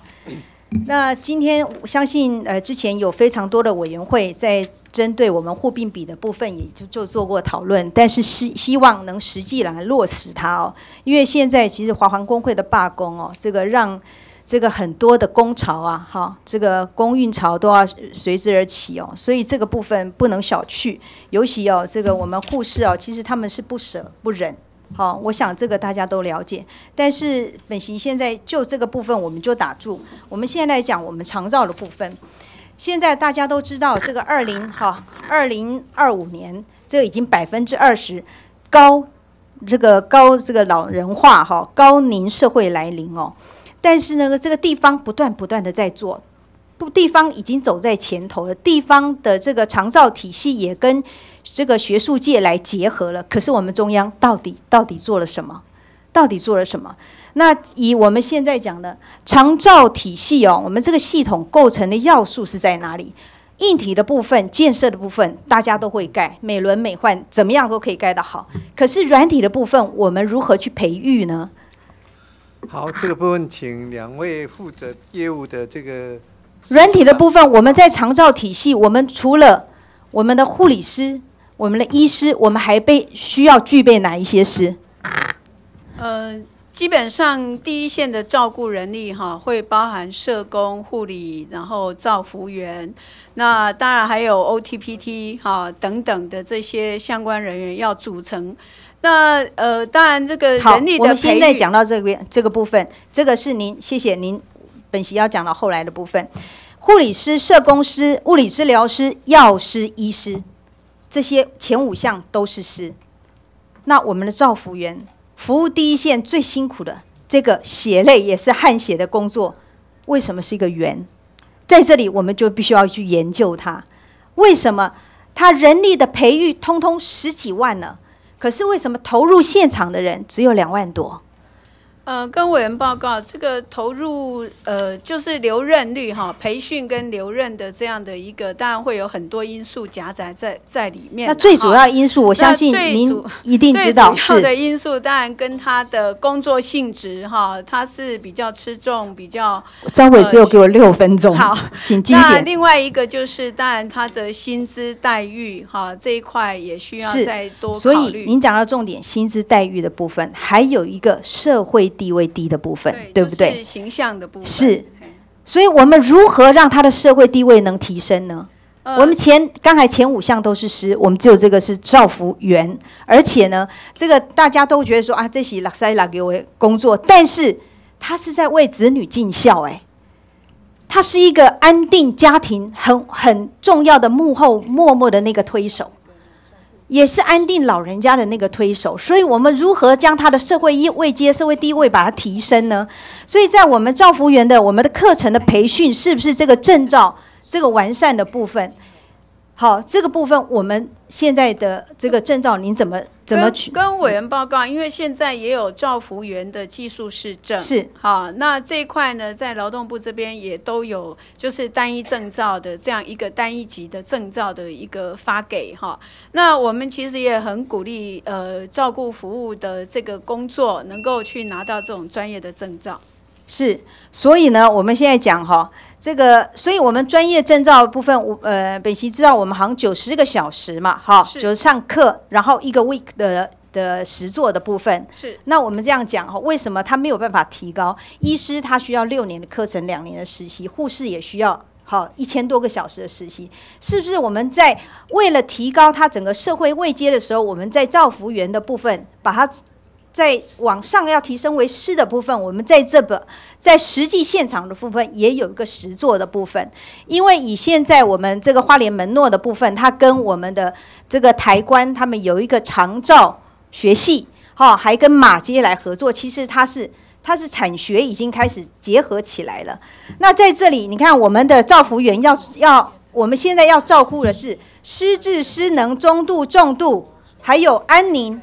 其实他要学的面向非常的广。那现在这两万多人，他都在第一线，而且他没有晋升的管道。如果第一个，我们在这个执照的部分、核给的部分，另外是在我们实实际的现场两万多人的部分，如何让他们提升？那整个的位阶提高以后，还有我们薪资的结构的，让他提高待遇以后，是不是比较多人会投入这个市场？因为有期待，有有目标。是不是这样？其实我们也是朝这样的一个方向在规划哈，就是说有关他那个照顾服务的职来规划，还有甚至于说照顾服务有没有可能在他的那个加给上面哈是有分级哈。其实这个目前都还在规划，不过也就是说各界要有这样的一个认识，让让我们对于照顾服务员的专业是是要有形象这样子可以提很很高兴您可以这么回答，因为表示您认同。可是我们在推动那个骑程是不是要加速？民间已经走得这么快了，明天对政府有什么期待？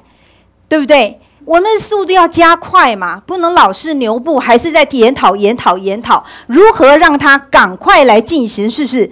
对不对？好，那在这里，这本席还是还是在这。第一个，对照服员的地位的提升；第二个是待遇的加待遇的这个提高。另外，就是我们公部门是领头羊的工作，二零二零、二零二五年即将到来，你不培训，未来这个这些人怎么办？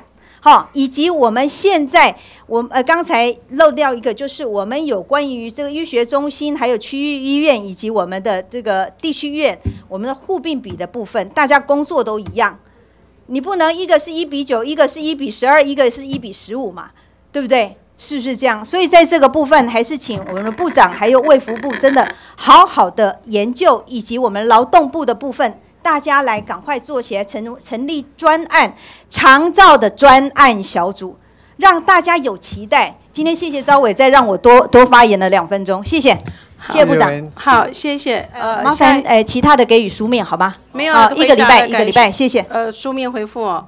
我们下一位请江启臣委员，江启臣，江启臣委员不在，我们请黄昭顺委员，黄昭顺，黄昭顺，黄昭顺委员不在，我们请陈明文委员，陈明文，陈明文，陈明文委员不在，我们请黄伟哲委员，黄伟哲，黄伟哲委员不在，我们请蒋乃馨委员，蒋乃馨，蒋乃馨委员不在，我们请林德福委员，林德福，林德福委员不在，我们请陈一杰委员，陈一杰，陈一杰委员不在，我们请管碧玲委员，管碧玲，管碧玲委员不在，我们请邱志伟委员，邱志伟，邱志伟，邱志伟委员不在，我们请林俊宪委员，林俊宪，林俊宪委员不在，我们请郑运鹏委员，郑运鹏，郑运鹏委员不在，我们请王惠梅。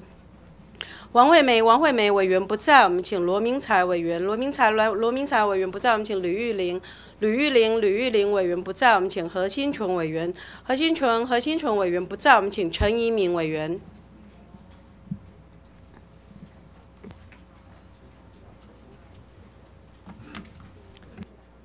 好，我们谢谢主席给我第二次发言哈。好，那么是不是可以请林部长？请部长。谢谢。喂好部长午安。好对，好，那我们就程序上上午的那个质询哈。首先，我上午我问到你说，国内的哪一个呃医学的机构呢滥用这个这个我们健保的资料库哈？你说你不方便讲哈，说报纸有哈，我回去查了一下，是不是这一篇？《自由时报》二零一六年三月十四号，林慧琴记者的。好，是不是他提到说有美国学者投书到 Medicine 跟 European Journal of Internal Medicine，好，国际期刊点名国内的中国医药大学临床医学研究所的高信教授，利用这个健保资料库，至少发表一百五十一篇的论文，在去年一年，好发生这样子的状况，是不是？是好，是这一篇。那可是好像统计处的处长也告诉我说，他们管不到，因为当初他用的这个 database 是国家卫生院的 database。我是不是可以请国卫院的院长？国卫院有人在吗？是不是可以请国卫院的来跟我讲一下这是怎么回，事？呃，院长在。就是你们国卫院当初是不是有大型资料库的分析，提供了这个光碟给给这个中国医药大学？那结果他们就一直滥用这个资料到现在，难道都没有法可以管吗？好委委员好哎，我请实际在负责的张处长向你报告。好，谢谢。这样子哈，对照照我的了解，他这个论文他的这个缺陷啊，是一个不要讲论文缺陷，你们提供一个资料库给他，他可以无止境的这样使用吗？都不需要他，你当初跟他签约，他当初给你那个就是签一个 M O U，他可以用你的资料库，可以这样无止境一直用到二零一五年还在发表资料吗？你们资料库不早就停了，早就都转给了统计处了吗？我们资料是在今年六月转给统计处，在这个之前，每一个申请的人呢，他这个 data 按规定可以使用三年。那么三三年到的时候呢，可以再延那是不是可以回去查一下好吗？他们有没有按规定在使用？申请 IRB，然后再使用有没有按照规定？要一个资料库，然后事前一定会有写一个书书面的一个计划嘛？是是那计划里面有说要分析这么多的变相吗？一百五十一篇文章，哎，麻烦是不是可以去查一下好吗？好好好，谢谢。那是不是可以等一下告诉我？因为我们等一下还有解冻案嘛，对不对？好好如果查不出来的话，就不要解冻了哈。好，接下来我们继续往下。好，好，那个我们谈一下这个公费生哈。那我想刚刚那个部长一直在跟我讲哈，早上讲说现在的制度比以前的好哈。好，那我们来讨论一下了哈。好，下一章。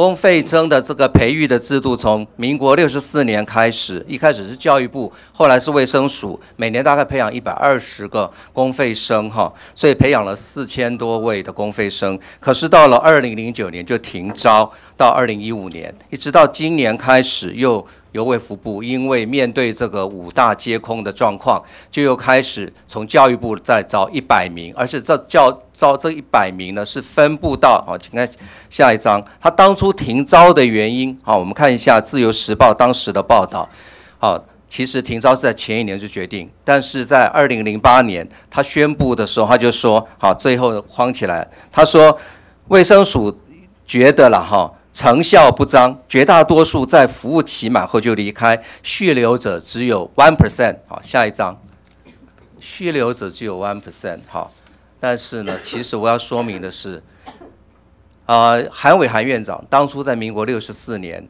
他衔命来主办这个阳明医学院的时候，本席也是第一届的公费生。在这过去的这三十几年来，阳明医学院医学系培养出来公费生，是其实是弥补了。好，在健保开办之前，偏乡离岛医疗的，好整个的服务，更不要讲说，在那个过程里面，其实是一个培育人才的方式，其实是韩伟院长是非常有心哈，他是国防医学院毕业，到 UPenn 拿了这个 PhD，是 MD PhD，他回来了之后，其实他在培养我们公费生的时候。他其实也是协助我们，例如说我们在暑假的时候，我们组成阳明十字军，然后我们到这个偏乡离岛去做这个医疗的服务。他甚至也率先，啊，我们在毕业的时候，他就到屏东基督教医院去，哈，也是直接下乡的去行医了一年，哈。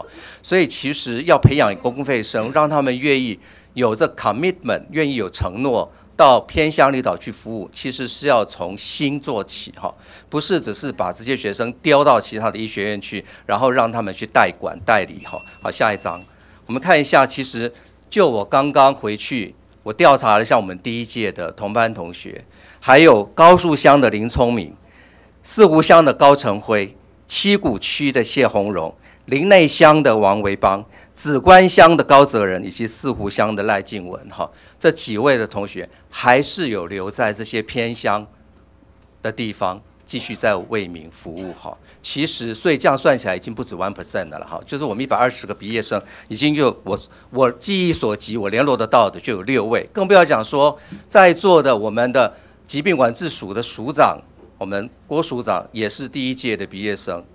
但是他是从事了整个的医疗，呃，他不是做医疗，他等于做一个行政，行政的贡献其实是更大的，因为他放弃了赚 赚钱的机会了哈，所以我觉得那个 impact 是很难估算的。今天不是说留下来几个，然后随便随便的有一个有一个统计的数字，然后就说那个是失败的，所以我才说，部长有没有可能我们可以请医事司可以委托国内的一个。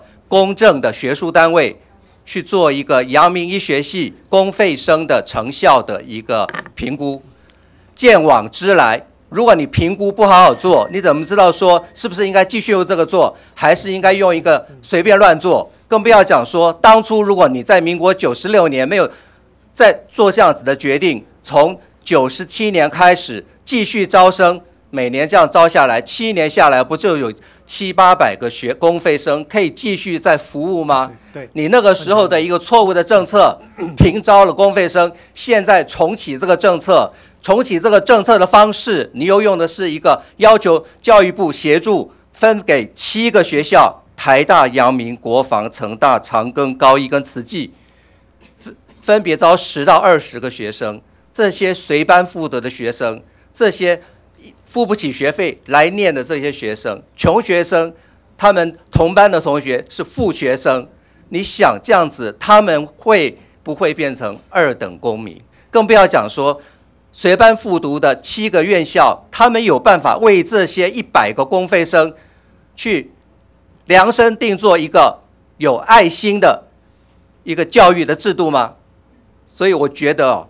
真的是贪污的政策，其实错误的政策是比贪污更可怕，更不要讲说见往知来哈。所以本席今天咨询这个东西没有什么目的，我今天咨询这个东西，我觉得你去回去看看张仔说什么《明包物语》哈，其实很多为天地立心，为生民立命，我们今天其实要的就是一个良善的一个制度，而且这个制度。是人民有感，同时是不会浪费公帑的。好，请看下一张。好，我们看一下现在的这个制度，这样子的一个制度造成的状况是什么？一百个学生，他们将来服务呃开始服务的话，如果你不服务，要罚他的学费的十倍，一千五百万，而且不能领到他的医师执照。那你想想看，这样子一个重罚的。没有爱心的一个制度，对一个十八岁的高中毕业生，他去选择他的将来的时候，未免会太沉重。更不要讲说，为什么部长你说这个制度比之前的好？好，这个我先跟委员报告一下，对于杨，这是用这个留任率百分之一当做新制的，这个我觉得是不妥，而且是污名化。我想先跟委员表示，哎，感谢。阳明医学院在早期对国家很大的贡献，我想要先提出。第二个，这一次比较好的部分，其实就是一点呢，就是留这个服务年限呐。因为这以前我们从教育工会生到后来辅导会，这个工会生是有二加二加二，又后来改成四加二，四加二就是两年服务，两年服务真的是，或者是。外岛也有四加四的，这是太短了哈，所以这一次是要六年，六加六了。六加六的话，对于我我我的出发点完全是从偏乡离岛来看的话，我想这个贡献才会比较大。所以，所以你讲的是说，在训练上面会要他六年，所以就是念书念六年，服务啊就训练训练六年，十二年后才能够。下乡嘛，对不对？没有没有，这个六年，然后加上这个好的训练，最好是在医学中心训练。对，训练完之后服务要六年。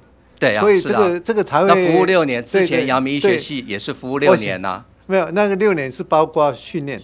是。那这个是训练完之后才六年。对。所以这个长短不，我说比较好，我个人觉得这个地方比较好啦。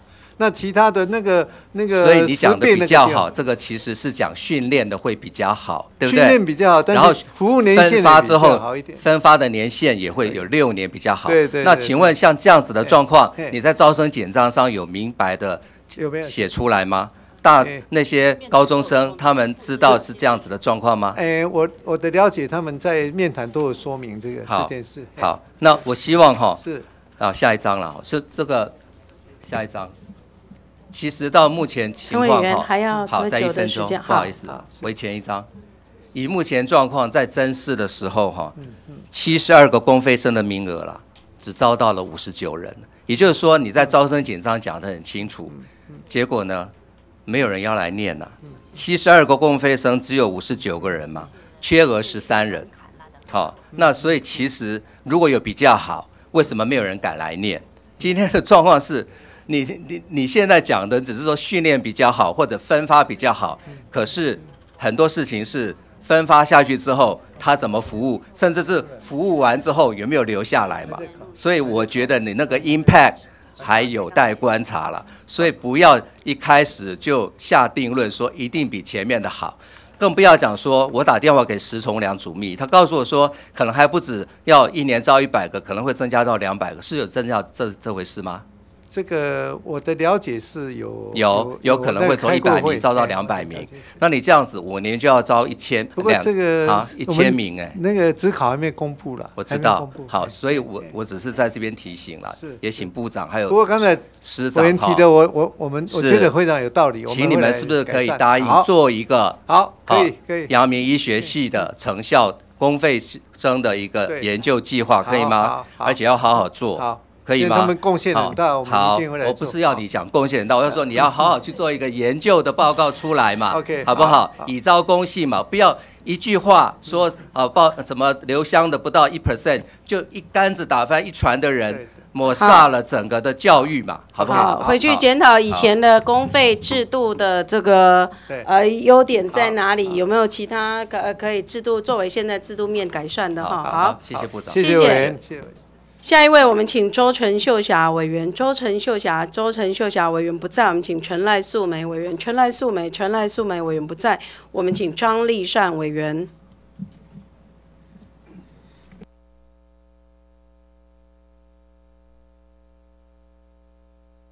好，谢谢主席哈。我想我们请部长，请林部长。部长好。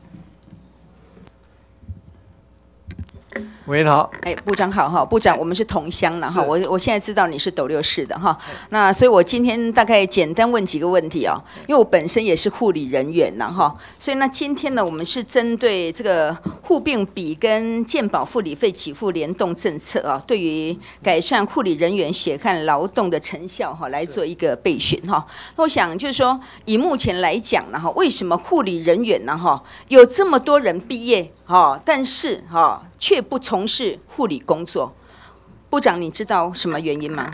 第一个就是嗯。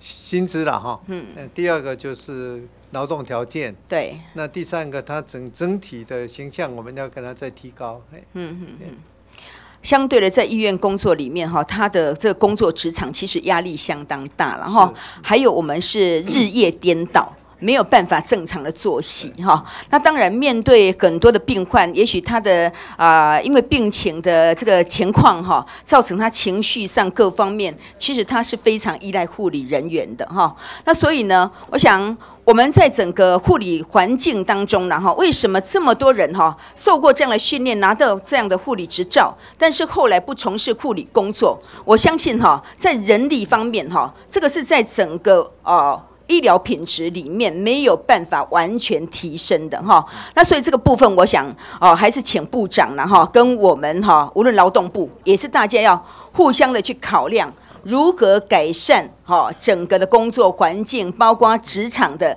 这些待遇条件哈。所以呢，我今天要在这里特别跟部长哈，也就是说，就你所了解了哈，整个全台湾呐，大概每十万人当中啊，有多少？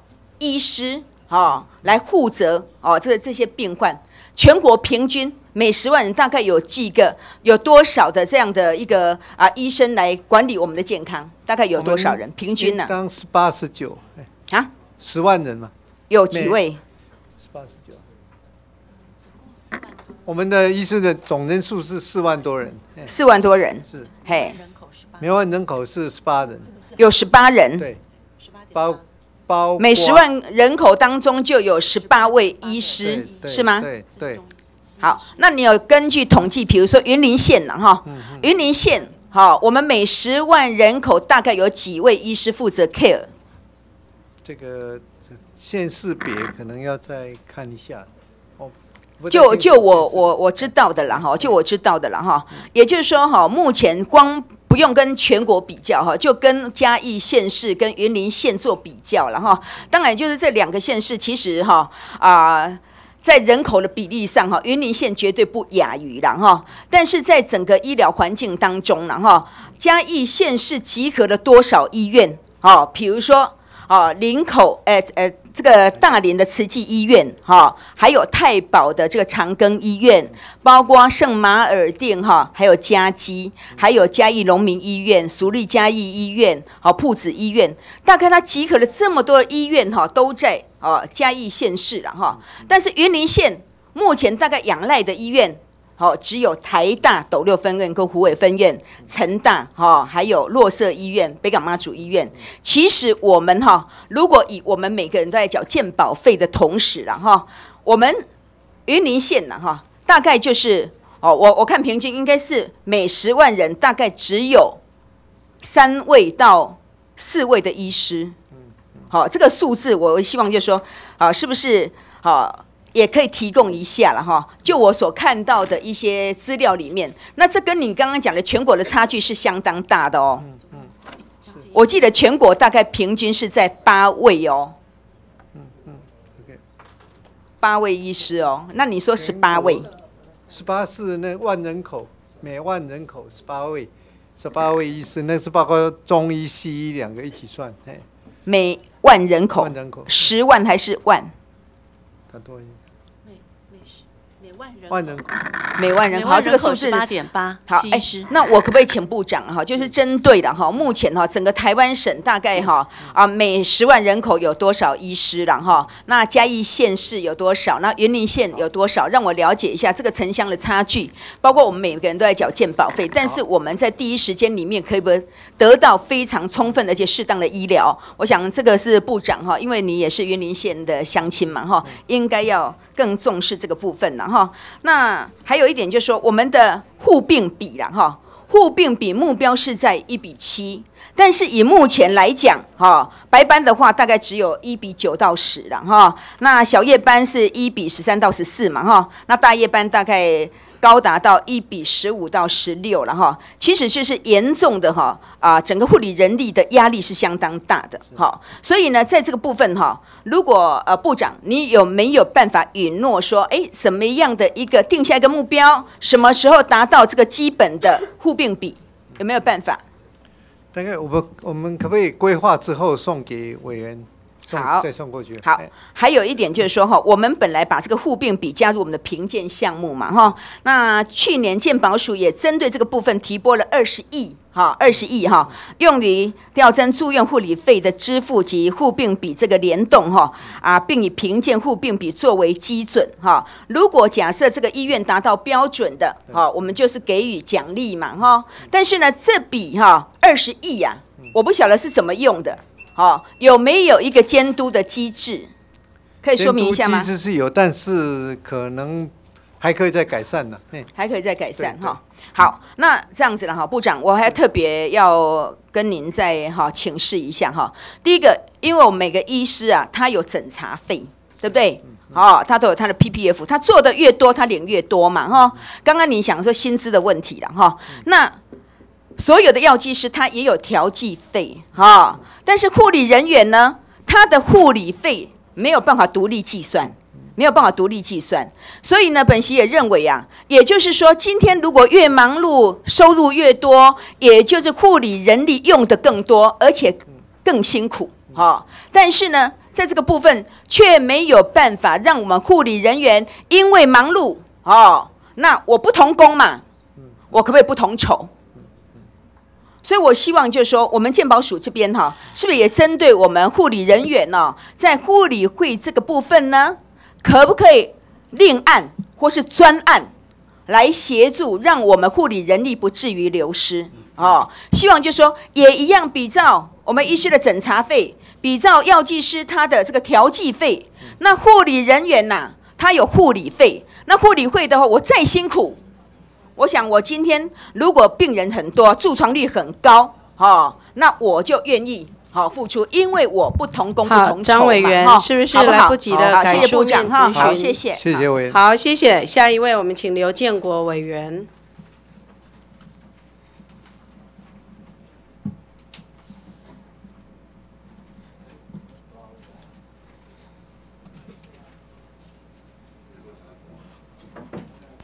谢谢主席，有请部长，请林部长、还有食药署署长。署长。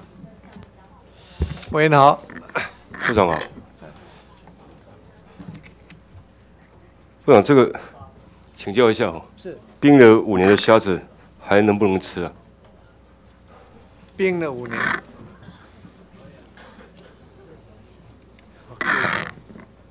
呃，要看它冰存的状况。好，我们一？般冷冻食品都有一定的保存期限。好，那变了五年之后的虾仁，你敢不敢吃？那你要怎么看它的冷冻状况？追踪五年，看录影带，看厂家的书面报告，看大卖场的图表说明，还是请示神明？愿主基督保护、保佑。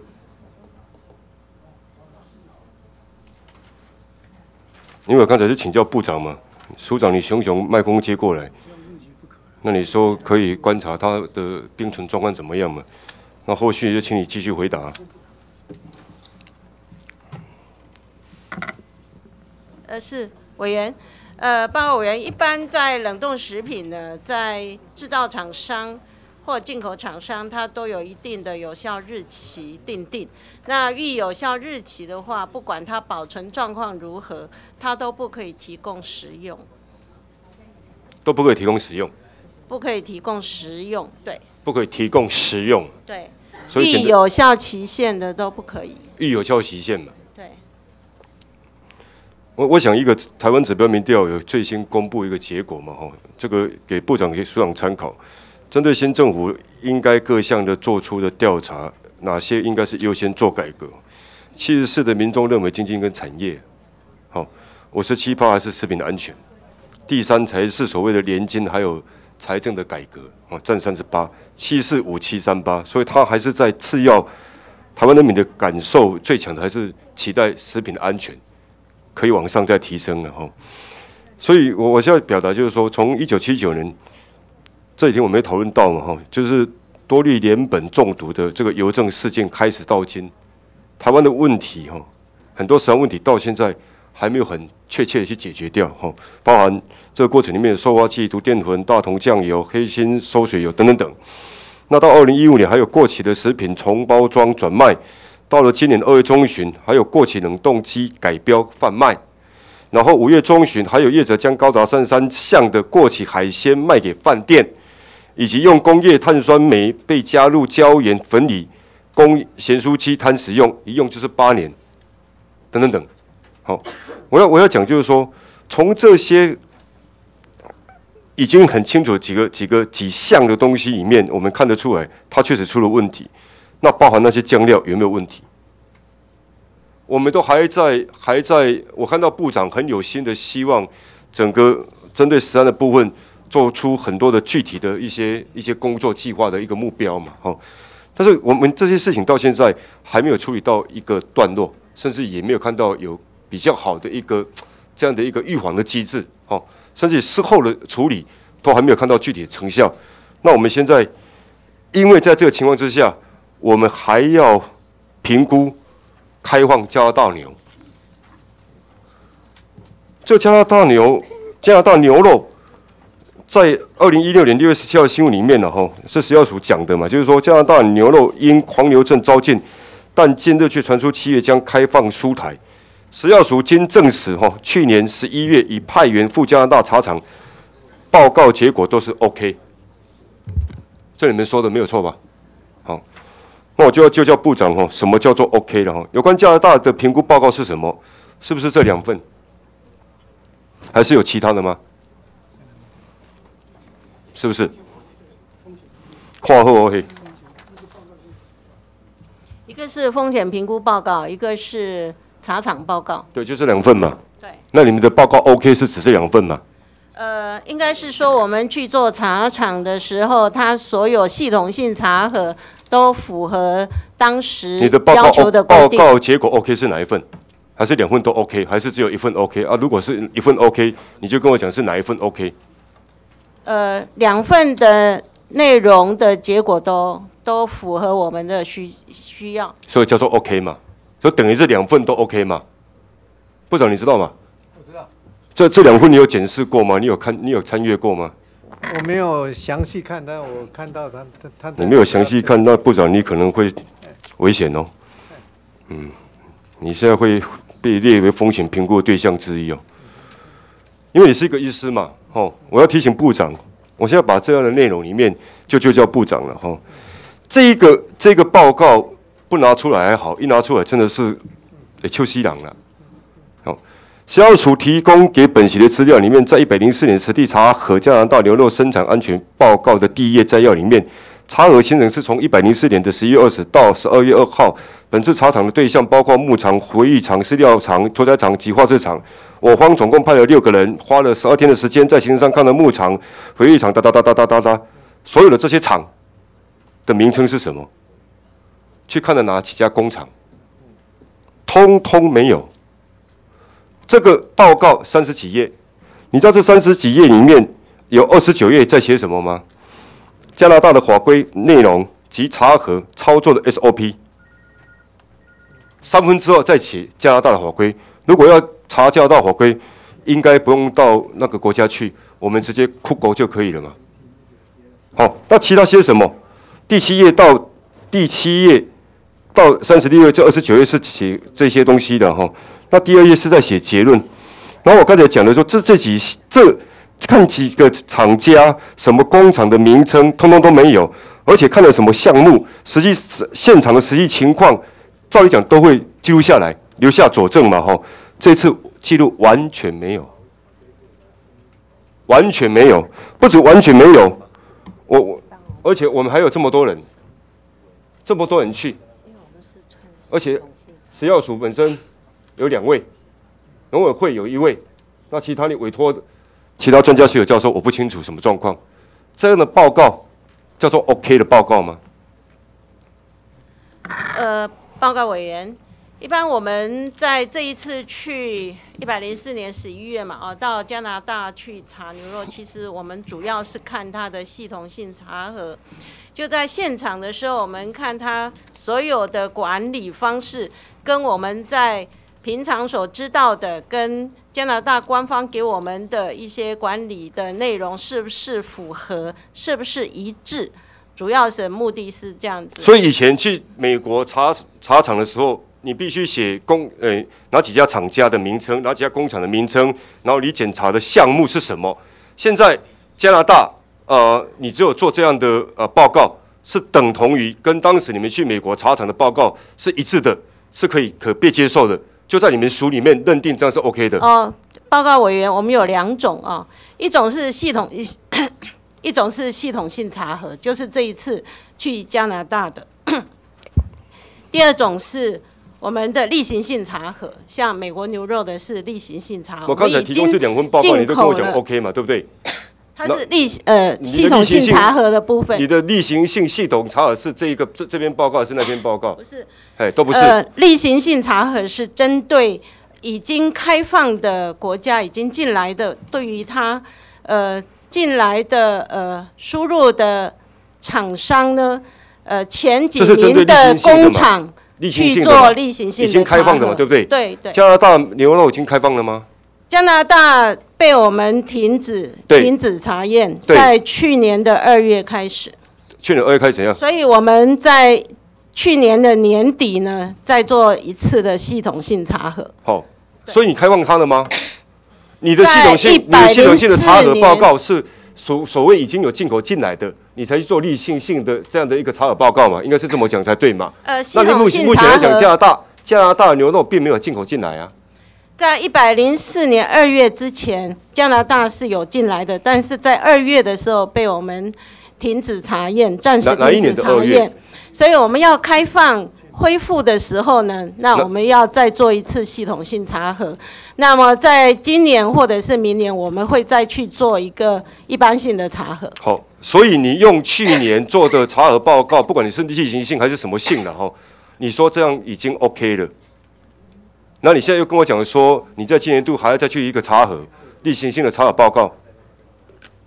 你那个谁谁谁谁给署长？例行性查核里面没有水，很奇怪。他已经讲不出来了，你还信赖他吗？哎，倒干净一点吧，快加水。报告报告，你们都危险了，哎，列入风险评估范围里面。例行性查核是，呃没有，开放，保对不对？定听好了，欢迎你讲讲啥哈，我唔知你听我，我有那听不上，来下一页来。对，所以我们在对家国牛肉在我们开放以后哦，我们会跟美国牛肉一样做例行性的查核。比如说今年要开放，那明年开始我们就每年都会去做例行性。开开，哎，哎，这位都位一模一样。你们这次查核屠宰场现场观察作业环境设施，屠宰场依据加拿大哒哒哒哒哒 SRM 清除与处理牛龄判判断 OTM U UTM 区隔处理及食品卫生安全作业，并接受官方驻场人员监督与官方的年度查核。这个是这个是你们查核那个报报告里面的内容，这样了。好，来再下一页。加拿大认定，我现在就跟你讲说你的例行报告是什么东西嘛，哈，这个你们写的嘛。加拿大认定第十九例的 BS 一的病瘤最有可能感染的来源为饲料源。那第一个，我请教你，这饲料是只有第十九例的牛只有吃吗？还是有其他牛群有吃吗？这报告里面没有。第二个，饲料工厂是哪一家？饲料流向去哪里？有无追踪结果？也没有。这叫做例行性报告吗？第三个，已被已被扑杀第十九例的同曲牛只去哪里的？也没有。你的例行报告可以这么做吗？你们这样的报告叫做 OK 吗？不管你左边这一份，右边那一份，你的水补给够了没有？不然用加五百加仑呢？报告中只见这些未进行检验之牛群牛只对 BS 一之科学研究与调查是相当珍贵的样品。注意哈、你的例行的报告最后注解一句话，因此未进行检验甚为可惜。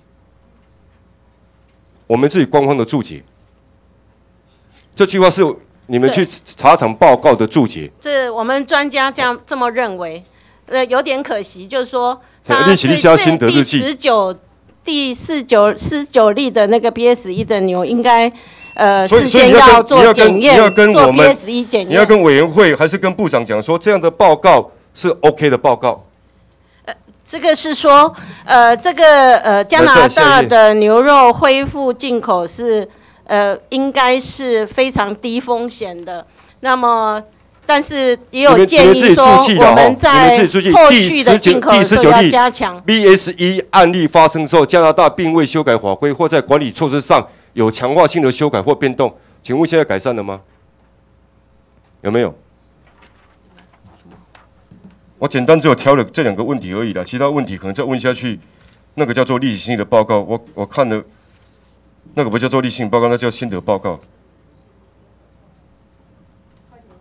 是是是，我们第三页开宗明义指出了哈，还有一个，部长我就讲给你听了哦，这是报告里面自己写的，和美国进口带骨牛肉吃相关产品风险比呃评估的结果比较，发现食用加拿大带骨牛肉与相关产品的风险都相对较高，所以在第五讨论部分，在第二三页里面写到，若将加拿大牛的风险评估结果和美国牛肉风险进行比较，发现不论是带骨牛肉、内脏或牛牛角肉，加拿大的牛肉风险皆比美国牛肉高，所以我就要就教部长啊，我们到底现在有没有进口加拿大的美国诶、加拿大的加拿大牛了哈的牛肉、内脏或牛角肉？没有。我是问部长啊，你为什么这么急、没有嘛？呃，因为在他就是将来准备要会嘛，将来准备要会的时候，他们自己对媒体讲的说两个报告都 OK，哎、我我不晓得几个报告，但是我刚才用两份报告给部长看嘛，他跟我讲这两个报告都 OK 嘛，那我想你跟媒体讲是哪个报告 OK？那你们茶厂也没有工厂的名称，地点也没有讲，然后他之前有对十九例的牛只里面这些 BS 一的检验通通没有做的，然后这些饲料来源怎么你们也没有去做追踪？那你怎么可以用这样的报告讲一句叫 OK，然后你们准备进行开放？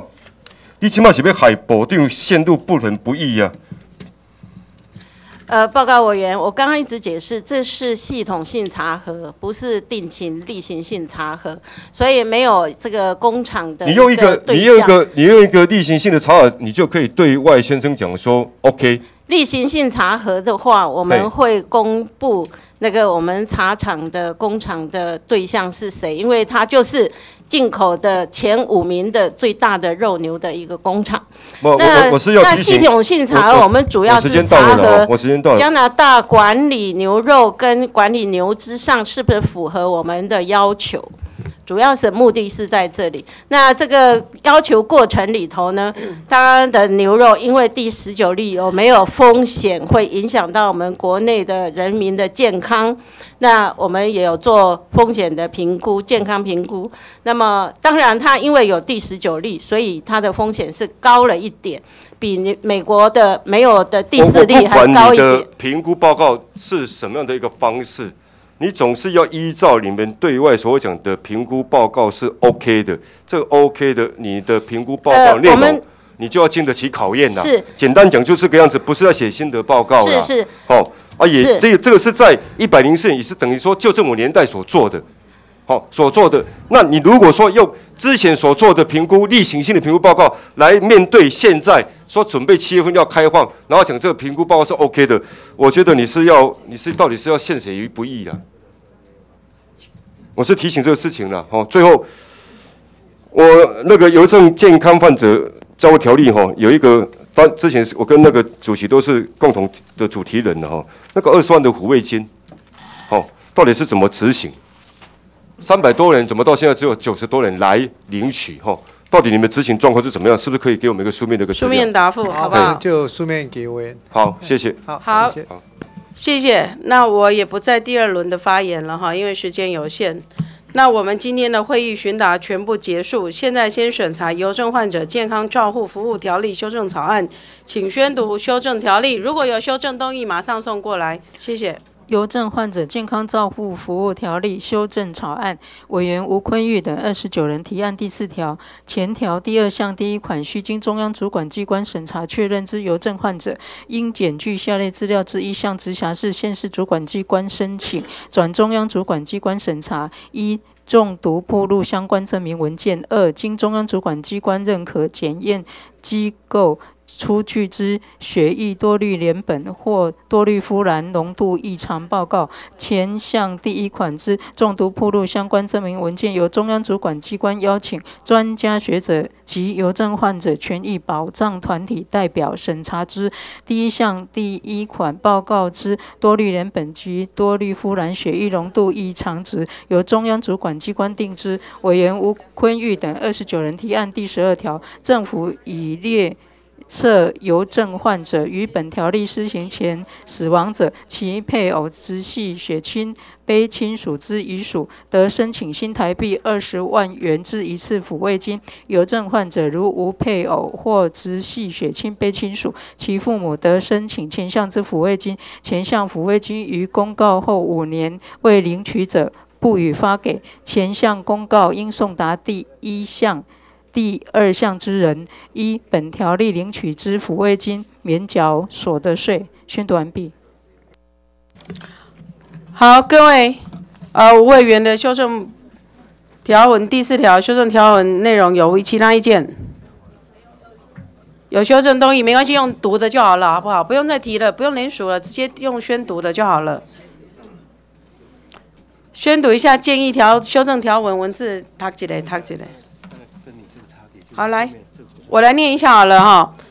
呃，前条第二项第一款，需经中央主管机关审查确认之邮政患者，应检具中毒铺路相关证明文件，向直辖市、县市主管机关申请，转中央主管机关审查。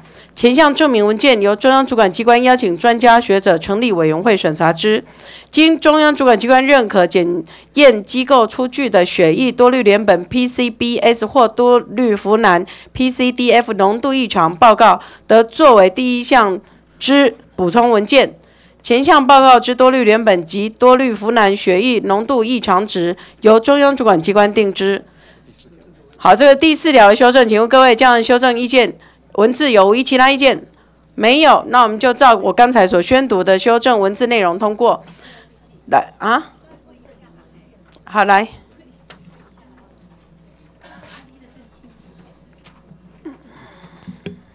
呃，刚刚是对于这个第第三款，呃，第三项有提到一个，呃，变成是呃检验出血液多多粒联苯的这些啊、异常的报告，作为第一项，呃，应该是第一项嘛，哈的一个补充资料。这个文字后面那个文字有没有赘述的感觉了哈？那这个地方可能再再做一下厘清。那很想问的是，我们呃卫福部这边呃，如果这样的文字修改有没有什么其他意见？那这样会增加多少人啊，或是人数的增加的情况，是不是也做一些说明？好，我们卫福部这边也做一下说明。呃，主席，呃，委委员就是如果按照我们目前所目前所知道的话，大概是十几人，但是一旦增加了以后，是不是还会有其他的人来申请？那这个部分我们不知道。以我们目前手上的资料，那呃，委员这边我们是不是刚才是写补充文件？补充是不是可以改成补充证明文件？因为很。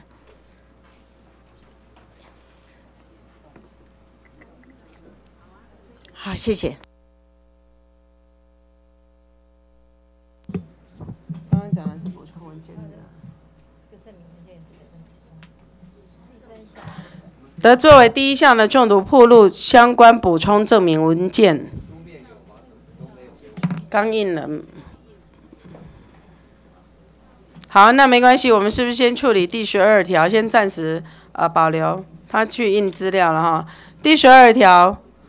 吴坤玉委员的这个修正文字有其他意见？有修正版本？来，议事人员先宣读一下好了，来。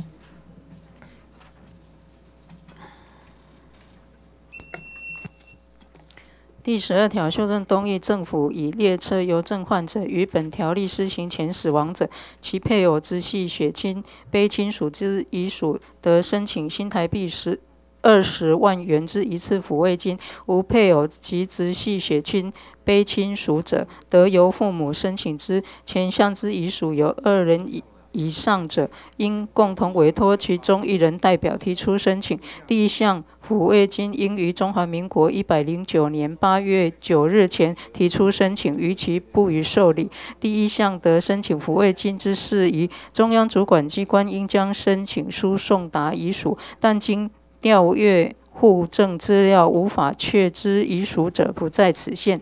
前项送达其遗属有二人以上者，中央主管机关得向其中一人为之，依本条例领取之抚慰金，免缴所得税。宣读完毕。好，请问这个第十二条的修正文字有无意见？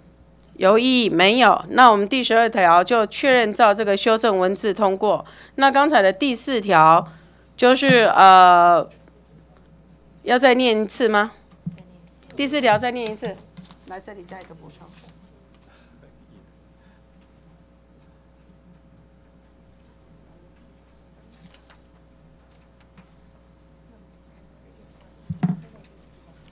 我们请议事人员在。再读一次。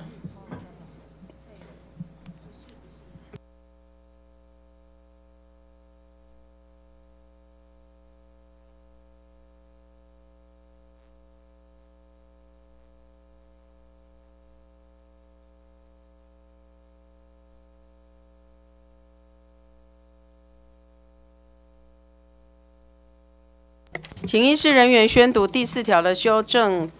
条文的那个文字建议。第四条修正动议前条第二项第一款。需经中央主管机关审查确认之邮政患者，应检具中毒铺路相关证明文件，向直辖市、县市主管机关申请，转中央主管机关审查。前项证明文件由中央主管机关邀请专家学者成立委员会审查之，经中央主管机关认可，检验机构出具之血域多氯联苯或多氯呋喃浓度异常报报告。得作为第一项之补充文件，前项报告之多氯联苯及多氯呋喃血液浓度异常值，由中央主管机关定之。提案人委员吴坤玉、钟孔照、陈曼丽宣读完毕。好，我再补充一下，刚才讲的补充文件当中啊，再加证明两个字哈。精装主管第三项，精装主管机关认可检验机构出具之协议多氯联苯或多氯氟烷浓度异常报告，得作为第一项的补充证明文件。哈，好，嘿，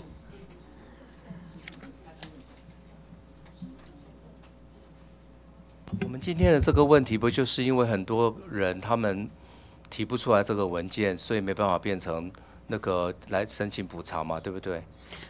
第三项是说补它作为证补充证明而已，它并不是主要。嘿我，知道，可是他们不是有非常 typical 的一些一些皮肤啊或者什么的症症状吗？那些能不能作为他们有铺路的一个证明？一定要血液的检验吗？呃，跟委那这个员报告，有点太太刁难了吧？呃，跟委员报告，所以今天特别特别改过来，就是说，不是啊，你有没有有没有写说，其实是只要是临床的临床的这种病症，也可甚至是病理皮肤的病理切片，这些也都可以作为它有铺路的一个标准嘛？一定要去，呃，就是要什么血液？那他血液如果是十年前的铺路，还炸的不会回来，这炸的验不出来啊！你今麦要叫他去验，够可能呢？是，可是他的那种器官上面那种铺路的那些症状，那些都是可以作为佐证啊。所以你们是委员呃跟您报告，所以这个浓度这个部分现在就是只有是补充的一个证明文件。那目前就是把这个当做是必要条件嘛。对，现在必要条件就是只有就是如果是只有这个中毒的证明相关文件的话，得由是由中央主管机关邀请专家学者成立委员会审查，这个是必要条件。那这个呃有血液的这个浓度异常的是一个补充的文件所以就已经还就不是一不然的话就会变成一个阻碍他们来来申请的一个条件了嘛。你这样写，看起来好像就是说啊，我回来是也没出来，我得别当来申请啊。啊，其实这个只是一个补充的东西而已，重点是在于他的已经全身，他这皮肤跟气脏器都已经有变化，这些病理的切片都可以作为佐证的时候，那个东西其实是比较重要的嘛。是委员他那个会放那放你没有写在这个审出来啊查你哪里有写呢这个审查会里面。没，你们你没有写出来啊？哎因为你应该写出来说，只要有临床症状或者有病理切片，皆可以作为这个申诉的的申请的一个一个条件的嘛。这个应该是这个铺路铺路的证明，那个相关的铺路证明会由邀请专家学者成立委员会自行去审查啦。呃，他不可能不只是切片，可能还有其他都可以。比如说家属，我们居住在一起事实的家属有一个、两个、三个，那我们其他三个也可以一起变成是共同铺路的证明，这样都是交给专家呃成立的委员会去审查嘛，哈，证明他的共同铺路史。嘿，但是血液检查只是作为得作为补充文件而已。好，那这样子有没有其他意见？没有。好，那我们第四条就照刚才所宣读的这个修正内容通过。那第十二条已经通过了哈。好，那我们今天这个本院委员吴坤玉等二十九人拟具的邮政患者健康照护服务条例第四条及第十二条条文修正草案，第一，业经审查完竣。拟具审查报告提报院会讨论，院会讨论本案时，由林昭伟淑芬补充说明。请问是否需交由党团协商？不需要。好，那我们不需要交由党团协商。接下来我们要处理中华民国一百零五年度中央政府总预算案有关卫福部主管的预算、公务预算解冻案第六十等六十呃全部六十八案，请议事人员宣读。一、处理卫生福利部行为一百零五年度中央政府总预算决议冻结使用规费收入预算二百万元案；二、处理卫生福利部行为一百零五年度中央政府总预算决议冻结使用规费收入之资料使用费二百万元案；三、处理卫生福利部行为一百零五年度中央政府总预算决议冻结以医疗科技评估建制卫生资源分配机制计划五百万元案；四、处理卫生福利部行为一百零五年度中央政府总预算决议冻结卫生与社会福利统计应用研究及服务计划业务费一百五十万元案五，处理卫生福利部行为一百零五年度中央政府总预算决议冻结财团法人国家卫生研究院发展计划预算三百万元案六，处理卫生福利部行为一百零五年度中央政府总预算决议冻结提升国人气候变迁之健康势能与调试策略研究预算二百万元案七，处理卫生福利部行为一百零五年度中央政府总预算决议针对社会保险行政工作全民健康保险业务预算冻结四分之一案。八、处理卫生福利部行为一百零五年度中央政府总预算决议冻结社会保险行政工作全民健康保险医疗费用协定及监理业务预算十万元案。九、处理卫生福利部行为一百零五年度中央政府总预算决议，冻结社会保险、行政工作、国民年金保险业务一般事务费五十万元案。十、处理卫生福利部行为一百零五年度中央政府总预算决议，冻结规划建立社会工作专业预算一百万元案。十一、处理卫生福利部行为一百零五年度中央政府总预算决议。冻结规划建立社会工作专业补助新北市政府是。设置六二七烧烫伤专案管理中心经费一百万元案十二，处理卫生福利部行为一百零五年度中央政府总预算决议，冻结一般行政预算一千万元案十三，处理卫生福利部行为一百零五年度中央政府总预算决议，冻结一般行政预算二百万元含特别费案十四，处理卫生福利部行为一百零五年度中央政府总预算决议，针对医政业务预算冻结四分之一案十五，处理卫生福利部行为一百零五年度中央政府总预算。该部主管第一项决议八十三，针对健全医疗卫生体系预算冻结四分之一案十六，处理卫生福利部行为一百零五年度中央政府总预算决议，冻结健全医疗卫生体系预算一百万元案十七，处理卫生福利部行为一百零五年度中央政府总预算该部主管第一项决议八十四，针对健全医疗卫生体系系。业务费冻结四分之一案十八，处理卫生福利部行为一百零五年度中央政府总预算决议，针对提升医事机构服务品质预算冻结十分之一案十九，处理卫生福利部行为一百零五年度中央政府总预算该部主管第一项决议十二，冻结提升医事机构服务品质预算一百万元案二十，处理卫生福利部行为一百零五年度中央政府总预算该部主管第一项决议十三，冻结提升医事机构服务品质预算一百万元案。二十一，处理卫生福利部函为一百零五年度中央政府总预算决议，针对办理专责一般医疗主治医师照护制度推广及住院医师工时改善辅导等计划，预算冻结四分之一案。二十二，处理卫生福利部行为一百零五年度中央政府总预算决议，针对健全紧急医疗照护网络委办费冻结四分之一案。二十三，处理卫生福利部行为一百零五零五年度中央政府总预算决议，冻结紧急冻结健全紧急医疗照护网络业务费一百万元案。二十四，处理卫生福利部行为一百零五年度中央中中央政府总预算决议，针对推动国际健康产业预算冻结十分之一案。二十五，处理卫生福利部行为一百零五年度中央政府总预算决议，冻结护理及健康照护业务预算一百万元案。二十六，处理卫生福利部行为一百零五年度中央政府总预算决议，冻结强化护理人力培育与提升专业职能预算一百万元案。二十七，处理卫生福利部行为一百零五年度中央政府总预算决议，针对中医规划及管理工作预算冻结十万元案。二十八，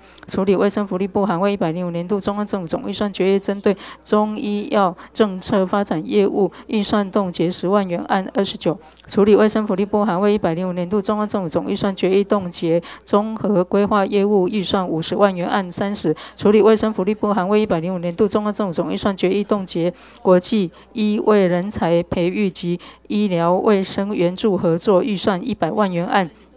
三十一，处理卫生福利部行为一百零五年度中央政府总预算决议，针对医院营运辅导项下补助所属偏远地区医院重整服务效能计划预算冻结十分之一案。三十二，处理卫生福利部行为一百零五年度中央政府总预算决议，防疫业务、慢性传染病防治业务及传统病防治医疗业务办理我国加入 WHO 二零三五消除结核第一一期计划预算冻结三三分之一案。三十三，处理卫生福利部行为一百零五年度中央政府总预算决议，针对确保卫生安全环境整合型计划为办费冻结四分之一案。三十四，处理卫生福利部行为一百零五年度中央政府总预算决议，冻结确保卫生安全环境整合型计划奖补助费一百五十万元按。三十五，处理卫生福利部行为一百零五年度中央政府总预算决议，冻结导入健康风险评估科技及精进我国食品安全预算二百万元按。三十六，处理卫生福利部行为一百零五年度中央政府总预算决议，冻结导入健康风险评估科技科技及精进我国食品安全预算二百万元按。三十七，处理卫生福利部行为一百零零五年度中央政府总预算决议，针对办理强化食品药物安全事件应应处理与策略等计划委办费冻结四分之一按三十八，处理卫生福利部含为一百零五年度中央政府总预算决议针对食品安全巨量资料分析及资讯科技化建制计划预算冻结五分之一案三十九，处理卫生福利部含为一百零五年度中央政府总预算决议针对食品药物管理署一般行政人事费除外之预算冻结四分之一案四十，处理卫生福利部含行为一百零五年度中央政府总预算决议冻结基本行政工作维持预算一百万元案四十一，处理卫生福利部行为一百零五年度中央政府总预算决议针对食品药物管理业务之食品业务预算冻结五分之一案。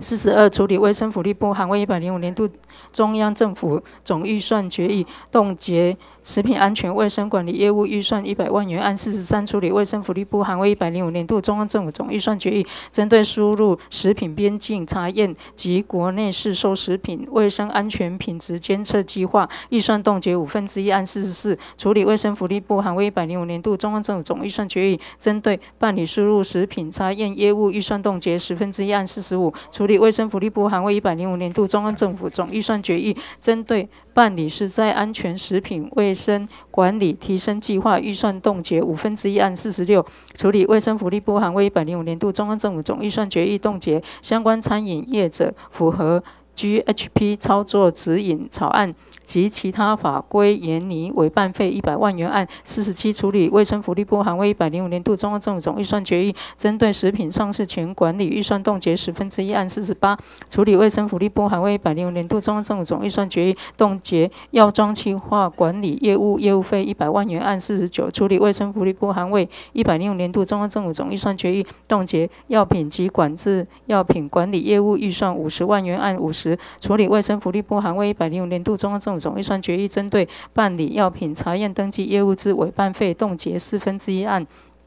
五十一，处理卫生福利部含为一百零五年度中央政府总预算决议冻结查验登记技术资料评估及审查计划委办费一百万元案。五十二，处理卫生福利部行为一百零五年度中央政府总预算决议针对医疗器材及化妆品管理业务预算冻结十分之一案。五十三，处理卫生福利部行为一百零五年度中央政府总预算决议冻结医疗器材及化妆品管理业务预算五十万元案。五十四，处理卫生福利部福利部行为一百零五年度中央政府总预算决议针对办理药品、医疗器材及医疗器材等查验登记相关工厂制造品质审核及实地查核业务预算冻结四分之一案。五十五，处理卫生福利部行为一百零五年度中央政府总预算决议冻结药妆安全风险监控检验机构管理及品质认证管理业务及重建药物安全计划一百万元案。五十六，处理卫生福利部行为一百零五年度中央政府总预算决议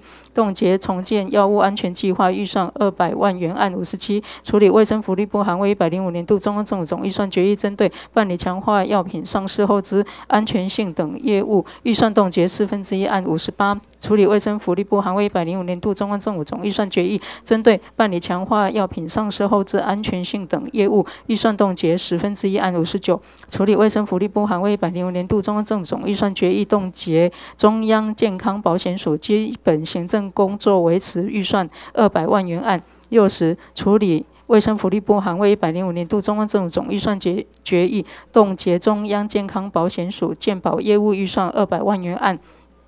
六十一，处理卫生福利部行为一百零五年度中央政府总预算决议冻结中央健康保险署医务管理业务预算一百万元案。六十二，处理卫生福利部行为一百零五年度中央政府总预算决议冻结中央健康保险署医审及药材业务预算五十万元案。六十三，处理卫生福利部行为一百零五年度中央政府总预算决议冻结中央健康保险署企划业务预算五十万元案。六十四，处理卫生福利部行为一百零五年度中央政府总预算决议保健云计划预算冻结五分之一案。六十五，处理卫生福利部行为一百零五年度中央政府总预算决议国民健康业务预算冻结一百万元案。六十六，处理卫生福利部行为一百零五年度中央政府总预算决议冻结推展家庭支持服务预算二百万元案。六十七，处理卫生福利部行为一百零五年度中央政府总预算决议冻结推展老人福利服务预算一百万元案。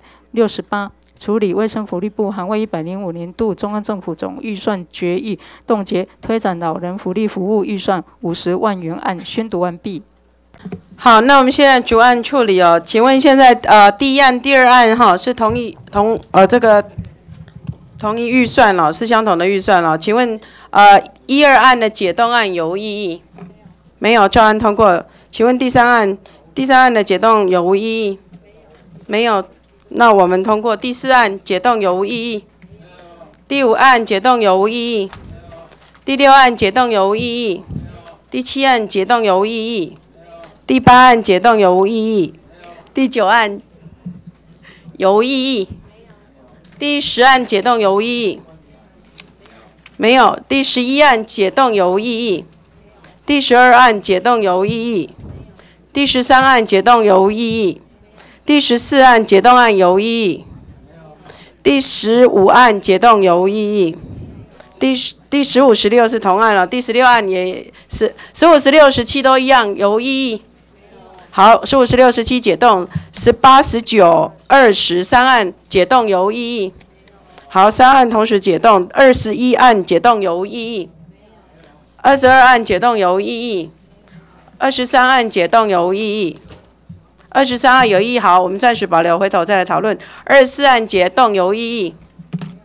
没有。二十五案解冻有异议？没有通过，好。二十六案解冻有异议？没有通过，好。二十七案解冻有异议？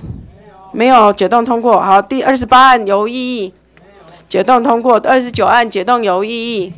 好，我们通过。第三十案解冻有异议？三十一案解冻有异议？好，通过。第三十二案解冻有无异议？好，通过。第十三没有异议，我们第三十二案通过。三十三案解冻有无异议？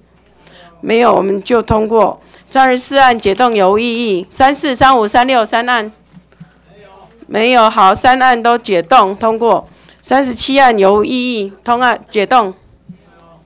好，那我们就照案这个解冻通过。第三十八案解冻有无异议？没有，那我们就这个照啊就通过。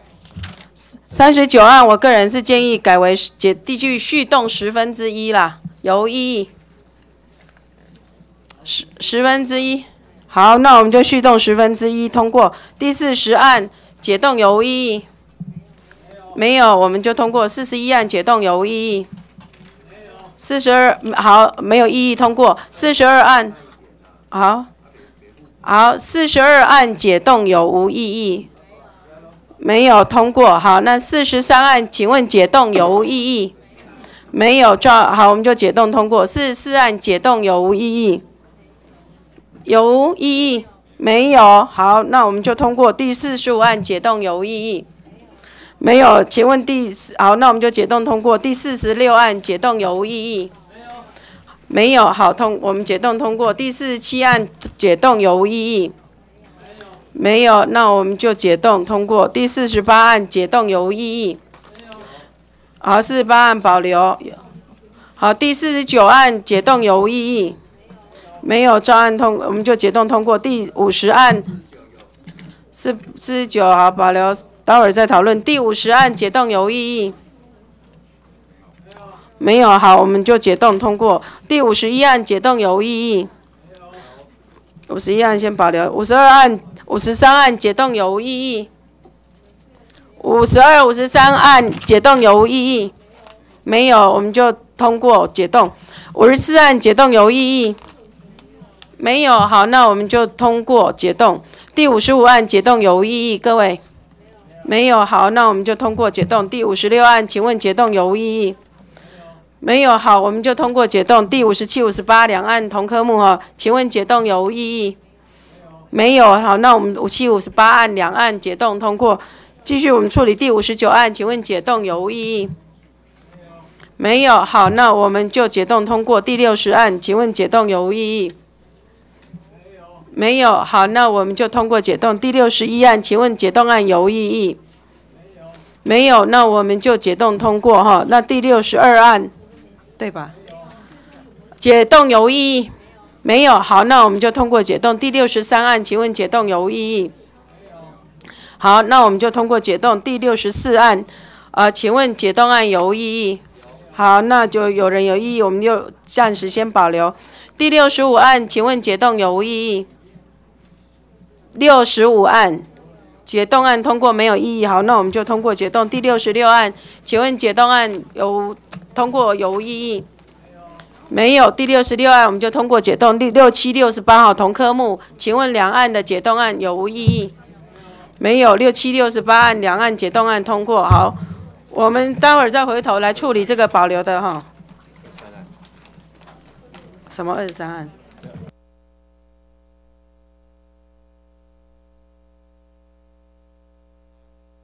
好，我我先先暂时简单宣告一下了哈。除了二十三案、三十九案、四八四九五一，啊，抱歉，二十三案、二三四八四九五一六四，哈，一。一共五个案子保留以外，第三十九案呢续动十分之一以外，其他的解冻案呢全数通过。待会儿保留的，我们第二轮再来讨论。我们继续处理我们这个卫福部的这个基金预算。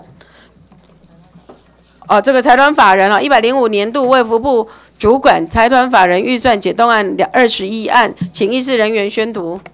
一、处理卫生福利部函为该部主管之财团法人医药品查验中心等九家财团法人一百零五年度预算决议，针对各财团法人业务支出中政府补助经费冻结十分之一案。二、处理卫生福利部函为财团法人国家卫生研究院一百零五年度工作计划及收支预算通过决议一，针对业务支出政府补助经费预算冻结十分之一案。三、处理卫生福利部函为财团法人国家卫生研究院一百零五年度工作。计划及收支预算通过决议三，针对台湾环境毒物及健康风险评估研究预算冻结十分之一案四，处理卫生福利部函为财团法人国家卫生研究院一百零五年度工作计划及收支预算通过决议四，针对台湾环境毒物及健康风险评估研究预算冻结十分之一案五，处理卫生福利部函为财团法人国家卫生研究院一百零五年度工作计划及收支预算通过决议五，针对台湾环境毒物及健康风险评估研究预算冻结十分之一案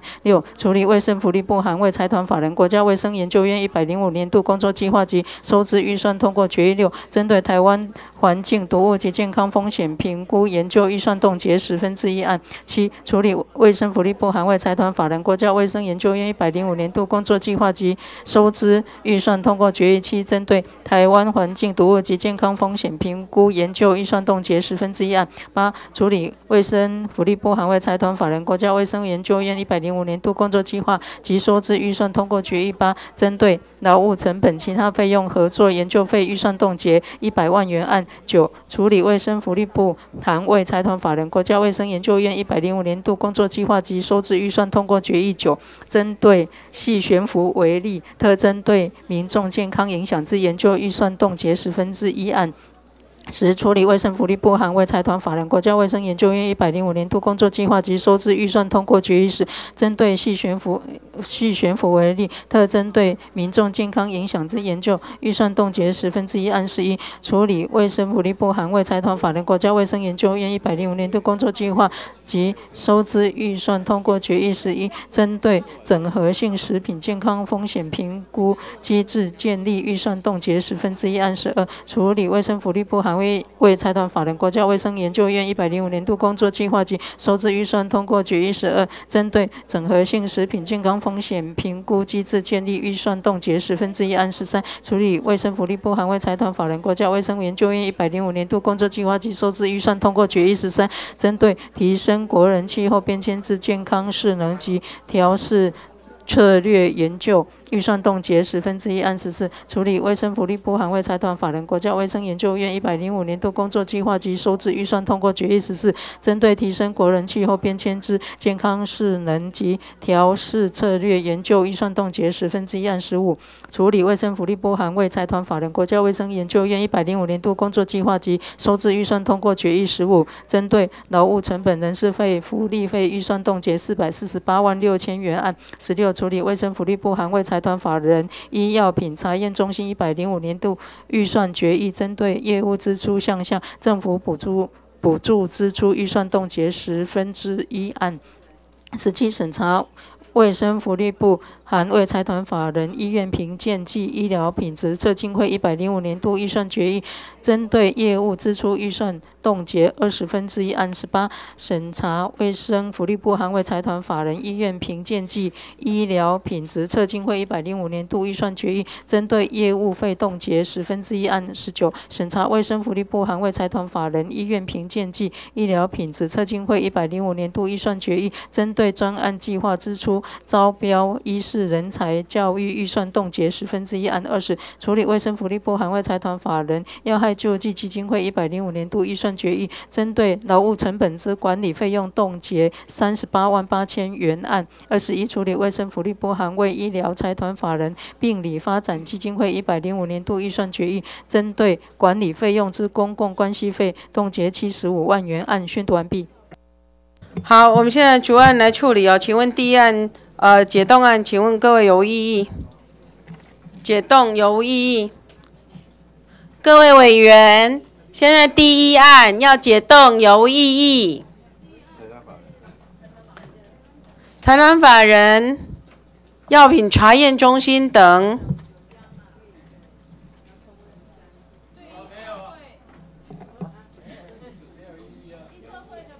好，要有异议我们保留。第二案，请问各位解冻案解冻有无异议？好，没有，我们就通过解冻。第三到第七案哦，同一个科目里面三四五六七解冻案解冻，请问各位有无异议？有异议，保留。没有，那个同一个科目里面啊，都同一计划、同一科目、同一计划，所以我们三四五六七都保留。第八案，请问各位解冻案有无异议？没有，照我们就解冻通过。第九到第十两案一样哦，第九、第十解冻案有无异议，有异议保留。第十一、十二案解冻案有异议，有还是没有？有，那我们就这个保留。第十三、十四案解冻案，请问有无异议？十三、十四，有还是没有？没有，好，我们就通过解冻。第十五案解冻案解冻有无异议？没有，十五案通过解冻。第十六案解冻案，请问各位委员有无异议？第十六案保留。第十七、十八两案，好，请问问这个解冻案有无异议？十七、十八没有异议，我们就十七跟十八同一个啊，那十七、十八啊都一起保留。不一样没关系，都同一计划、同一科目啊，我们都就一起保留。第十九案解冻案有异议，有十九案保留。第二十案解冻案有无异议？二十案保留。二十一案，请问解冻案有异议？二十一案有异议？没有，就通过解冻。好，那我们今天是不是这样子？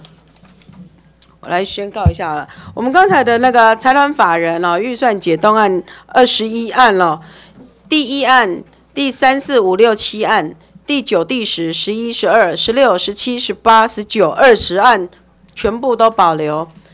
啊，我们现在回过头，呃，要来先，这刚才哦初步审查，我们再回过头来哈，先来处理公务预算，刚才保留的第二十三、第五案。好，第五案开始。第五案，从第五案开始吗？啊，第五案过了。二十三案，二十三案，二十三案，刚才保留的第二十三案，冻结一百万，要解冻，请问各位，主张续。有异议的委员要说明吗？还是行政部门要说明吗？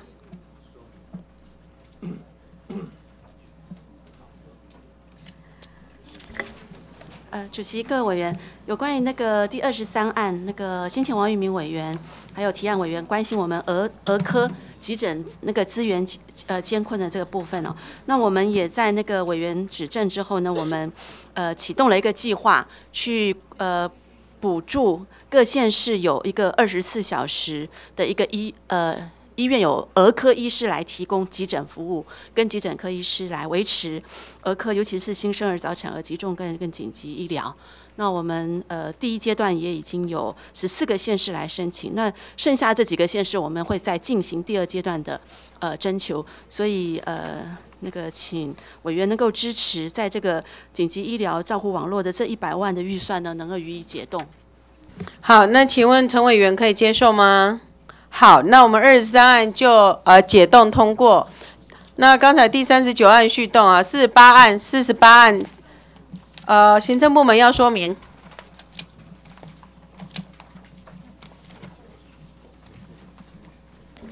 呃，四十八案是属于一些呃药物广告的一些内容。是。就是有关于这个布洛克在网络上分享一些这个心得文的这个部分。那我们在去年的八月四号呢，也有跟相关的部会还有工协会都已经开过了相关的这个讨论啊。那基本上呢，呃，这个呃广告的这个部分哈，其实基本上司法实务见解认为说不应该有。不不是以对价关系就是为一个构成要件，也就是说，呃，布洛克在网上网络上分享心得的这个部分，那如果他还是有一些夸大呃疗效啊，或者是一些不实的这个部分，我们还是是认为是广告要去做处理的。那不呃也是依据卫生呃要化妆品卫生管理条例第二十四条相关的规定。那不过呢，有关于事前审查这个部分呢，目前依据这个化妆品卫生管理条例第二十四条第二项的规定呢，那是由这个呃厂商化妆品厂商的这个义务，所以这个部分。我们也会持续的去跟这个相关的这个学会，还有布洛克等相关的这个团体去做持续的这个沟通。好，那陈委员可以接受吗？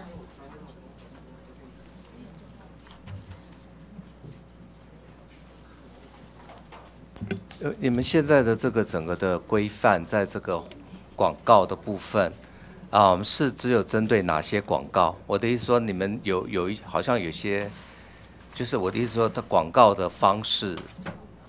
是不是你们只有针对一些，就是说电视的啊，或那如果说是广播的那些呢？广播你们有在有在查吗？是，呃，报告委员，因为我们的药事法或化妆品卫生管理条例都规定，广告要事先申请核准，所以我们针对所有的广告部分都会加强监控跟管理。地下电台你没有？都有。有在监听，所以会开罚就对了。是，好，我开罚，好好，谢谢。那可以通过吗？四十八，好，那我们四十八解冻案，我们就解冻通过。第四十九案，四十九案，第四十九案主要是强化疗效不等的通报的部分，我们请同仁。嗯，跟各位委员说明哈，在一百零四年，我们已经建立单一的通报窗口，让医疗人员能够便于通报药效不等的部分。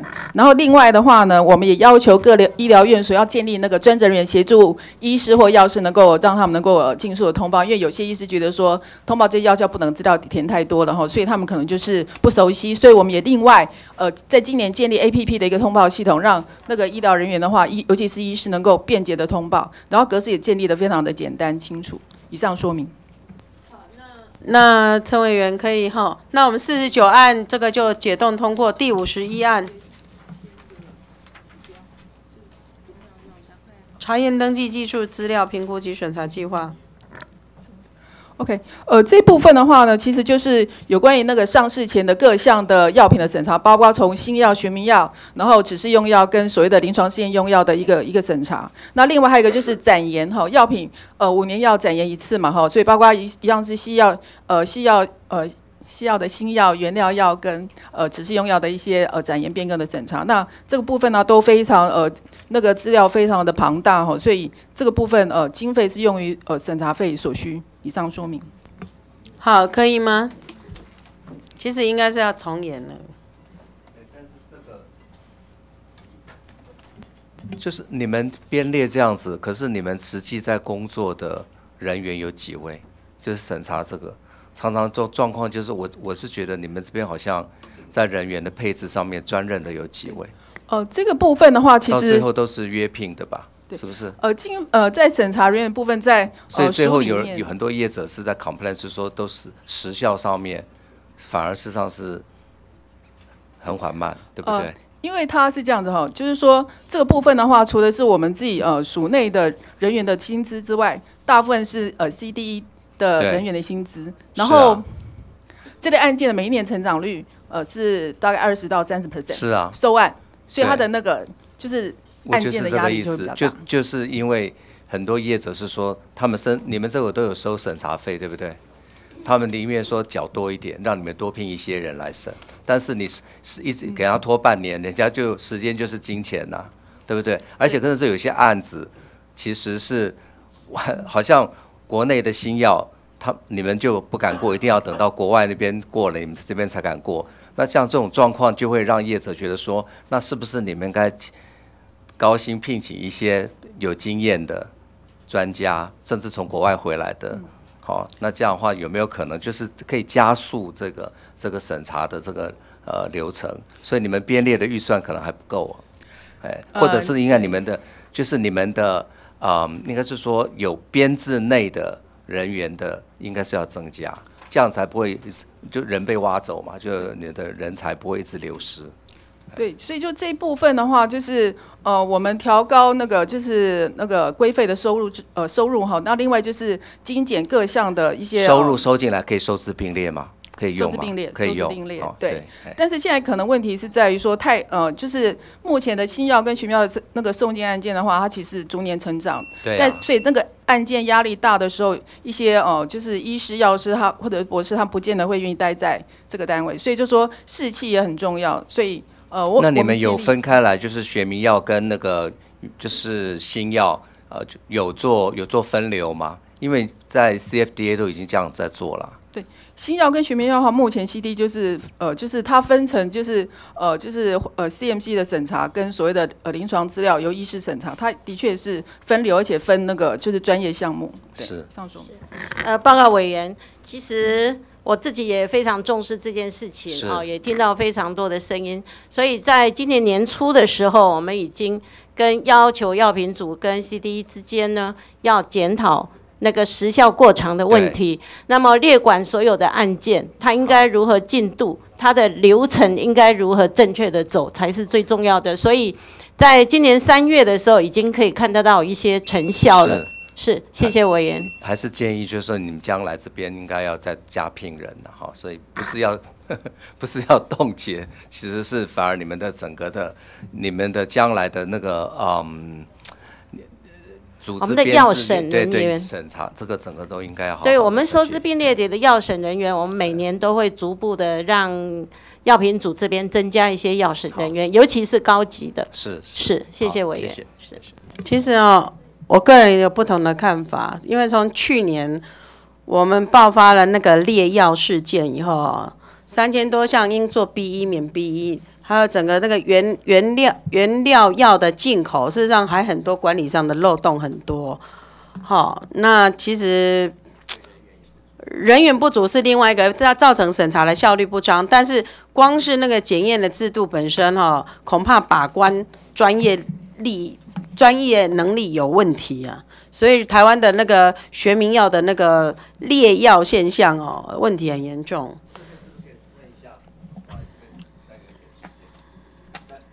你们现在是针对这是对于化妆品，你们也有在检验吗？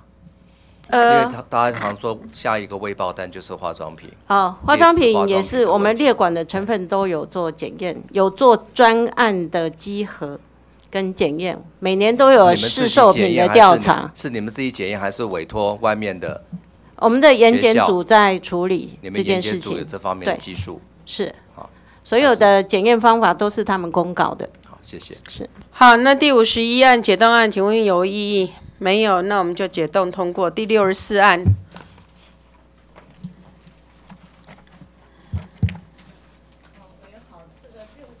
委员好，这六十四案的这个保健云的计划，最主要是建制这个健康妙管家的平台，还有就是行动版的 APP。那另外一个呢是呃完成这个预防保健的一个记录的平台的建制，还有我们的一个健康促进的决策管理资源系统，还有这个开放资料平台的建制。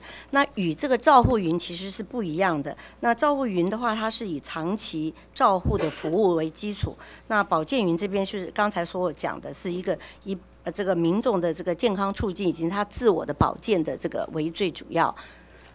那这个经费并没有包括，这这个经费是刚才在讲是保健云里面。那事实上部里面另外已经有经费是要把这四朵这个部里面的云呢会做嫁接。这样子可以，可以吗？静怡，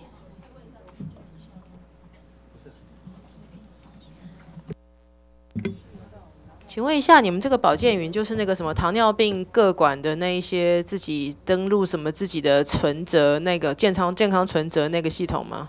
那那个是那个医疗云的健康存折，嗨，嗨我们这个是它呃，譬如说我们的保健云，它是用会员的资料，目前是已经有一万一千，他上去登录，然后把他的血压，把他的一些健检的一些资料呢上去，那啊、然后做一些呃，他可以在上面比对一些资料，看看他要怎么应该要做一些什么样的一个。你们怎么会做这种东西？好，好，那这样子六十四案解冻，大家还有没有其他意见？有无异议？没有，那我们就通过解冻案。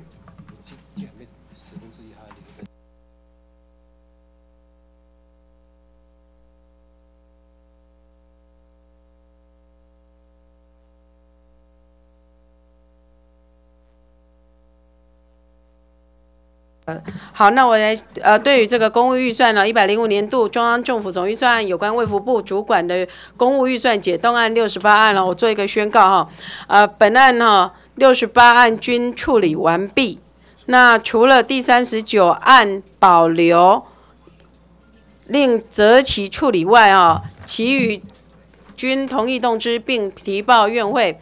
那我们接下来就继续处理这个呃财团法人的预算解冻案。刚才呃所保留的第一，刚才所念的呃保留的案子哦，第一案，我们回头来处理第一案，第一跟第一案对，好。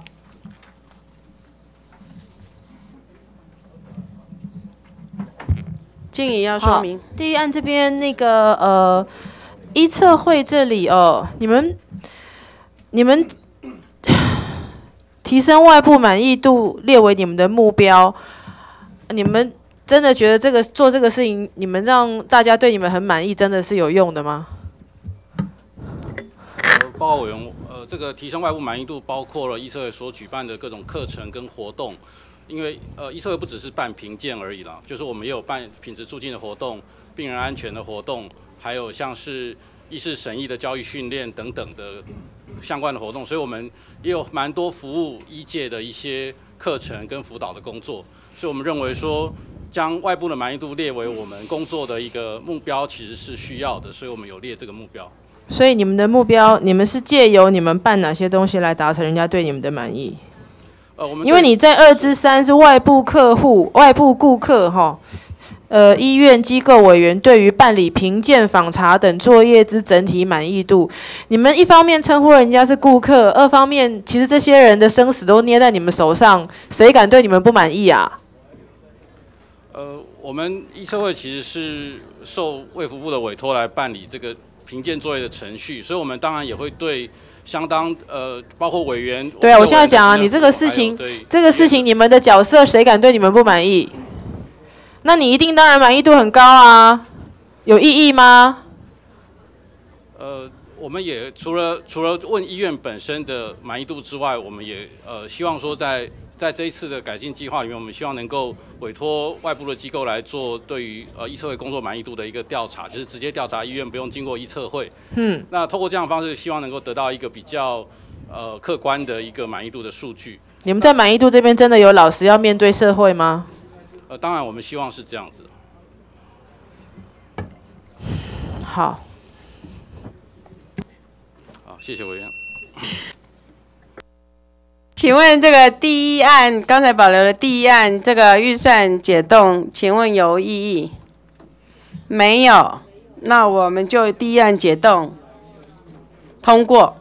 接下来我们处理第三四五六七案，同一个科目。行政部门先来解释一下三四五六七，还是吴吴委员你要先说明？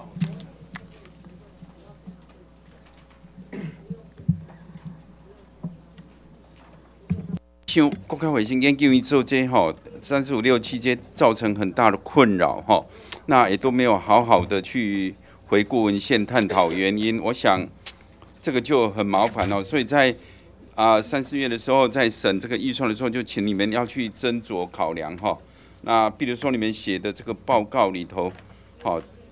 这个一开始就其实就错了啦，就是说你们写说风险辨识哦，在风险评估里头没有一个叫做风险辨识这个 term 呐哈，然后你们说塑化剂的政策，我不晓得塑化剂这个政策能够用在实际行政上，空气污染我都不知道，因为这个都不用弄的东西，那像对空气污染区促成六轻附近学童迁校事宜，你们知道六轻学童那个学校要迁是应该根据什么？为什么要迁校？你们知道吗？你们以为 TDGA 这个就可以根据来这个迁校吗？为什么太太奇怪了哈？所以你们做研究真的要去了解基础的东西。你们要根据一个 TDGA 建价建立人家迁校是非常 risky 的问题。好，那像高雄这个本占的风险最高，到底本哪里来？你们知道吗？所以做这样的研究是引起困扰。你们第四项 PM 二点五这个来源，你们是用模拟的，又没有。哈，去外面量大气中的 PM 二点五，然后去推估它，这样到底有多大的不准确度？你们知道吗？所以做这样的研究，真的要好好去考量，到做这样的研究目的在干什么？不是在消费经费。好，我我想真的从国家卫生研究的任务导向的这种研究，真的要好好考量，到底这样的研究在实际政策的应用上，哦，到底有什么意义？好，谢谢谢委员的指教，我请林副所长来答复这个专业性的问题。呃，谢谢委员的指教，那我也同意。呃，事实上，我们当时做这个研究，就是因为台湾的塑化剂的事件、食安事件，还有在立法院的时候，有委员委请求我们要做西南沿海的空污的研究。那我目前因为这研究进行三年，那在研究过程中，我们目前的确提出来的只是一些证据，而不晓得为什么。可是呢，在三年前我们连证据都没有。我相信我们三年内在说话基金提出来，它对呃儿童健康的影响，早期肾脏的一些可能指标有影响，还有呢行为的外化，这些流行病学研究，也就是我们这三年来做出来的成果之一。那西滨的沿海，西滨的地方的 PM 的浓度。它是中章地区的浓度，是我们实际实际去量测出来的，然后再用 model 用它的化学金属的成分去推估，有百分之多少是从工业，百分之多少是从交通原来的。所以这个呃有一部分是 model，可是用实测的数据。那当然本那部分我们也只是奉立法院委员的指示，希望我们去关心。所以我们目前因为这是在执行的过程中。提出来，希望我们去关心，所以目前只能测到说本可能是值得关心的问题，这样子。我想哈，这样做就让立法院的委员哈遭受很大的委屈啦，因为立法委员请你们来做研究，就希望你们用科学的方法来做研究，不是因为你们要应付立法院的要求，就是任意的去做研究，然后让问题更混淆，好，这样就。就是失去了国家卫生研究院做科学研究的目的啦。好，所以这里为什么就是说我个人觉得说可能还是继续冻结的原因哈。比如说塑化剂，你是做 coho 那个 burst coho，那 burst call 可以能够来证明那是一个 association 相关性，不能证明它是塑化剂造成什么，这个真的要了解。好，然后你做，所以。像你做西宾做 TDGA，要去了解到底哪一些化学药品会造成 TDGA，不能就从 DDGA 从背景值这样从传统流行病学的方式事物化解决问题。我在两年前在国科会审查的时候就做这个建议，当时林副所长也说你要回去看毒理学，但是结果出来还是用流行病学的方法在解释，所以就令我非常失望。再来我们讲。你去量 PM 二点是量环境中的 PM 二点五的浓度，你这样子去推估，其实推估的人国内有好几个，比国家卫生研究院能够对推估的模式模拟的人更专业的人都有。好，在台中中兴大学的庄炳杰老师，云林科大的张滚辉老师，成大的吴依林老师，都会比国家卫生研究的人更专业。但是问题，这三个人做出来的模拟比例也都不一样，国内已经造成很大的混淆，都不晓得哪一个是对了。那你们再做出来，你们会比他们更对吗？我可不可以问这个问题？台湾已经有三个大学的教授做 PM 二点五的模拟，已经造成很大的混淆。好，吴委员是不是这样子？我们三到七案全部保留，好不好？谢谢。好，接下来我们继续处理第九和第十两案。哦，第九、第十也是哈，好，就看一下，我就看一下。细悬浮为例，对民众健康细影响的研究。那我想细纤维力也一样哈，其实台湾很多细纤健康的研究了哈，已经做了很多。那我不晓得像你们这样做，到底能够鉴定排放源吗？要怎么鉴定？刚刚也讲过了，目前这样从环境的推估其实是很难的。那要做铺路浓度，好，我我不知道你们去量很多的，好，比如说交通污染的时候那些。那到底哈、其实目前国内也有 paper 发表，包括居住在不同楼层都有不同的铺路的情况。好，那我想这一些像你们 AQHI 这一些国内其实都有人在做。那心脏血管早期的病程的生物指标，我也不晓得你们要量什么哈。那这一些其实台湾都做了很多哈，做了很多。那我不晓得，就是说你们从政策考量上怎么去提供给啊？卫卫福部怎么科学的证据来做决策，或是环保署好能够做科学的证据？我觉得这个要明确的写出来，不是写的非常含糊，不然这样子，哦，就科学上就会不到不足啦。呃，报告委员，我们可能写的计划没有写的很清，很抱歉没有写的很清楚我们的目的。那我们这个是跨部会，是环保署跟卫福部合提的一个计划，所以呢得到行政院的青睐。那我稍微解释一下，我们这个目的的话，就是因为我们希望能够找到，哦，我们希望能够建立台湾的，呃，空气的，啊、PM 二点五跟健康之间的关系，也就是说，目前呃国际的 PM 二点五的健康的指标是根据西方国家他们是很低浓度的 PM 的时候的浓度来推估健康的效应。那我们台湾 PM 的浓度一般是国外的西方国家的三倍，最高至少有三，譬如说人家只有十五，我们可以到四十五，只报可以到八十几。所以我们需要台湾的健康的资料来回推，我们台湾需要啊，再加上成本的计算，知道说我们要控制怎样子的 P 要呃，我们需要控制到什么样的呃浓度之下，是对我们国人能够保护到大部分国人的健康。所以我们是需要我们本土的国际的资料。那 AQHI 的话，目前在台湾只有全世界就加拿大跟英国在使用，不，so sorry 是加拿大跟那个香港在使用。所以我们台湾是要 imprint 这个 AQHI 的这个 index 在台湾给全国的人民使用，这样子，这是我们的目标。我想我不晓得你们有没有去看美国环保署在做健康效应、成本效益分析的软体，我不晓得你们有去看。其实这套软体已经引进台湾在使用，所以我不知道你们这个这个的模式会比美国环保署开发，他们花了很多资源开发出来的做的还好吗？你们的人员哈、专业上这方面是比较不足的，那勉强做这样会不会好、有问题？因为其实美国环保署的那一套软体，事实上有一个这啊。这个吴委员有没有具体建议，希望他们做哪些事情的？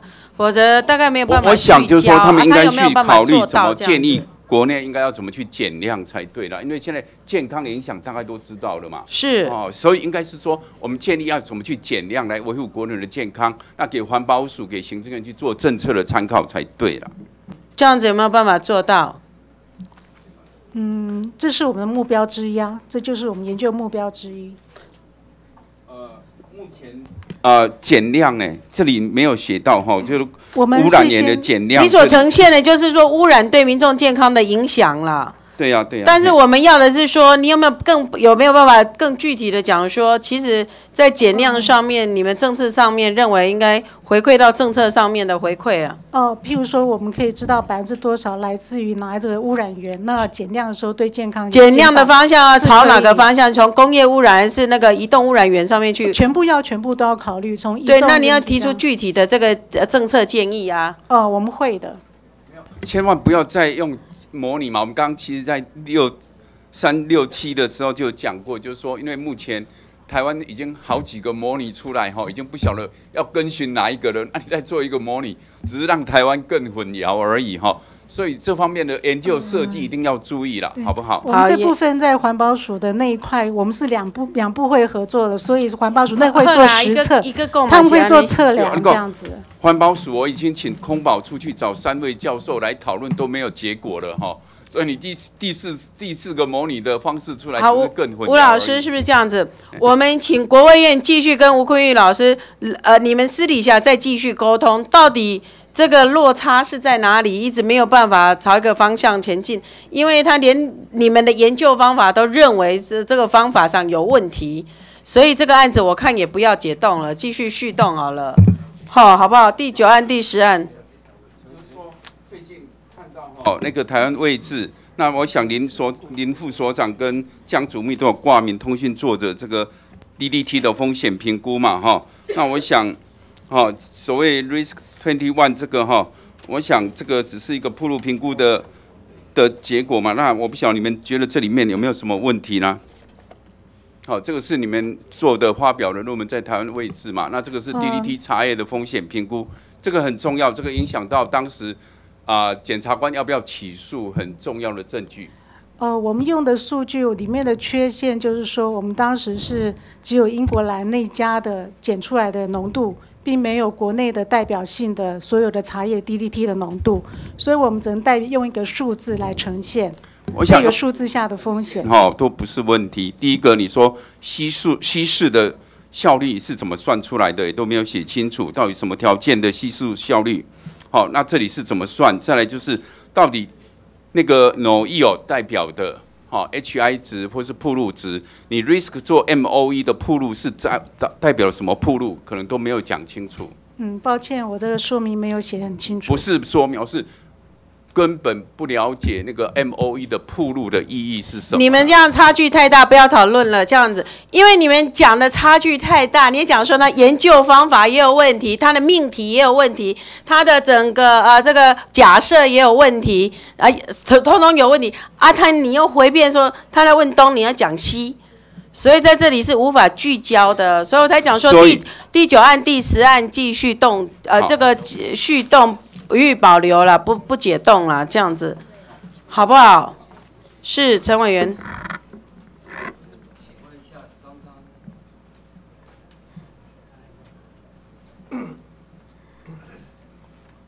开始了哈。那请问一下，国务院这边的哪一案是跟塑化剂有关？是第几案？呃，那个也保留了三到七案里，他不是我讲我现在就是要讲说那个有有一个，这个可能应该不要保保留吧？他那个不是讲塑化剂吗？三四五六七，对，三四五六七都跟他不是哦跟塑化剂有关，他是在讲说台湾的环境毒物及健康风险评估研究里面，曾经有委员请他们对相关诸多问题对对对，去但是我要做研究说明的。是说，我觉得刚刚委员哈，你你在面讲说 cohort study 是 association analysis，可是 cohort study 不就是在讲因果关系的吗？它是一个 follow up longitudinal follow up study 嘛，对不对？所以在这样在做这个嗯，就是因果关系的时候，就是要靠 cohort study 嘛。所以我是不是可以请林平平那个副所长可以再说阐明一下？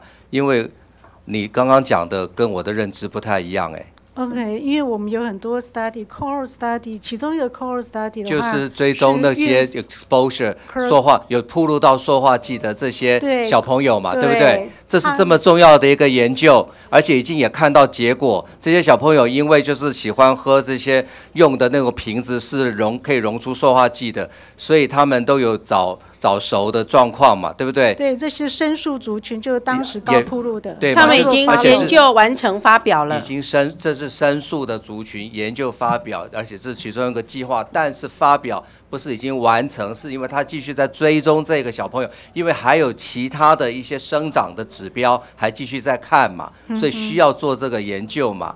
那是这样子吗世代追踪，你们还继续在做研究，还是已经研究完成我们了？再继续追踪其他的指标。是啊你现在继续追踪的有包含塑化剂这个研究吗？哦，是啊，申诉族群的，因为还有半年的研究。还有半年的研究，是啊所以你需要这笔经费。对呀、你要把它保留了。它冻结了十分之一，这些民这样子经费执行上会有困难吗？嗯，会啊，因为我们已经是一个团体的整合型的计划。你当然应该各个让人家医各个，做完嘛而且我们在各个好，没关系，我这样子，我再请教各位委员一次。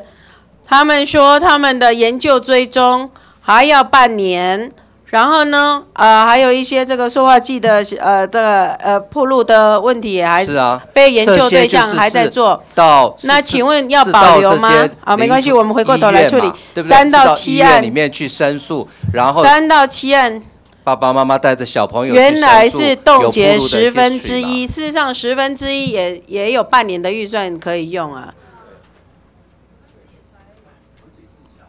不是，可是我觉得在在情理上面这样子冻结没有意义嘛，因为你你的你的那个申论的就是错误的嘛。Cohort study 怎么会是 association study？它是一个 causal relationship 的一个 study 嘛。世代追踪，你不见得你比较专业了。我也在做 c o h o r study 呀、你有在做 c o h o r study 吗？我解释一下嘛，老师，他们怎么做吗？好，请讲。哦就是。几代血，然后到 follow 几岁的时候再来看它效应嘛。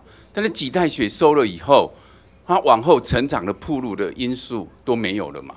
所以你是吗？呃这不是没 call 有没有，吴就这样子。委员是申诉申讲申诉族群，申有一哦，我们有几个诉族群嘛？申诉族群，对，那那个是，好、那那个那它是那个很小的一个计划。其实这里面有好多计划，好、其实包括张那个西滨的工业区啦，还有那个 VOC 的很多健康研究，造成很大的争论的。我我想其实，好、没有没有，那个是生父是一个其中一个小计划而已。那其实很多像西边的工业区 PM 二点五的来源呐、无游戏的健康风险评估本，这个本哪里来，跟工业区不一定有关系。这个这个应该是这样子，我觉得国卫院非常不负责任。今天提案的委员的所有的疑虑，你都没有提供充分的资料给当初冻结预算的委员参考，对啊人家都不知道你当初所质疑的争争执的这些疑点，你到底提供的资料可不可以说服他？然后不沟通，不提供完整的资料，然后到这里才要来重新说，哎，我告诉你这件事情没有资料，呃没有先看过，在这里才要提供我。现在有请你回答了吗？国务院，我有请你回答了吗？从这个过程里面，我们干脆就说，我们今天不要审了，下一次再排一次再专审好了。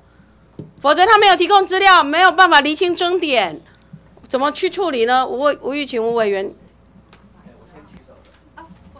第一次发言了、他第一次发言给吴委员不好。意思，我刚刚比较早换举手，我刚刚很早就，呃，抱歉，开会的原则就是给从来没有发言的、第一次发言的委员为优先。是没错，你看一下民权初步规则、会议规则都有。。因为今天这样讨论已经非常的专业的讨论，那我建议是说，待会能够呃通过了先解冻的就先解冻，有保留的，我建议我们特别国卫院的案子哦，应该跟各委员哦做详细的说明，因为确实已经到了很细部的讨论，我们这边也没办法这样讨论下去，因为这样没完没了的哈，所以我们建议说，是不是刚刚有意见有保留的，我们就尽量就。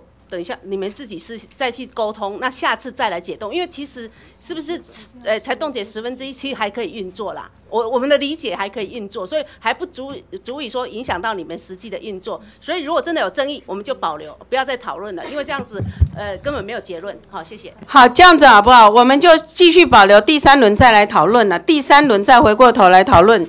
我们就是为了效率嘛，第三、第七案保留第三轮再来讨论。没有，主席要处理程序问题。第九、第十案也保留。那我们继续处理第十一、十二案。十一、十可以啦，等一下嘛。十一、十二案，我们会回过头来再讨论。我们如果每一个争议保留的事情都要讨论清楚，才能处理下一个案子的话，我们这样子没办法处理。所以我们要把有共识的先处理完，再回头再来解决呃没有共识保留的案子嘛。你这样子不合道理嘛？我刚刚已经有举手发言，为什么不没有不让你发言，因为吴玉琴委员第一次。第一次发言的人当然要优先让第一次发言的人优先讲话。你去翻一下所有的议事规则。好，来你发言一下。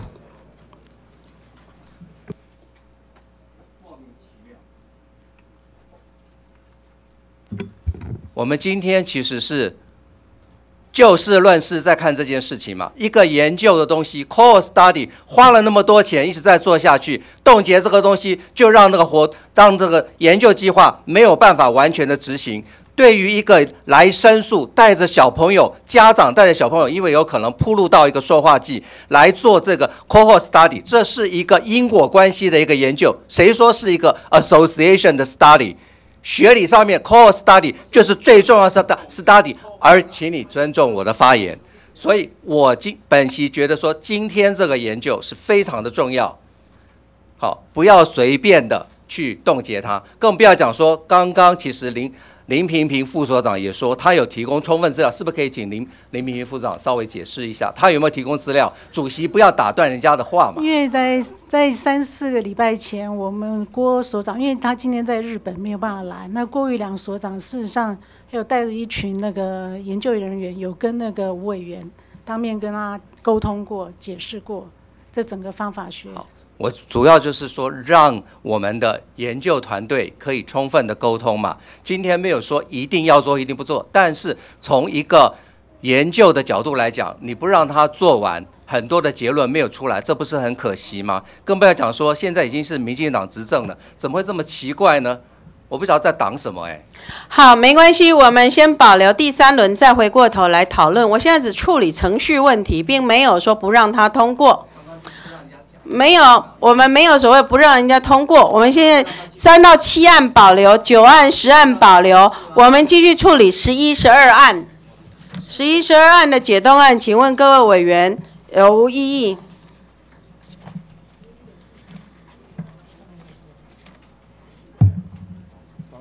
也是国卫院的整合性食品健康风险评估机制建立的这个，啊？现在就是第二轮，呃，要继续保留。好，那我们继续保留。那第十六案，我们继续处理第十六案。十六案，第十六案，这个药品查验中心有沟通过吗？好，那我们解冻案有无异议？没有。第十六案，我们就解冻通过。继续处理第十七、十八案，请问这个预算解冻案有沟通过，还有意见吗？静怡，嘿。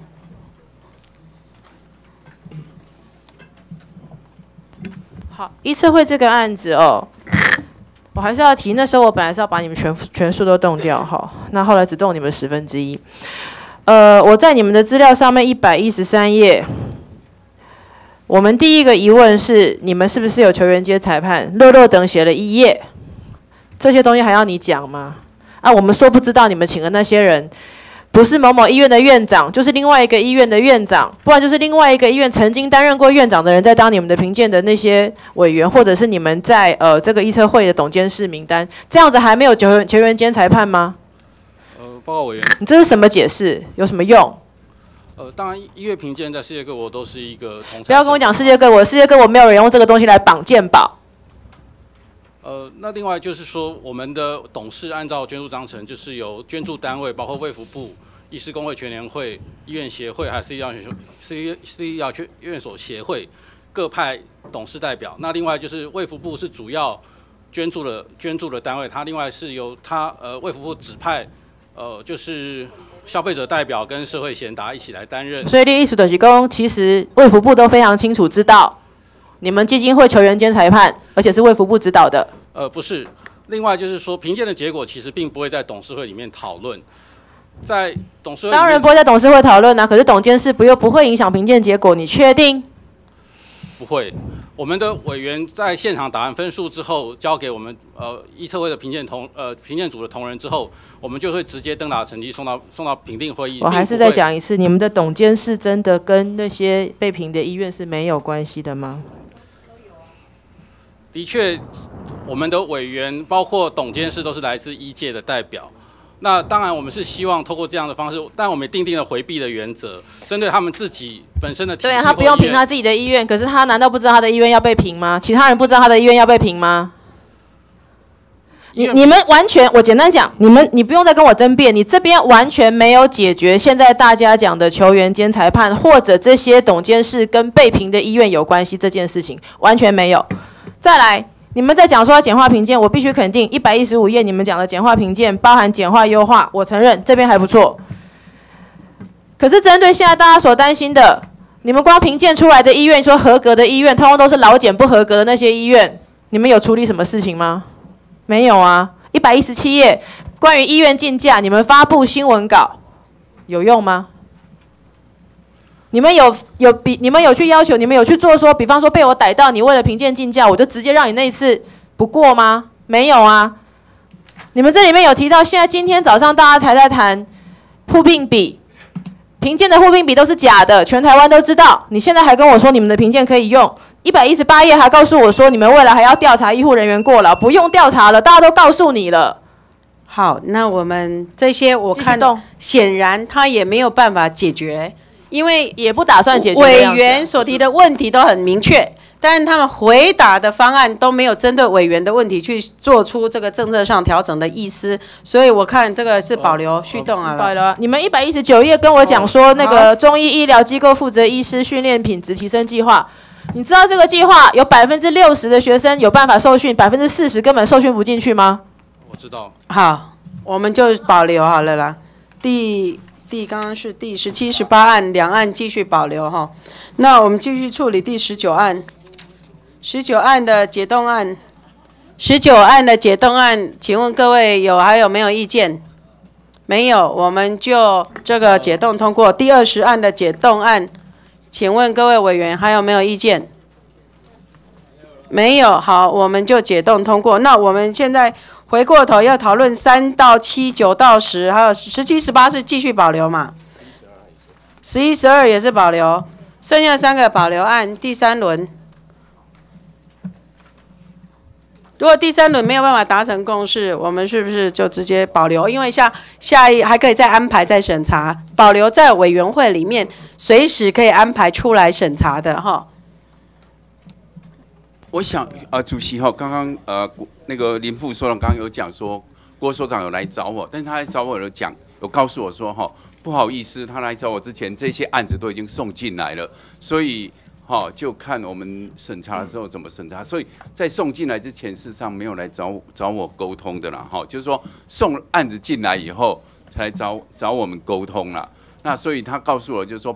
抱歉，嘿，已经案子已经送进来了，所以我想陈委员真的，我们从执政党的角度，我们要冻结，我们心里是蛮难过的。好，那我们是是真的不得已，希望说他做得更好。哈，那您刚讲的申诉的是其中一个很小的计划，那这些儿童早就带来抽血收尿都已经结束了啦。好，现在只是在 follow up 做一些，甚至这个都应该都很多的研究都已经做完了，因为那个三年前当时发生的时候。那些申诉的族群有来，有有找来哈，在各医院去收样这样子，这个样应该都收完了。好，那其他的话呢，像第一的里面很多的项目，然后二三四五项这里，好，都都造成相当的争论了。所以我想说，应该国建立国院真的在做研究之前，好好去探讨文献，好好做研究的设计，来回答立法委员请你们执行的相关计划，那这样才有。助于卫福部来做决策了，好，谢谢。